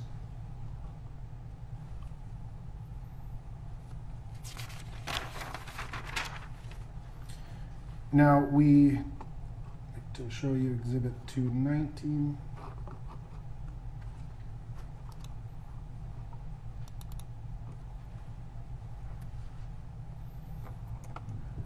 You read um, a part of 5-304, which is threatening the use of force and de-escalation. And I want to talk to you a little bit about de-escalation. Um, have you heard the term sometimes you have to escalate to de-escalate? You ever heard that phrase? I have not heard that. Okay. So in here, you talk about, or the policy talks about, um, that officers shall consider verbally announcing their intent to use force, including displaying an authorized weapon as a threat of force, right? So sometimes an officer has to take out his gun, say, hey, I mean, that's a, that's a use of force in that instance, right? Yes. And if you don't listen to me, you know, I'm going to use force.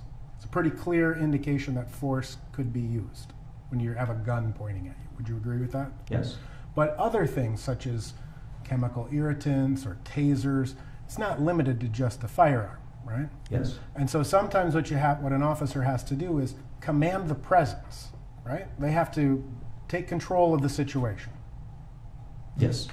And sometimes that's not particularly attractive, is it? Could you explain? Sure. Uh, the use of force is not something that people like to watch generally, right? Objection, speculation, and argument. Sustained. Would you agree that the use of force is not an attractive notion? I would say that um, use of force is something that um, most officers would rather not use. Yes. Right. And you described in your direct examination how the single greatest way that the Minneapolis Police Department could be judged is based upon how the public perceives its use of force. Yes. Right? So it, it has a tendency to garner a lot of attention. It can. So much so that citizens have become more um, prone to record observed interactions with police, right? Yes. Something that you didn't have to deal with back in 1989, right? Yes. So essentially, what this policy 5 304 in terms of threatening the use of force, it's contained within this de escalation concept, right? So sometimes you have to display a weapon to gain command so that you can de escalate, right? Yes. Now, when we're talking about, is it fair to say that pretty much every single one of these use of force of policies contains some phrase, if reasonable or if practical? There's limitations on the use of force, right? Yes, there are limitations, yes. And there, and it's situation by situation, right? Yes, And then again, if we go back and look at the language of the Graham versus Connor and the policy that's contained by Minneapolis Police Department, it's, uh, the use of force has no precise, objective, singular rule. It's different in every case. yes,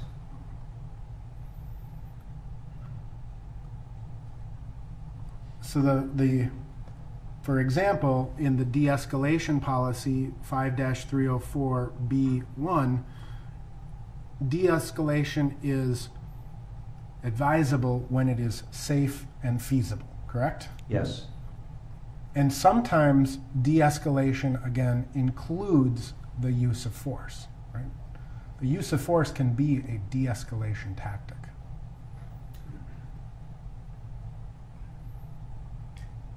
I was, and Counselor, I was thinking of your example of displaying your, your, your weapon. And so I don't have a, a lot of knowledge in terms of physical force being used to actually de-escalate a situation. Uh, but the threatening use of force or threatening verbally, that's, I'm more familiar with that. Okay. Yeah. So again, if we were to talk to the use of force or defensive tactics, Objection, argumentative, Overruled. they would be the best source of that. Objection, argumentative. Overruled. Yes,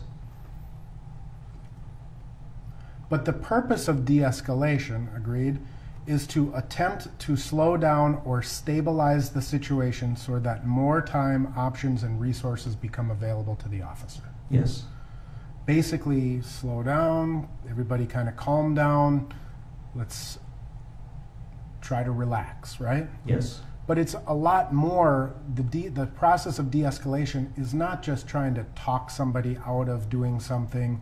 There are actions that are important. There may be reactions that are important, and the and the de-escalation policy includes some examples of those things, right? yes, Such as placing barriers between an uncooperative subject and an officer.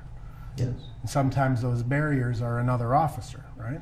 yes, containing a threat, right? I mean, that's one of the examples in the, in policy.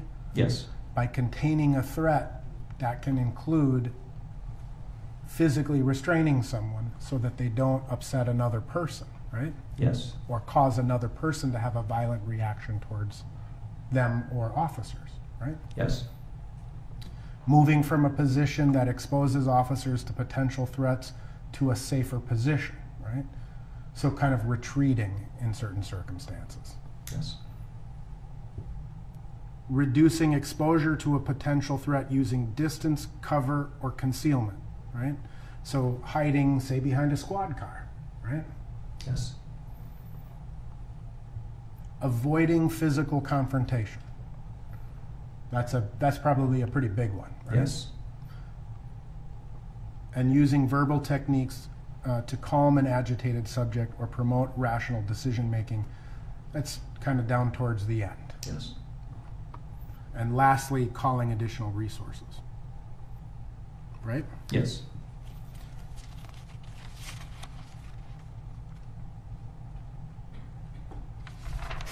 And we talked about um,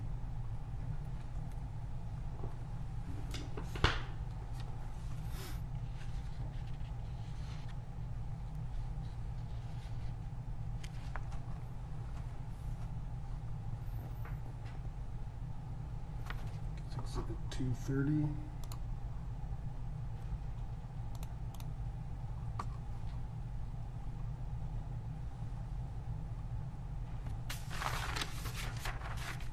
showing you Exhibit 230, which is the emergency medical response. You'd agree that the policy requires Minneapolis police employees to request an emergency medical service as soon as practical, right? yes, If a person comes into contact having an acute medical crisis and any delay in treatment could potentially aggravate the severity of the, of the uh, medical crisis, right? Yes. So sometimes officers will call for EMS, not thinking it's a major issue. When suddenly it becomes apparent, they can step up or request a quicker response from EMS, right? Yes. And that is something that an officer can do to m- ensure the medical treatment of uh, the suspect that they have or the person that they're in, in contact with, right? Counselor, to to ensure, I'm sorry, to ensure, Sorry, it's been a long week. To ensure the um, medical condition of the suspect, to help with that. yes, Right.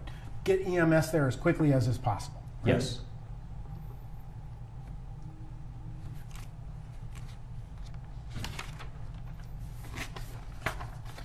Now, we didn't talk a little, we didn't talk about the maximal restraint uh, technique. You're familiar with the policies surrounding that? Yes. I'm going to show to you what's been admitted as Exhibit 225.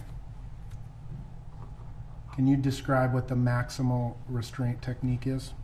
Yes, uh, Counselor, the, the maximal restraint technique is, uh, has often been referred to as uh, the hobble. And that is a, um, it's a method of if officers are dealing with a, uh, typically a combative or aggressive person, in order to protect them or even property, uh, it's placing, uh, basically attaching a, um, uh, a cord of the legs to the waist to, so that the person, the individual, um, does not have free movement of their legs. Uh, so it's securing them again, uh, fr- usually by their ankles. Uh, if you're prone, bringing that up to your waist and securing it. Um, the maximal restraint technique or the hobble, though, um, if it's used, a supervisor has to respond to the scene. Uh, you cannot transport anyone prone in that position due to the risks of um, uh, the breathing. Uh, and so, but that is the, uh, counselor, that would be my understanding of the MRT or the maximal restraint technique. So you talked a little bit in terms of the use of force, how officers are kind of reevaluating their use of force from time to time, right? They Yes. should be at least, right? And so if officers decide to use the maximal restraint technique and then decide, hey, we know, or and then later decide not to use it, right? That is kind of adjusting that use of force.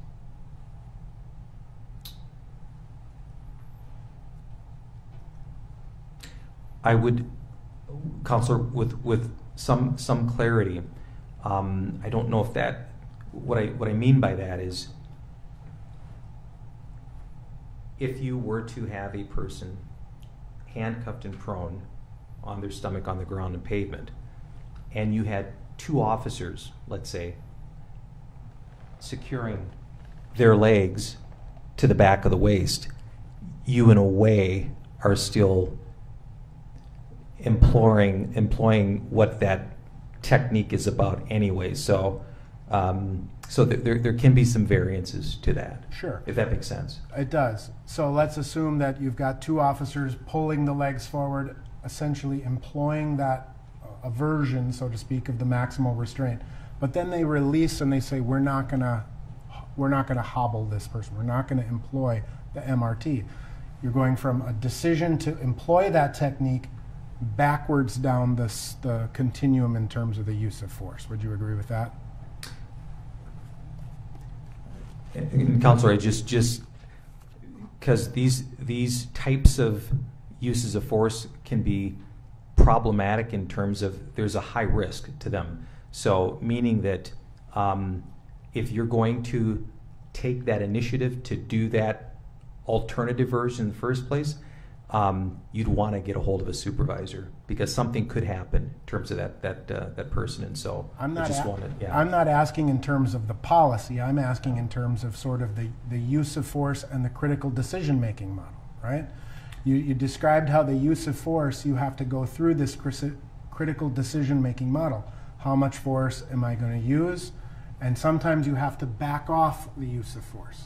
Agreed? yes. And sometimes you have to go forward with the use of force, meaning you use even more force Yes. right?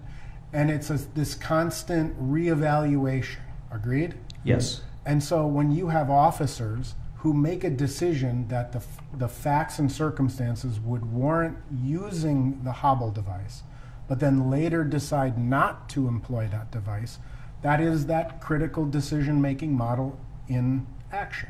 Agreed? Yes. and it would be a reduction in the use of force.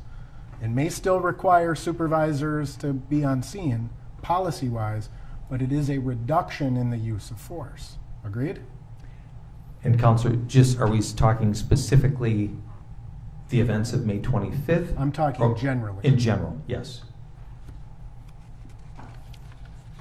But you would agree ultimately that all of the Minneapolis Police Department policies relevant to the use of force, emergency medical uh, response, uh, emergency medical treatment, all of these policies are, by their very language, are situationally dependent, right?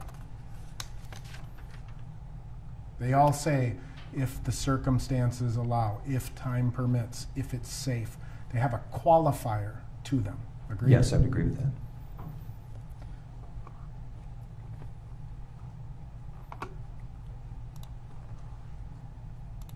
I'll show you Exhibit 231.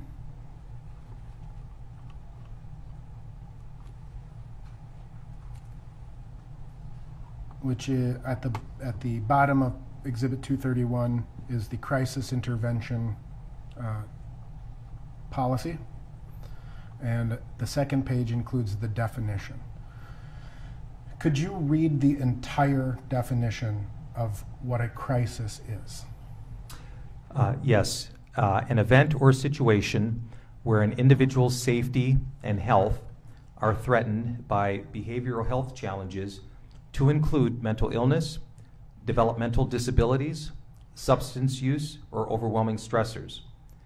A crisis can involve an individual's perception or experience of an event or situation as an intolerable difficulty that exceeds the individual's current resources and coping mechanisms and may include unusual stress in his or her life that renders him or her unable to function as he or she normally would. The crisis may, but not necessarily, result in an upward trajectory or intensity culminating in thoughts or acts that are possibly dangerous to himself, herself, and or others. All right. So generally speaking, again, not relevant to the May 25th of 2020 incident. We'll get there in a minute. But when we talk about a, a general police response, sometimes the police may respond to something and the person they're dealing with is not in a crisis. Agreed? Yes. But other people may be perceiving what is happening and it could become a crisis to that person. Objection. If you could rephrase. Sure. People who observe, uh, would you say that people who observe police interactions with people, especially the more physical or use of force types, that's a, that could turn into a crisis for an observer? Objection irrelevant. Sustained is calling for speculation. So, in terms of the definition of crisis, a crisis may involve an individual's perception or experience of an event or situation as an int- intolerable difficulty that exceeds that individual's current resources and coping mechanisms, right? Yes. That doesn't necessarily mean that you are res- the person with whom you are arresting or having contact with is going to be the person who will experience the crisis. Agreed? Objection irrelevant. Overruled. Um, and Counselor, just respectfully, so you're, you're saying that the person who's witnessing a situation with the officers, that situation may cause them to be in crisis? Correct. Could potentially. Right. And the crisis may, but not necessarily, result in an upward trajectory or intensity culminating in thoughts or acts that are possibly dangerous to him, her, or others. Right? And, and Counselor, just, uh, this is the person who's, who's watching this? Right. It could? So people are watching what something that they appear to believe or they believe is wrong or contrary to police policy that may cause them to get upset and that level of upsetment or that level of volatility may grow throughout the course of the interaction. Objection irrelevant, calls for speculation and beyond the scope. Ruled it's within the scope. It, it could. Because ultimately, part of the training that Minneapolis police officers have to go through is how to deal with crowds who observe police interactions, right? Yes. Crowds that may be upset with police interaction, right? Yes. I mean, there, there are classes through the training academy, there are classes through in service specifically dealing with how to deal with crowd control, right? Yes. And all of this is to revert in part back to that de escalation process as well, right? Yes. So part of it as a crowd grows or becomes more upset, part of it is to try to de escalate, which can involve trying to avoid a physical confrontation, right? Yes, it could. Yes. Trying to stay safe, concealed, and covered, right? Yes. Not yelling back at somebody, not engaging in them with them verbally, right? Yes. And sometimes, when an officer tries to de escalate a situation and someone is so upset, right? Sometimes they don't hear what the officer tells them. Would you agree with that? Objection, speculation. That calls for speculation. It is sustained. Is it possible, generally speaking, that someone's own crisis may prevent them from hearing what an officer is telling them? That could happen. The, hold on. The objection is sustained. The answer will be stricken. So you, you, you testified that uh, you've watched the body cameras, correct? Yes.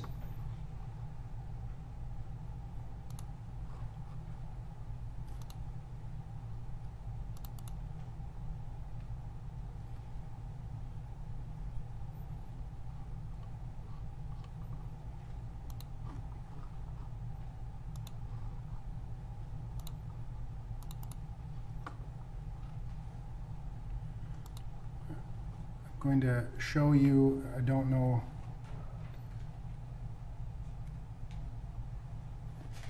Mr. Schleicher, this is uh, Exhibit 1008, which is a 10 second, approximately five second clip of Alexander Kueng's uh, body worn camera. That's already in, in, and I gave you a copy of it. Is this in evidence? Not yet, no. I'm- just telling you, first and foremost, that's what it is. I'm going to show you on your screen uh, a short clip of a video to see if this would be contained in the what you've watched. And I need to.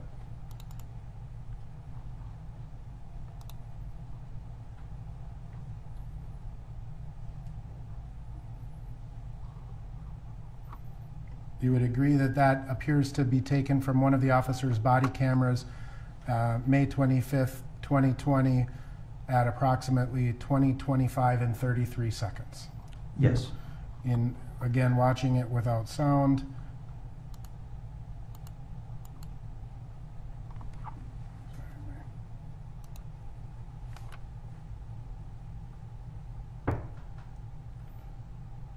Do you, uh, at this point, did you see uh, what appeared to be someone's a reflection in the back of the squad car there? Uh, Counselor, I did, I did not. Okay. And it might just be because of the brevity of the video, but Yeah, it's unfortunate. If you look in the upper left-hand corner at the bumper of the squad video, The cursor to circle it for him. I'm sorry? Use the cur- the cursor, the stylus to. Oh, sure. That's right.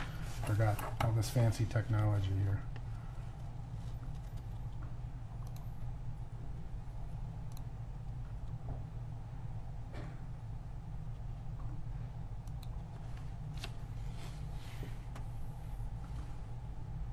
See the legs of someone in reflecting yes. And so you would uh, agree that this appears to be a short clip from one of the officer's body-worn cameras on May 25th of 2020. Yes. You've seen these before. You see what appears to be Mr. Floyd's arm uh, there by the back of the squad car, right? Yes. So I would offer Exhibit 1008. Any objection? No objection, Your Honor. One zero zero eight is received. And if I may publish.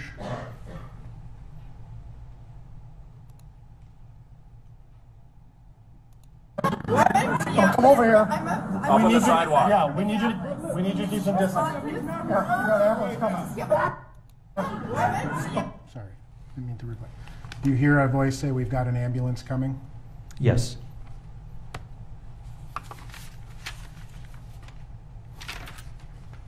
Oops, sorry, if we could take that down. Now, uh, policy five three eleven, let's talk a little bit about five three eleven, which is the neck restraint policy. Get rid of this.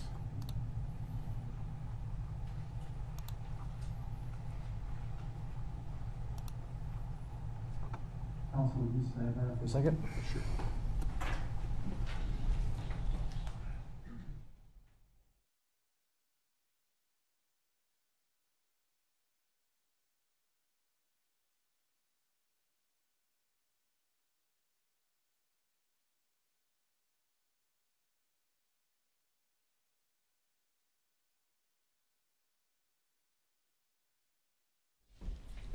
Good time to break for our 20-minute mid-afternoon break. We'll reconvene around 3:20. Thank you.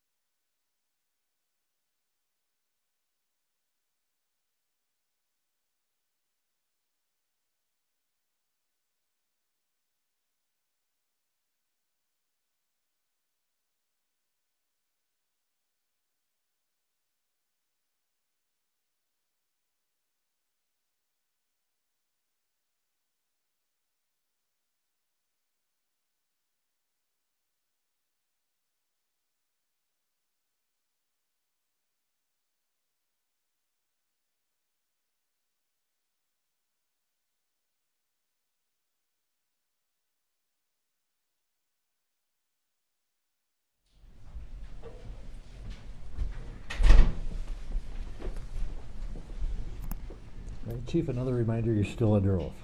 Yes. We, uh, before the break, we were going to be talking about um, the neck, use of neck restraints and the policies that permitted neck restraints.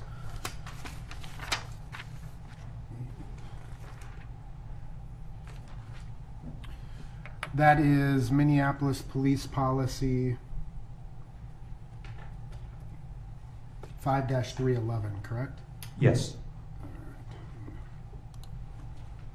Exhibit two twenty-four. You have that in front of you there. Yes. So there are, uh, is a difference, the policy draws a difference between a chokehold and a neck restraint, correct? Yes. A chokehold is actually from the front obstructing or occluding the trachea and airway of the suspect, correct? Yes. And per Minneapolis policy, that's considered a lethal use of force or a deadly use of force, right? Yes. And that's because it has a high rate of death associated with it, right? That is correct. It's more dangerous to, to from the front. Yes. It also differentiates between a chokehold and a neck restraint. Agreed? Yes. And a neck restraint is specifically defined as compressing one or both sides of a person's neck with an arm or leg without applying direct pressure to the trachea or airway. Agreed? Um, ba- Based upon the policy, I, I think it's important to note, Counselor, that the light to moderate pressure. Right. Understood. Light to moderate pressure. Yes. And I'm assuming that you don't have a degree in physics. I do not, Counselor. Okay. And in terms of the amount of pressure or force that was actually applied to Mr. Floyd, you would not be qualified to speak to that. Agreed? Agreed. But then it, it also differentiates between a conscious and an unconscious neck restraint. Right? Yes. And a conscious neck restraint is where you have someone who is resisting you and you apply that neck restraint in an effort to simply gain control of that person, but they stay conscious, correct? Yes. And an unconscious neck restraint is where you actually render the subject unconscious, right? Yes. Both were permitted under Minneapolis police policy on May 25th of 2020. Agreed? Yes. And ultimately, uh, you have, if I understand what you have, the opinion that you have formed, you have formed the opinion that this was a neck restraint that was being employed. Yes.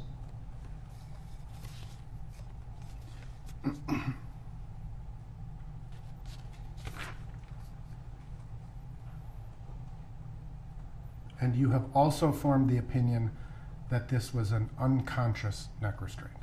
Is that correct? Or, excuse me, a conscious neck restraint. Yes. Okay. You're familiar, you testified on direct examination that uh, it is contrary to the training that you've received to place your neck or your knee on a subject's neck. Counselor, if I can clarify, um, it is contrary to our training to indefinitely place um, your knee on a prone, handcuffed individual for an indefinite period of time. For, so the issue that you take with it is the length of time?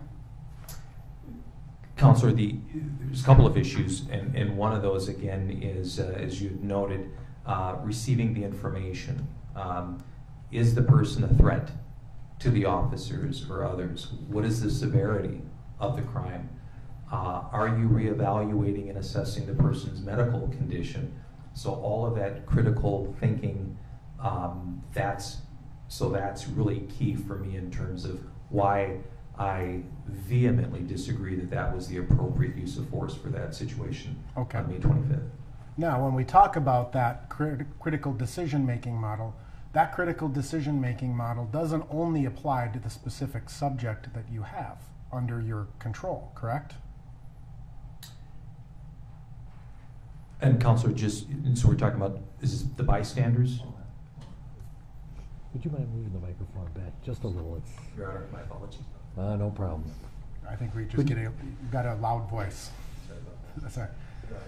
Well, I'm, I, yeah, I'm talking about bystanders, I'm talking about other officers, I'm talking about other things that come into play in terms of the officer's critical decision-making. And I apologize, Counselor, if you could just re- rephrase that question Sure. again. When an officer is engaged in the use of force, and I'll just phrase it as a yes or no, their attention is not exclusively necessarily focused on the subject of, of whom they have in custody. Agreed or disagree?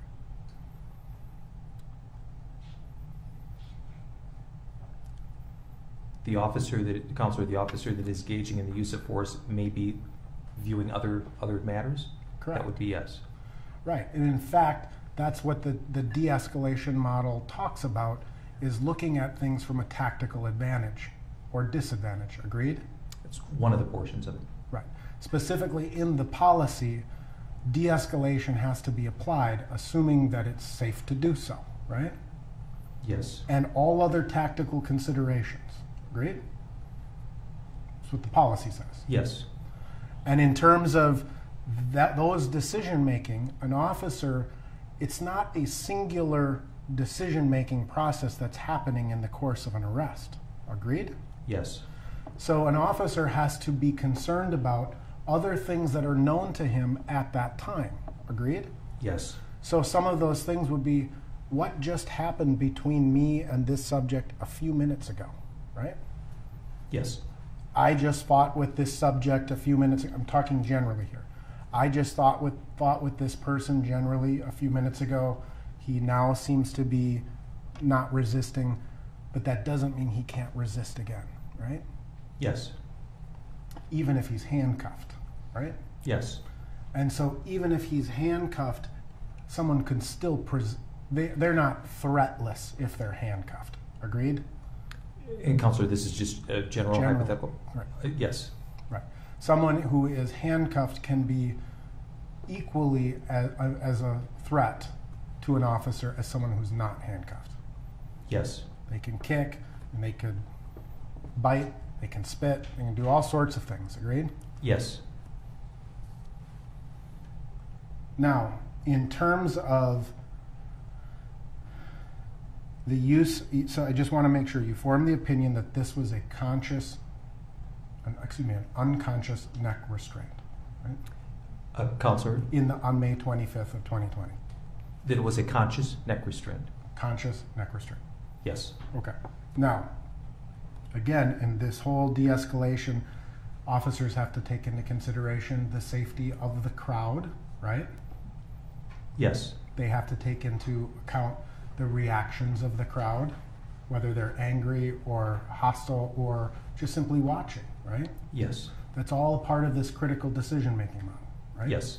They have to be aware of their surroundings, right? Generally Yes. speaking. Being on a busy street versus being on a, in a park, right? Yes. Different decision go into that, right? Yes.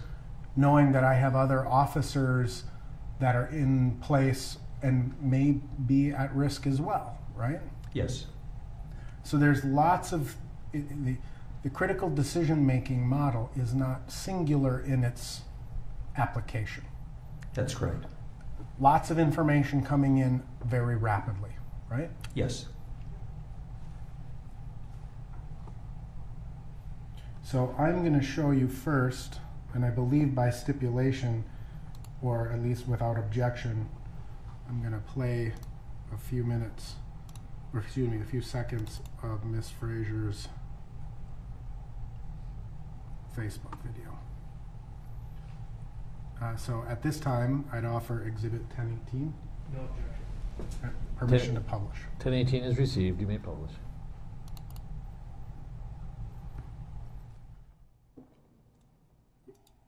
I'm gonna pause it here, sorry. This appears to be sort of that time, that picture that was shown to you earlier, Exhibit 19. This is that general time, uh, time frame that that picture appears to be taken from. Counselor, yes. I'm sorry. Was that here for this a question? I'm sorry. Oh, yeah. This, uh, this appears to be that, that image you were shown on direct examination, that static Exhibit 19, right? Yes. shows Officer Chauvin, shows Officer Flo, or excuse me, Mr. Floyd, it shows Officer Thao. Yes. And it shows the perspective of the, of the, um, Miss Frazier's phone.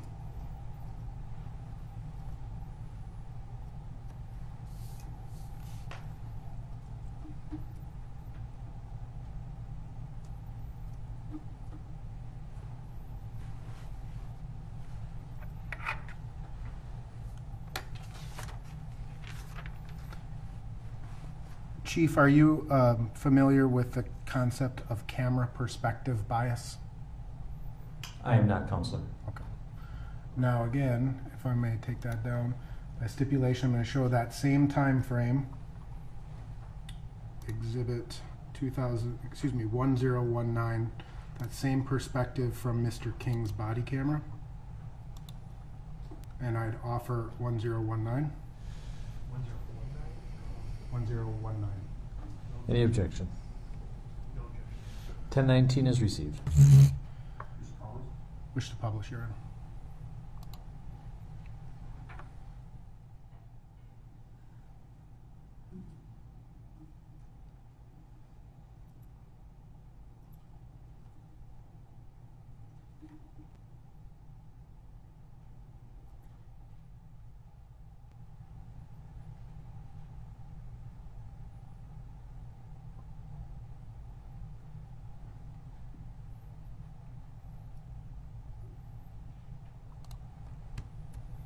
Agrees, agree it appears to be the same time frame. Yes. All right. Now, lastly, Chief, I'm going to show you one last video. We can take this down, Your Honor. Exhibit, I would offer Exhibit 1020, which is a side-by-side of the two. Any objection? No objection, Ten twenty is received. And permission to publish.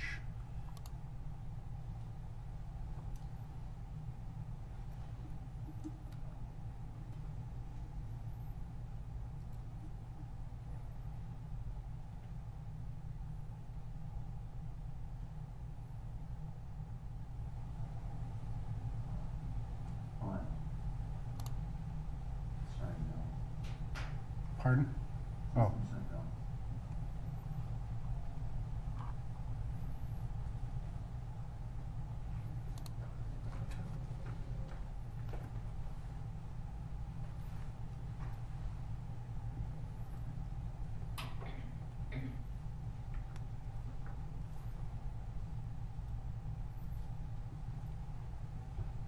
I started it over, if that's okay.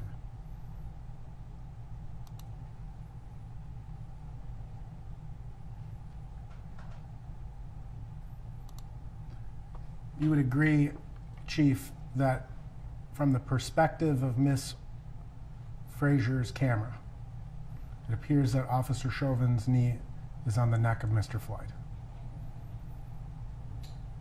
Yes.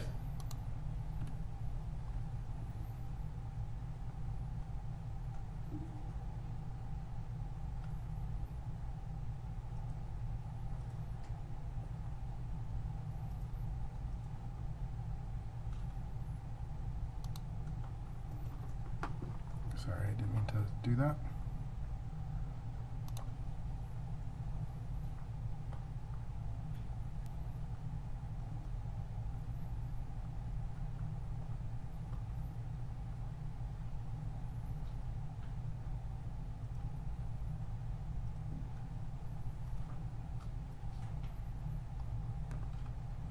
Would you agree that from the perspective of Officer Kueng's body camera, it appears that Officer Chauvin's knee was more on Mr. Floyd's shoulder blade? Um, yes. I have no further questions. Mr. Schleicher.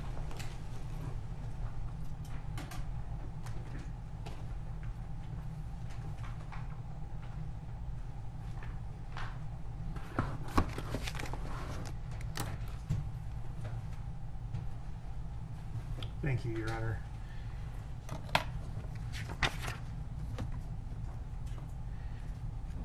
Chief, let's start um, with what you just saw, and you testified that the, the particular moment in time uh, that you were viewing Officer Kueng or former Officer Kueng's body worn camera, it appeared at that moment in time that the knee of the defendant was more towards the shoulder blade. Is that right? That is correct. That was at a time where the ambulance had already arrived. Yes. very shortly before they loaded Mr. Floyd onto the gurney. Is that That right? is, that is correct. And in your view of the body worn camera uh, footage and everything you reviewed prior to testifying today, did you see uh, the defendant's knee uh, anywhere but the neck of Mr. Floyd up until that time? That is correct. And so the knee of Mr. of the defendant was on Mr. Floyd's neck up until the time you just pointed out. Yes, uh, when I viewed that video portion, um, that is the first time that I'd seen uh, the knee of the defendant on the shoulder blade area. And that was right before the paramedic came. That is correct. Now, looking at, uh, and talking about the uh, neck restraint policy, if you could show Exhibit 17, please.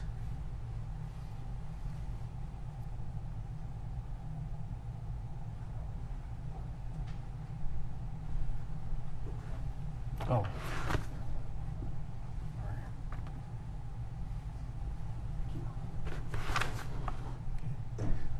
Looking at Exhibit 17, was it your testimony that Exhibit 17 is not a trained MPD neck restraint? Correct, that is my testimony. And I'd like you to reflect on the exhibits that you were shown by defense counsel, exhibits uh, 1008, 1019, and 1020, the, the 10-second clip. Okay? During that period of time, which is you know much later than the point in time we see here, uh, did you see any indication that Mr. Floyd was actively resisting, as that term is defined in Minneapolis Police Department policy.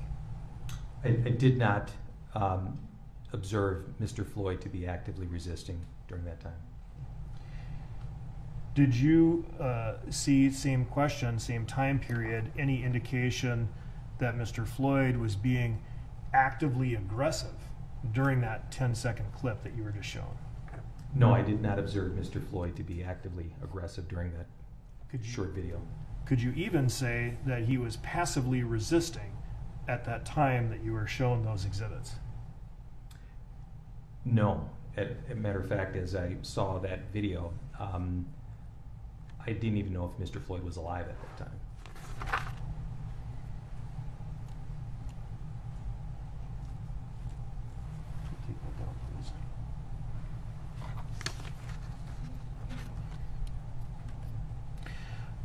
I want to revisit a little bit of the testimony uh, on cross-examination about the use of the MRT or the hobble, right?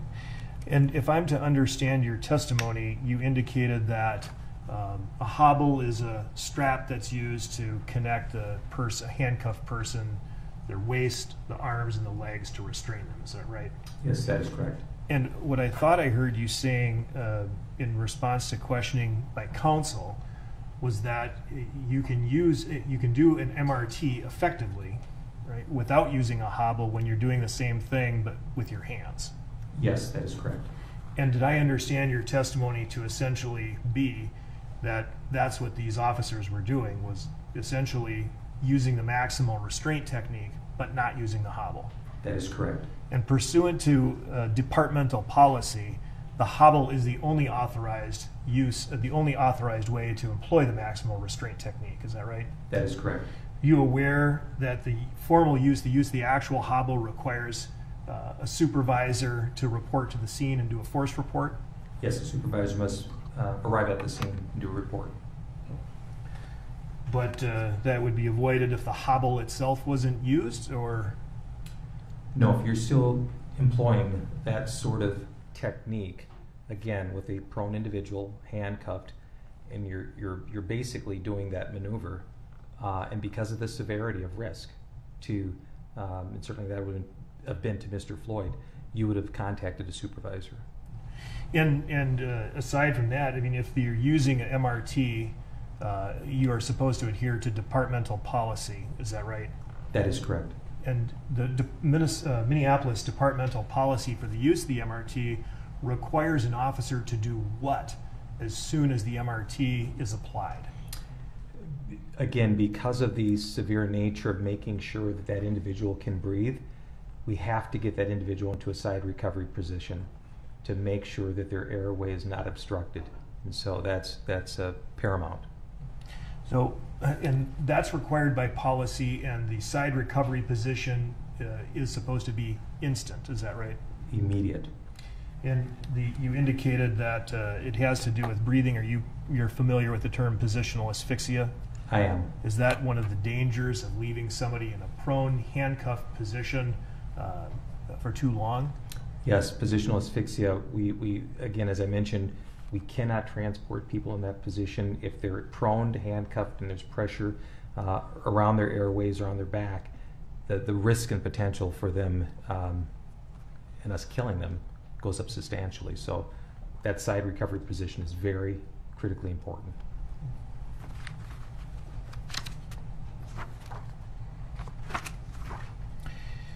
I want to follow up on uh, some of the questions about your own personal training and that of different uh, officers in different roles within the Minneapolis Police Department.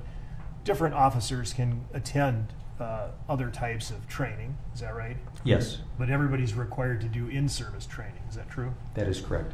And regardless of where somebody trains, I mean, the, the rules are the rules, right? Yes, And the policy applies to all MPD officers. yes.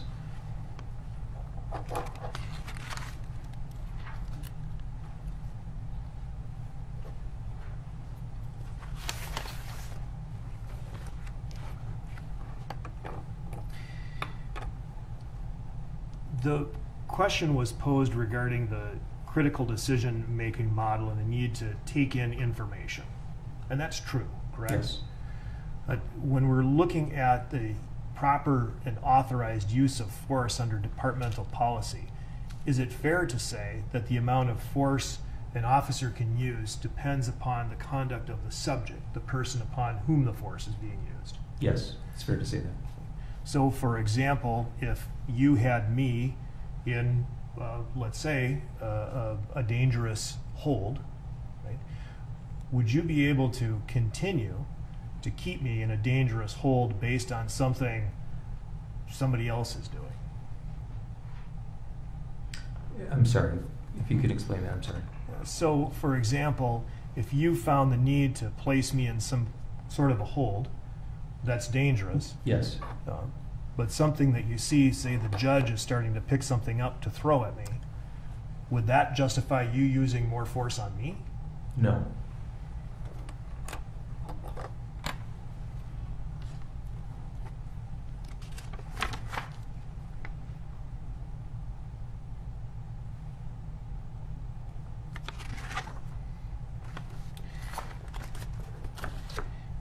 In terms of uh, de-escalating uh, the crowd, you indicated that there's some um, potential uh, need to de-escalate uh, a crowd, a group of people.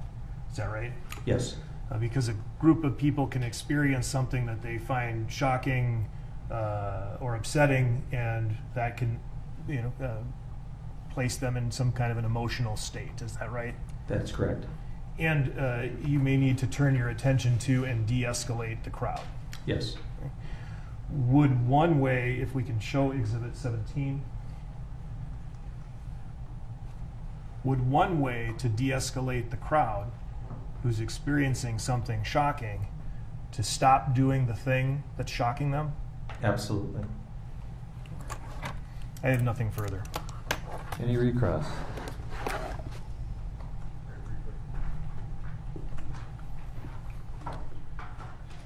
Thank you. Uh, very briefly, just one question.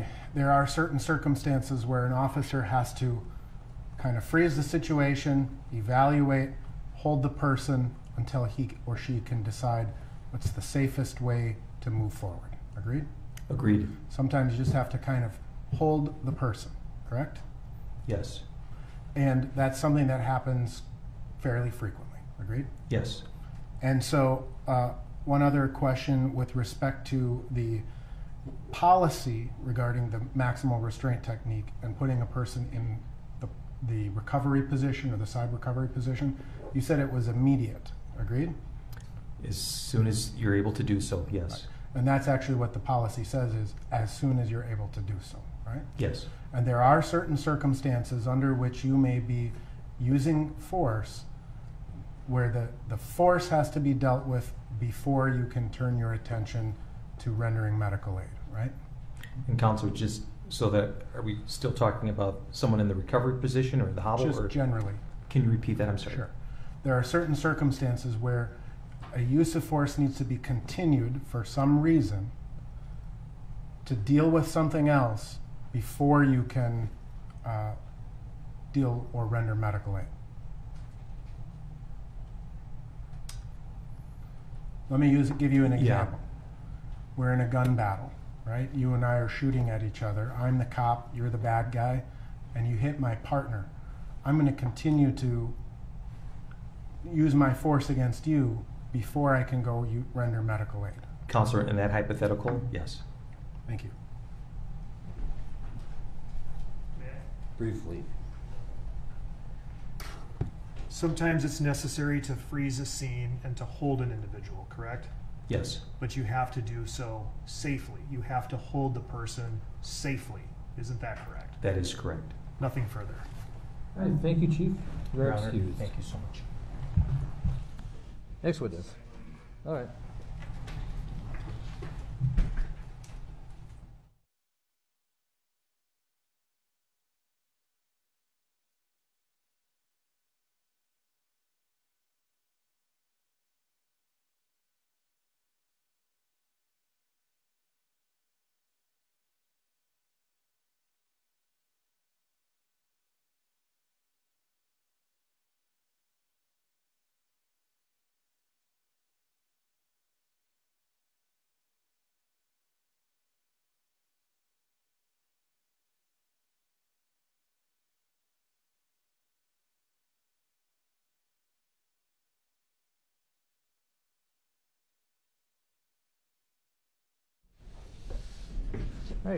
Next witness, please.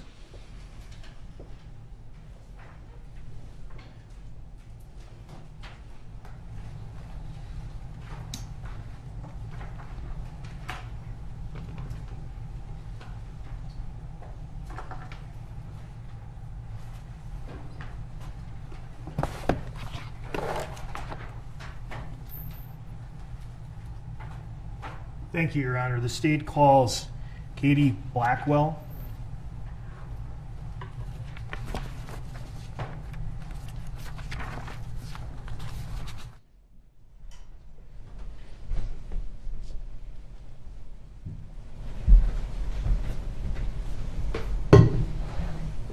You swear or affirm under penalty of perjury that the testimony you're about to give will be the truth and nothing but the truth. I do.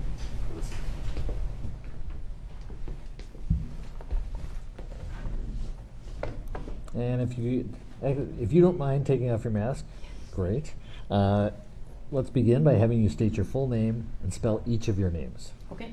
Katie, K A T I E, Marie, M A R I E, Blackwell, B L A C K W E L L. Mr. Swisher. Thank you, Your Honor. Uh, good afternoon. Good afternoon. How are you employed? Uh, through the Minneapolis Police Department. What is your current position? My current position is the inspector of the uh, 5th Precinct. Right. How long have you been the inspector of the 5th Precinct? Since January 31st this year. Uh, What were your immediate, what was your immediate uh, rank and assignment prior to that? The commander of the training division.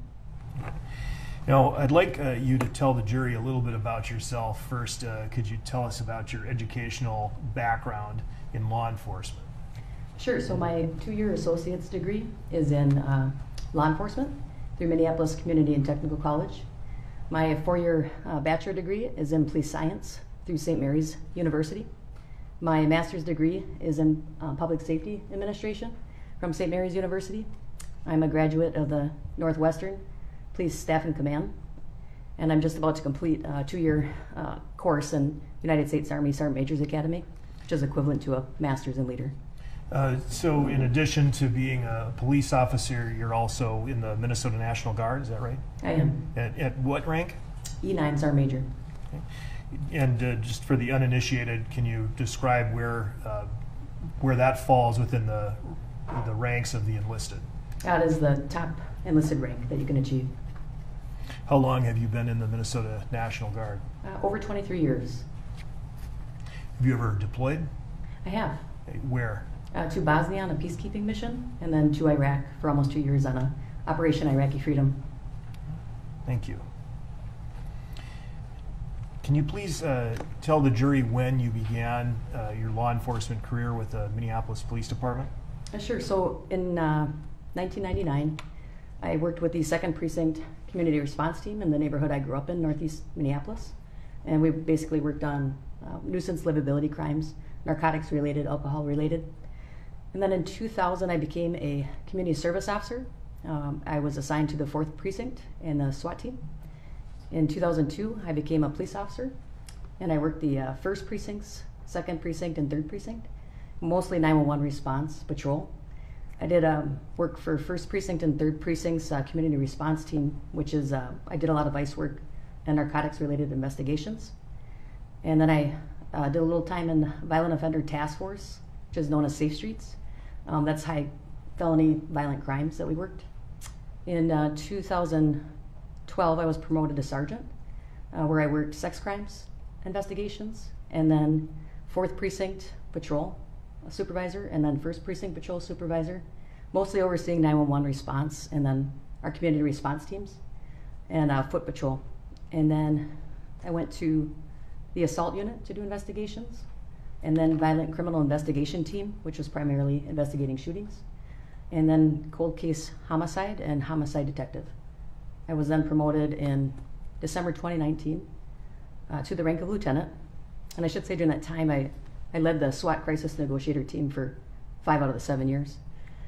When I became a lieutenant, I was assigned to the training division uh, to create leadership and professional development programs for the department, and then I, I took on the field training officer program. I was promoted to commander of training in April 14th, 2019, where I oversaw uh, the Police Athletic League, Police Explorers, Community Service Officers, uh, the Academy, Police Academies, the in service training, uh, overseeing the subject matter experts, uh, the medical support team, range uh, patrol operations, the crisis intervention team, and the use of force team, uh, as well as recruitment, hiring background, the 911 call center, uh, court liaison, and adult and vulnerable homeless population. Thank you. and uh, as a person who was in uh, command of the uh, training center, uh, are you familiar with you know the basic curriculum that was offered at that center during the time period uh, you oversaw the operations? I was. And uh, were you also familiar with the various um, staff and components who provided training at that center? Yes. Uh, before we get into a, a, more thorough description of the training center, I need to ask if you're familiar with an individual by the name of Derek Sh- uh, Chauvin. I am. How are you familiar with that person? Uh, we worked on the same shift. We were community service officers together. Back uh, prior to becoming a police officer? Correct. So you've known this person for approximately how long? Almost 20 years. Do you recognize uh, Derek Chauvin in the courtroom today? I do. Would you please point to him and describe what he's wearing? Uh, I was sitting over there in a navy blue uh, suit. May the record reflect the witnesses identified the defendant. It will. Now, you and the defendant have uh, worked for the Minneapolis Police Department contemporaneously for uh, nearly 20 years. Correct.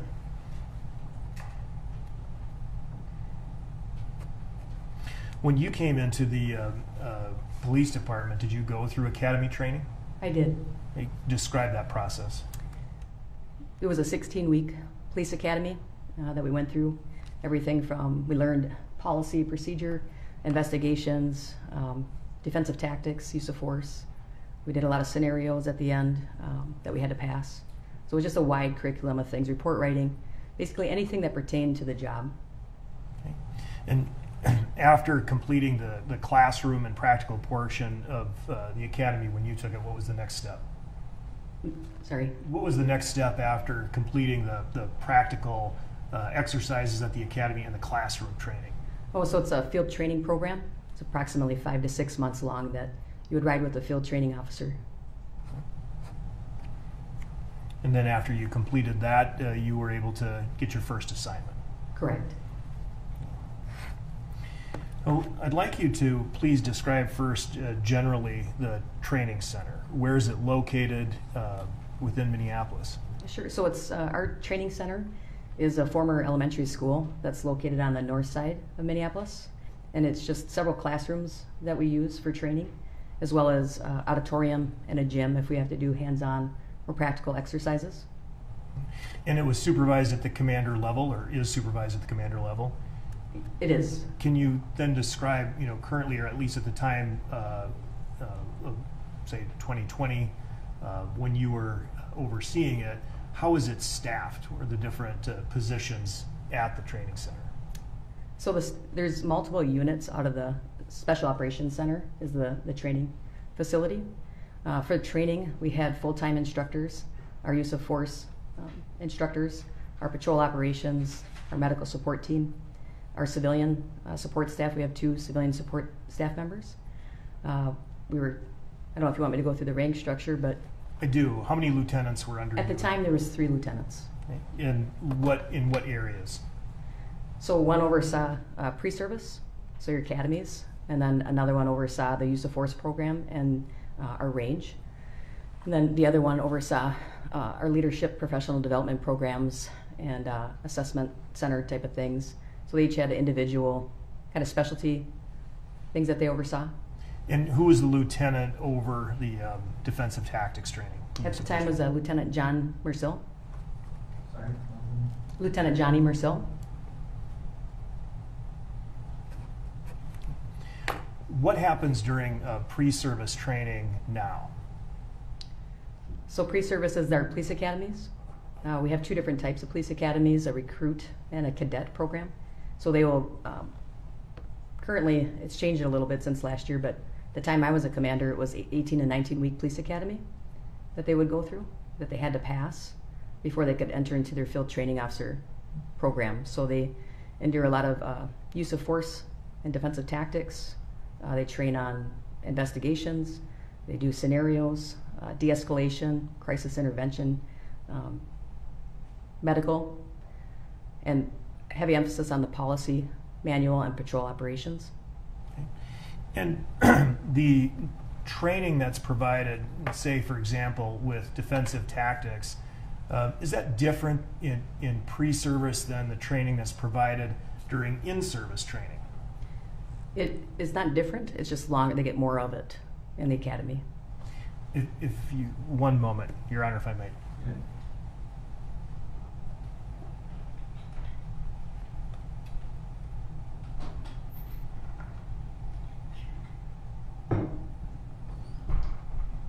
Thank you, Your Honor.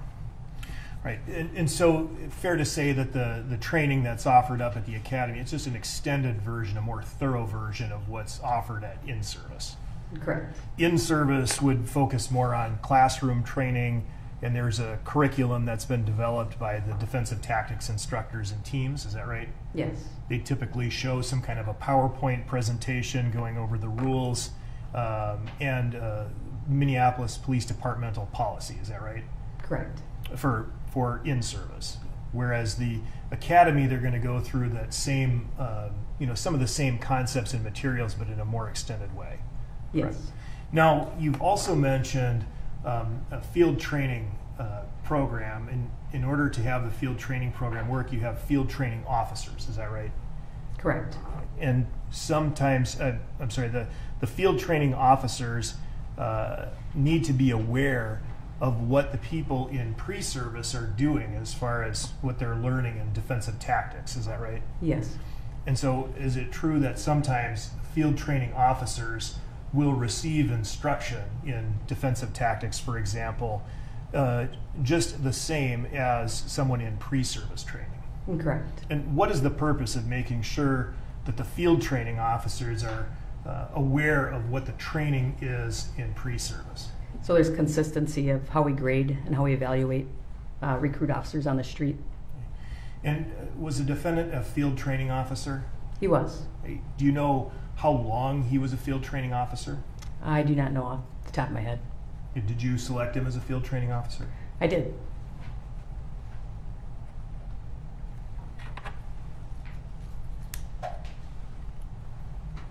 Now, uh, you've mentioned a variety of different courses that are taken and training that's provided at the Workforce Center. Uh, is it important to keep records of that training? It's very important. And why is that? Uh, because Minnesota Post Board, which is our peace officer standards and training, require us to complete so much training each year. Um, part of that is the 48 hours of continuing education over the course of three years. And with that training has to be uh, annual use of force, uh, weapons qualifications, mental health crises, procedural justice. So a third of that training, 16 hours roughly out of that 48 hours, has to be um, in compliance with the Minnesota Post Board. And so keeping those records uh, are you know critical to make sure we can, when we bring them to Post Board, they can do an audit on them. And you rely on those records in order to, in fact, uh, make these reportings to uh, the post boards that you have qualified officers on your staff. Is that right? Correct. They're kept in the ordinary course of uh, uh, your business, I guess, in the in the police department. There.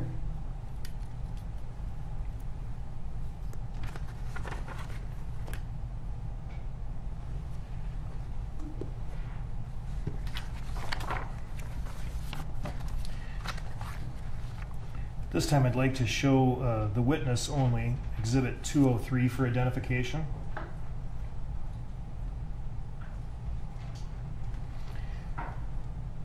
All right, Inspector, can you take a look at Exhibit 203 and I'll ask you to rotate through some of the pages so the witness can examine. You familiar with these records? I am. How are you familiar with them? So these are training records that we track in our workforce director system. Uh, we maintain these records. Uh, each officer has to sign in at training, usually in the morning and the afternoon. And then our civilian coordinator will upload these into the officer's file so we can keep track of the training or if somebody didn't make the training, who needs to make it up. And it's in service training and any additional training that they had on duty. And I'd like you to go to the back page to show the last page of the witness. Right, and you see that this particular workforce record goes back uh, to 2003. Uh, why is that? That's when workforce director started, I believe. Prior to that, there was some different system, Just paper, paper system. system. And how long are those records retained? So in workforce director or in our How long does MPD retain the training records pre-workforce director? So the city retains records for seven years. So once we have them, we'll keep this in our workforce director. Some training syllabuses and itineraries are put on an M drive. Um, paper copies are generally archived at some point. They're brought down to a central location within the city. But for seven years. Correct. Okay. So these are the records that we have available for this particular individual, going back to 2003. Is that Yes. right? Okay. Uh, well, offer, uh, I'm sorry, is Exhibit uh, 203 uh, the defendant's training records? Exhibit 203, is- is this the? def- the- Yes. The training records of the defendant? Yes, it is. Uh, I'll offer Exhibit 203. Any objection? No objection. 203 is received. uh, permission to publish. And so I'd like to just, if you could uh, scroll up and highlight this first, uh, first record entry here. You can see these records are, are organized uh, in a way that just generally labels the, the course and it gives uh, various dates and then there's a start date and an end date for the participant is that right? Correct. And then a total number of continuing education credits that are that are logged is that right? Yes. Okay. i want to back up through these records if you could bring it out again.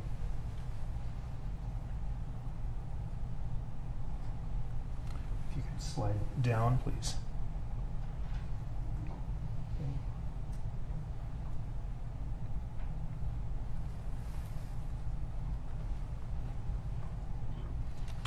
All right, so uh, just for example, if we can take a look at uh, what's labeled here in the 2019 annual training, that section there.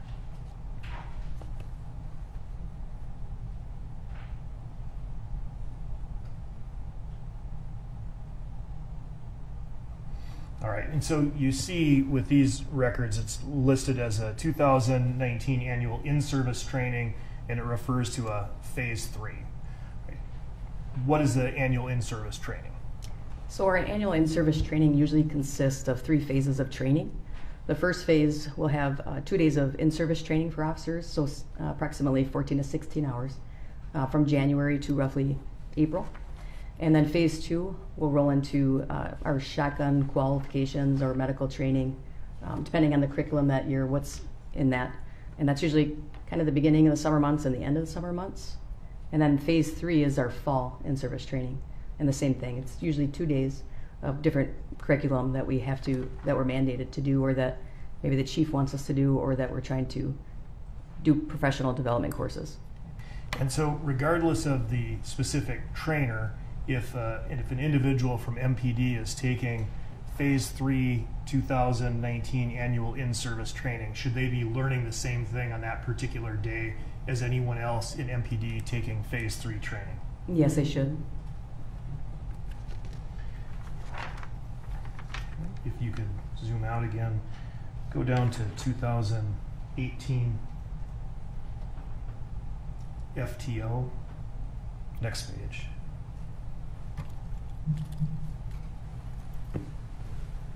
Oops.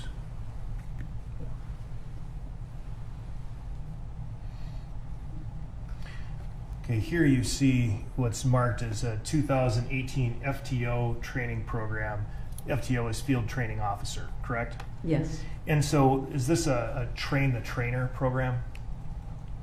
Yes, from the FTO coordinator and uh, myself as a, the FTO lieutenant at the time, put on that training where we brought in a variety of different instructors to teach at that class. And what is taught at, uh, at FTO training? So that was a, a almost 40 hour course, and we taught, it was a primary emphasis on leadership, uh, the critical decision making model, um, effective rope, or it's a recruit observation um, performance evaluation report, really. Um, so the FTOs are taught the FTO manual, and then they're giving tips on adult, train the adult uh, learner. And we do some scenarios in there where they debrief using the critical decision making model. They had defensive tactics. They had a component of human resources that came in to explain what the dues and other jobs are as a field training officer. It's basically, we were trying to make sure that they understood what the recruits were being taught because they're going to evaluate them out there and they're the closest thing to a supervisor that that re- young recruit officer has. And if uh, I understand your understood your prior testimony, uh, defensive tactics and use of force is something that's trained every year um, during the regular in service. Is that right? Correct. So, for example, in 2018, the defendant would have uh, been instructed in defensive tactics and proper use of force at least twice, right? Once during this 2018 FTO training program and once during the regular in service. Correct. And uh, if we can, uh, I'd like to at this time, just to the witness, display Exhibit 275.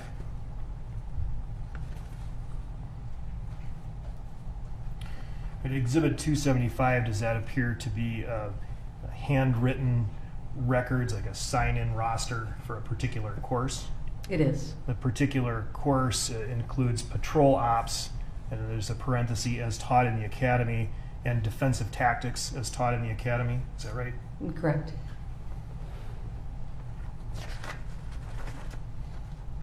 In the uh, second name uh, on this list, does that appear to be the name of the defendant? It is. Right, and so does Exhibit uh, 275 indicate that the defendant um, did receive on uh, November 30, 2018, a block of defensive tactics training as taught in the academy? Yes. Offer Exhibit 275. Invitation. No objection. Two seventy-five is received. Permission to publish. Then.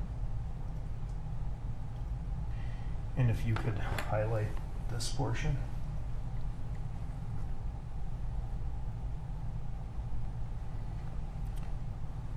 And- And you can see the number of training hours here was eight, is that right? Correct. And so that would have been between, divided between patrol ops and defensive tactics as taught in the academy. Yes. And again, the purpose is so that a person can be an effective field training officer and know what the trainees or the uh, cadets and recruits are being taught in pre-service. Is that right? Yes. We could go back then to 203.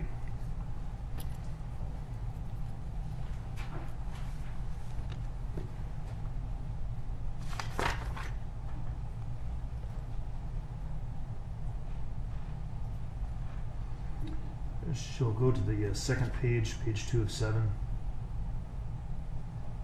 Where it says 2018, uh, this one. If you could highlight that, please. Oh, it's up for me. Uh, Is it just quit? or- You want to publish? Oh, I did. I'm sorry. Permission to publish.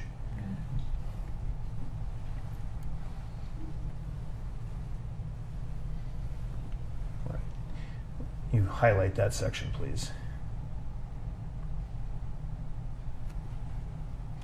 And, and just to define some terms here, you see, uh, it says 2018 shotgun and CIT training. Is that right? Yes. And It's a seven-hour block. Yes. Correct. And CIT, what does that stand for? That is uh, crisis intervention training, so de-escalation and mental health awareness. You also see there's a training uh, indicated for uh, procedural justice and Narcan training in 2018, correct? Yes. And on the uh, um, crisis intervention training, uh, this one is a fairly short crisis intervention training block, is that right? Correct. That they switched days, so one group would go to uh, qualify with shotguns, and the other group would be in CIT, and they'd flip flop after lunch. But the but the original crisis intervention training um, block or model that's taught to uh, MPD officers, it's much longer than seven hours or even splitting seven hours. Is that right? Yes, it's 40 hours, and this is just a refresher. Okay. And so then if you could um, move to the next page, please.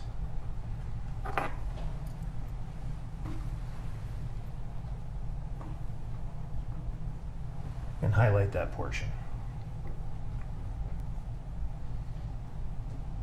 Uh, the one above it too, where it starts at CIT 2016.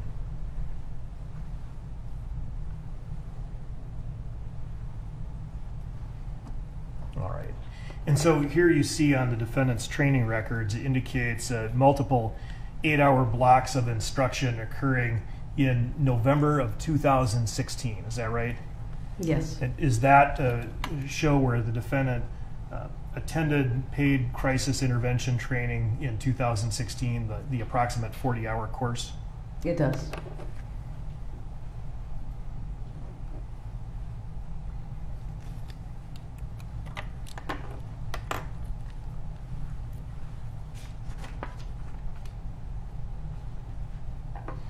In addition to, if you can take that down, please. In, in addition to the um, defensive tactics and use of force training, um, does in-service training require regular medical or kind of combat lifesaver training?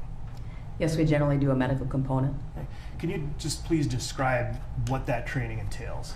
Sure. So our medical support team uh, consists of a full-time trainer, and they have part-time trainers that are certified EMTs or paramedics. They're also police officers.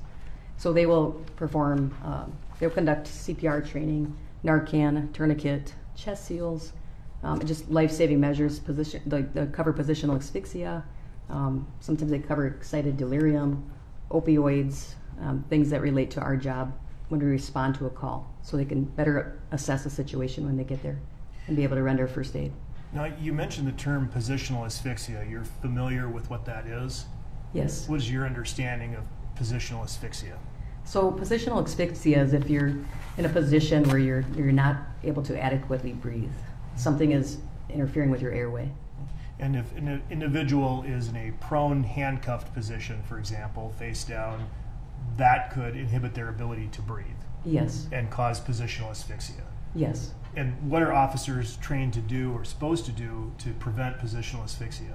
They're supposed to uh, put them on the side recovery position, which is they're going from prone and just putting them on their side or upright position. How soon are they supposed to do that prior to or after getting the person under control in the prone position? as soon as, as possible. How long uh, have you known about the potential dangers of positional asphyxia Uh, we were taught positional asphyxia all the way back to my academy. at the Minneapolis Police Department? Yes, Have the, have the dangers of positional asphyxia been known throughout the department at least as long as you've been employed there? Correct. And your employment overlaps you know, with the defendants, is that correct? Yes.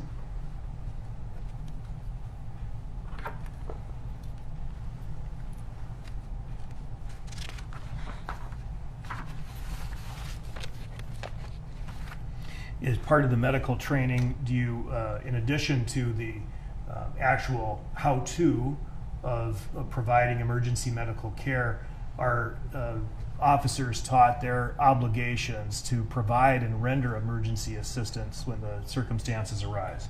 Yes, it's in policy as well as training. You're familiar with the Minneapolis um, critical decision-making model? I am. And that model, you've seen the circle, we've all seen the circle now a few times. That uh, model is uh, infused throughout different portions of the training materials at MPD, is that right? It is. Why is that? We wanted to ensure the officers, a lot of experienced officers understand that critical decision making model. The more experience you have, the more you can walk through it. Uh, but we found it critical that recruits learn it early on. It was helping them uh, connect the dots better with information they were receiving on the scene and working through that, that wheel, uh, constantly reassessing, and then using the pillars of procedural justice in the middle. And so we wanted it consistent with our field training officer program to debrief them, the recruits, and then and are in-service so that officers out there could constantly reassess situations when they're on a scene. You said that um, the critical decision-making model was used to reassess uh, people who are in going through the FTO process? Yes, in the field training officer program, we had scenarios where we had the field training officer debrief. Uh, at the time, we used community service officers as role players, so we had them debrief using that after after a scenario. So going through the steps of taking in information, assessing risk, assessing threats, reassessing, evaluating goals, um, and then relating that to the pillars of procedural justice. That's something that any field training officer would be required to do with uh, the people that they're evaluating, correct? Correct.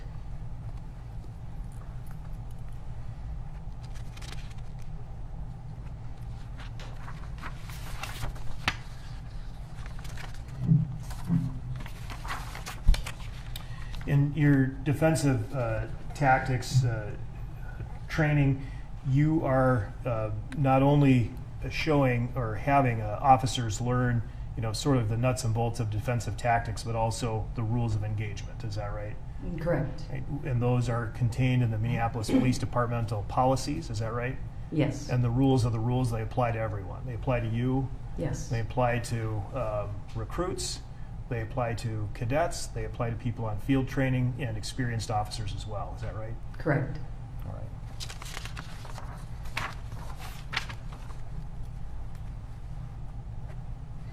Uh, I'd like to show you uh, what's been received as Exhibit 17. Uh, I need to ask you, officer, as you look at Exhibit 17, is this a trained technique that's uh, by the Minneapolis Police Department when you were uh, overseeing the training unit? It is not. And why not?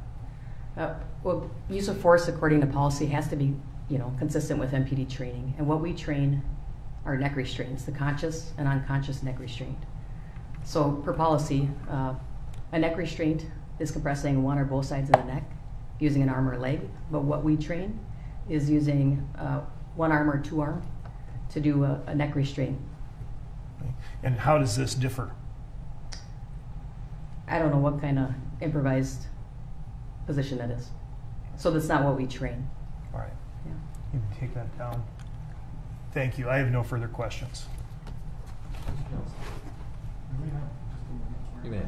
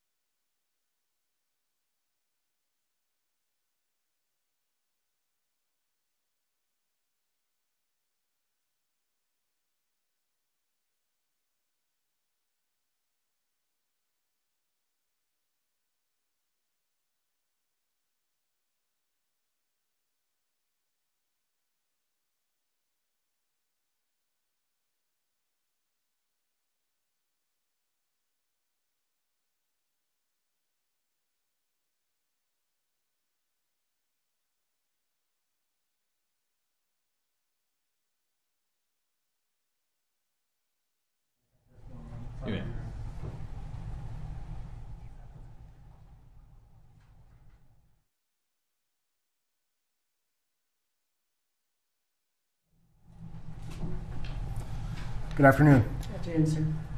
Uh, just want a few follow-up questions. In terms of any in-service, you see, when we look at the exhibit, you see 2020 defensive tactics in service, and it's worth eight hours of time. Agreed? Correct. Now, in that course of that eight hours, officers may go through multiple trainings during that eight-hour time, right? Correct. They rotate through things. I'm sorry? They can rotate through different. Right. So one one uh, in within that eight hour time frame, they may get a class or an hour long class on say the human factors of force, or they may get a an hour long course on handcuffing techniques. It varies within each of those eight hour time frames, right? Correct. Now, have you maintained a list that shows uh, 2020?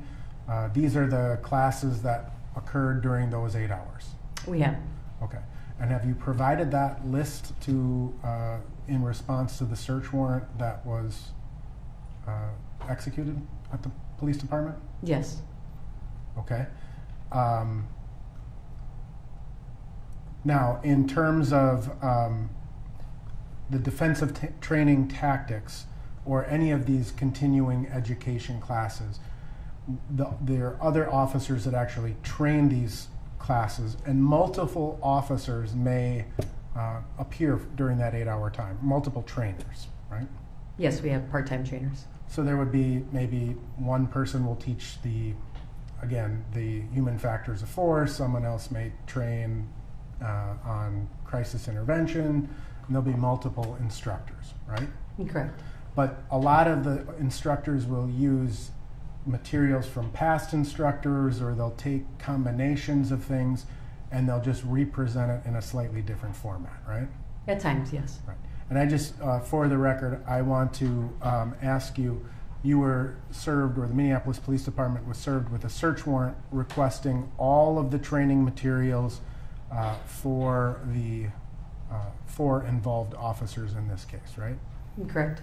And so this would be materials that were from, some materials that were from the police academy, some materials that were from uh, in service, just a variety of different uh, records, right?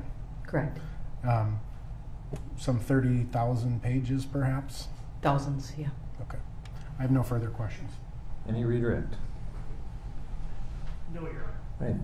Thank you, Inspector. You may Thank are you. There's the jury. We're going to take our break for the day. Um, we have a hearing we have to do at 8:30, but I'm still hoping that we can get started by 9:15. So same arrangement as today. Thank you. Have. Just a reminder: don't talk to anybody about the case. Don't read it in the media. Appreciate your patience. Thank you.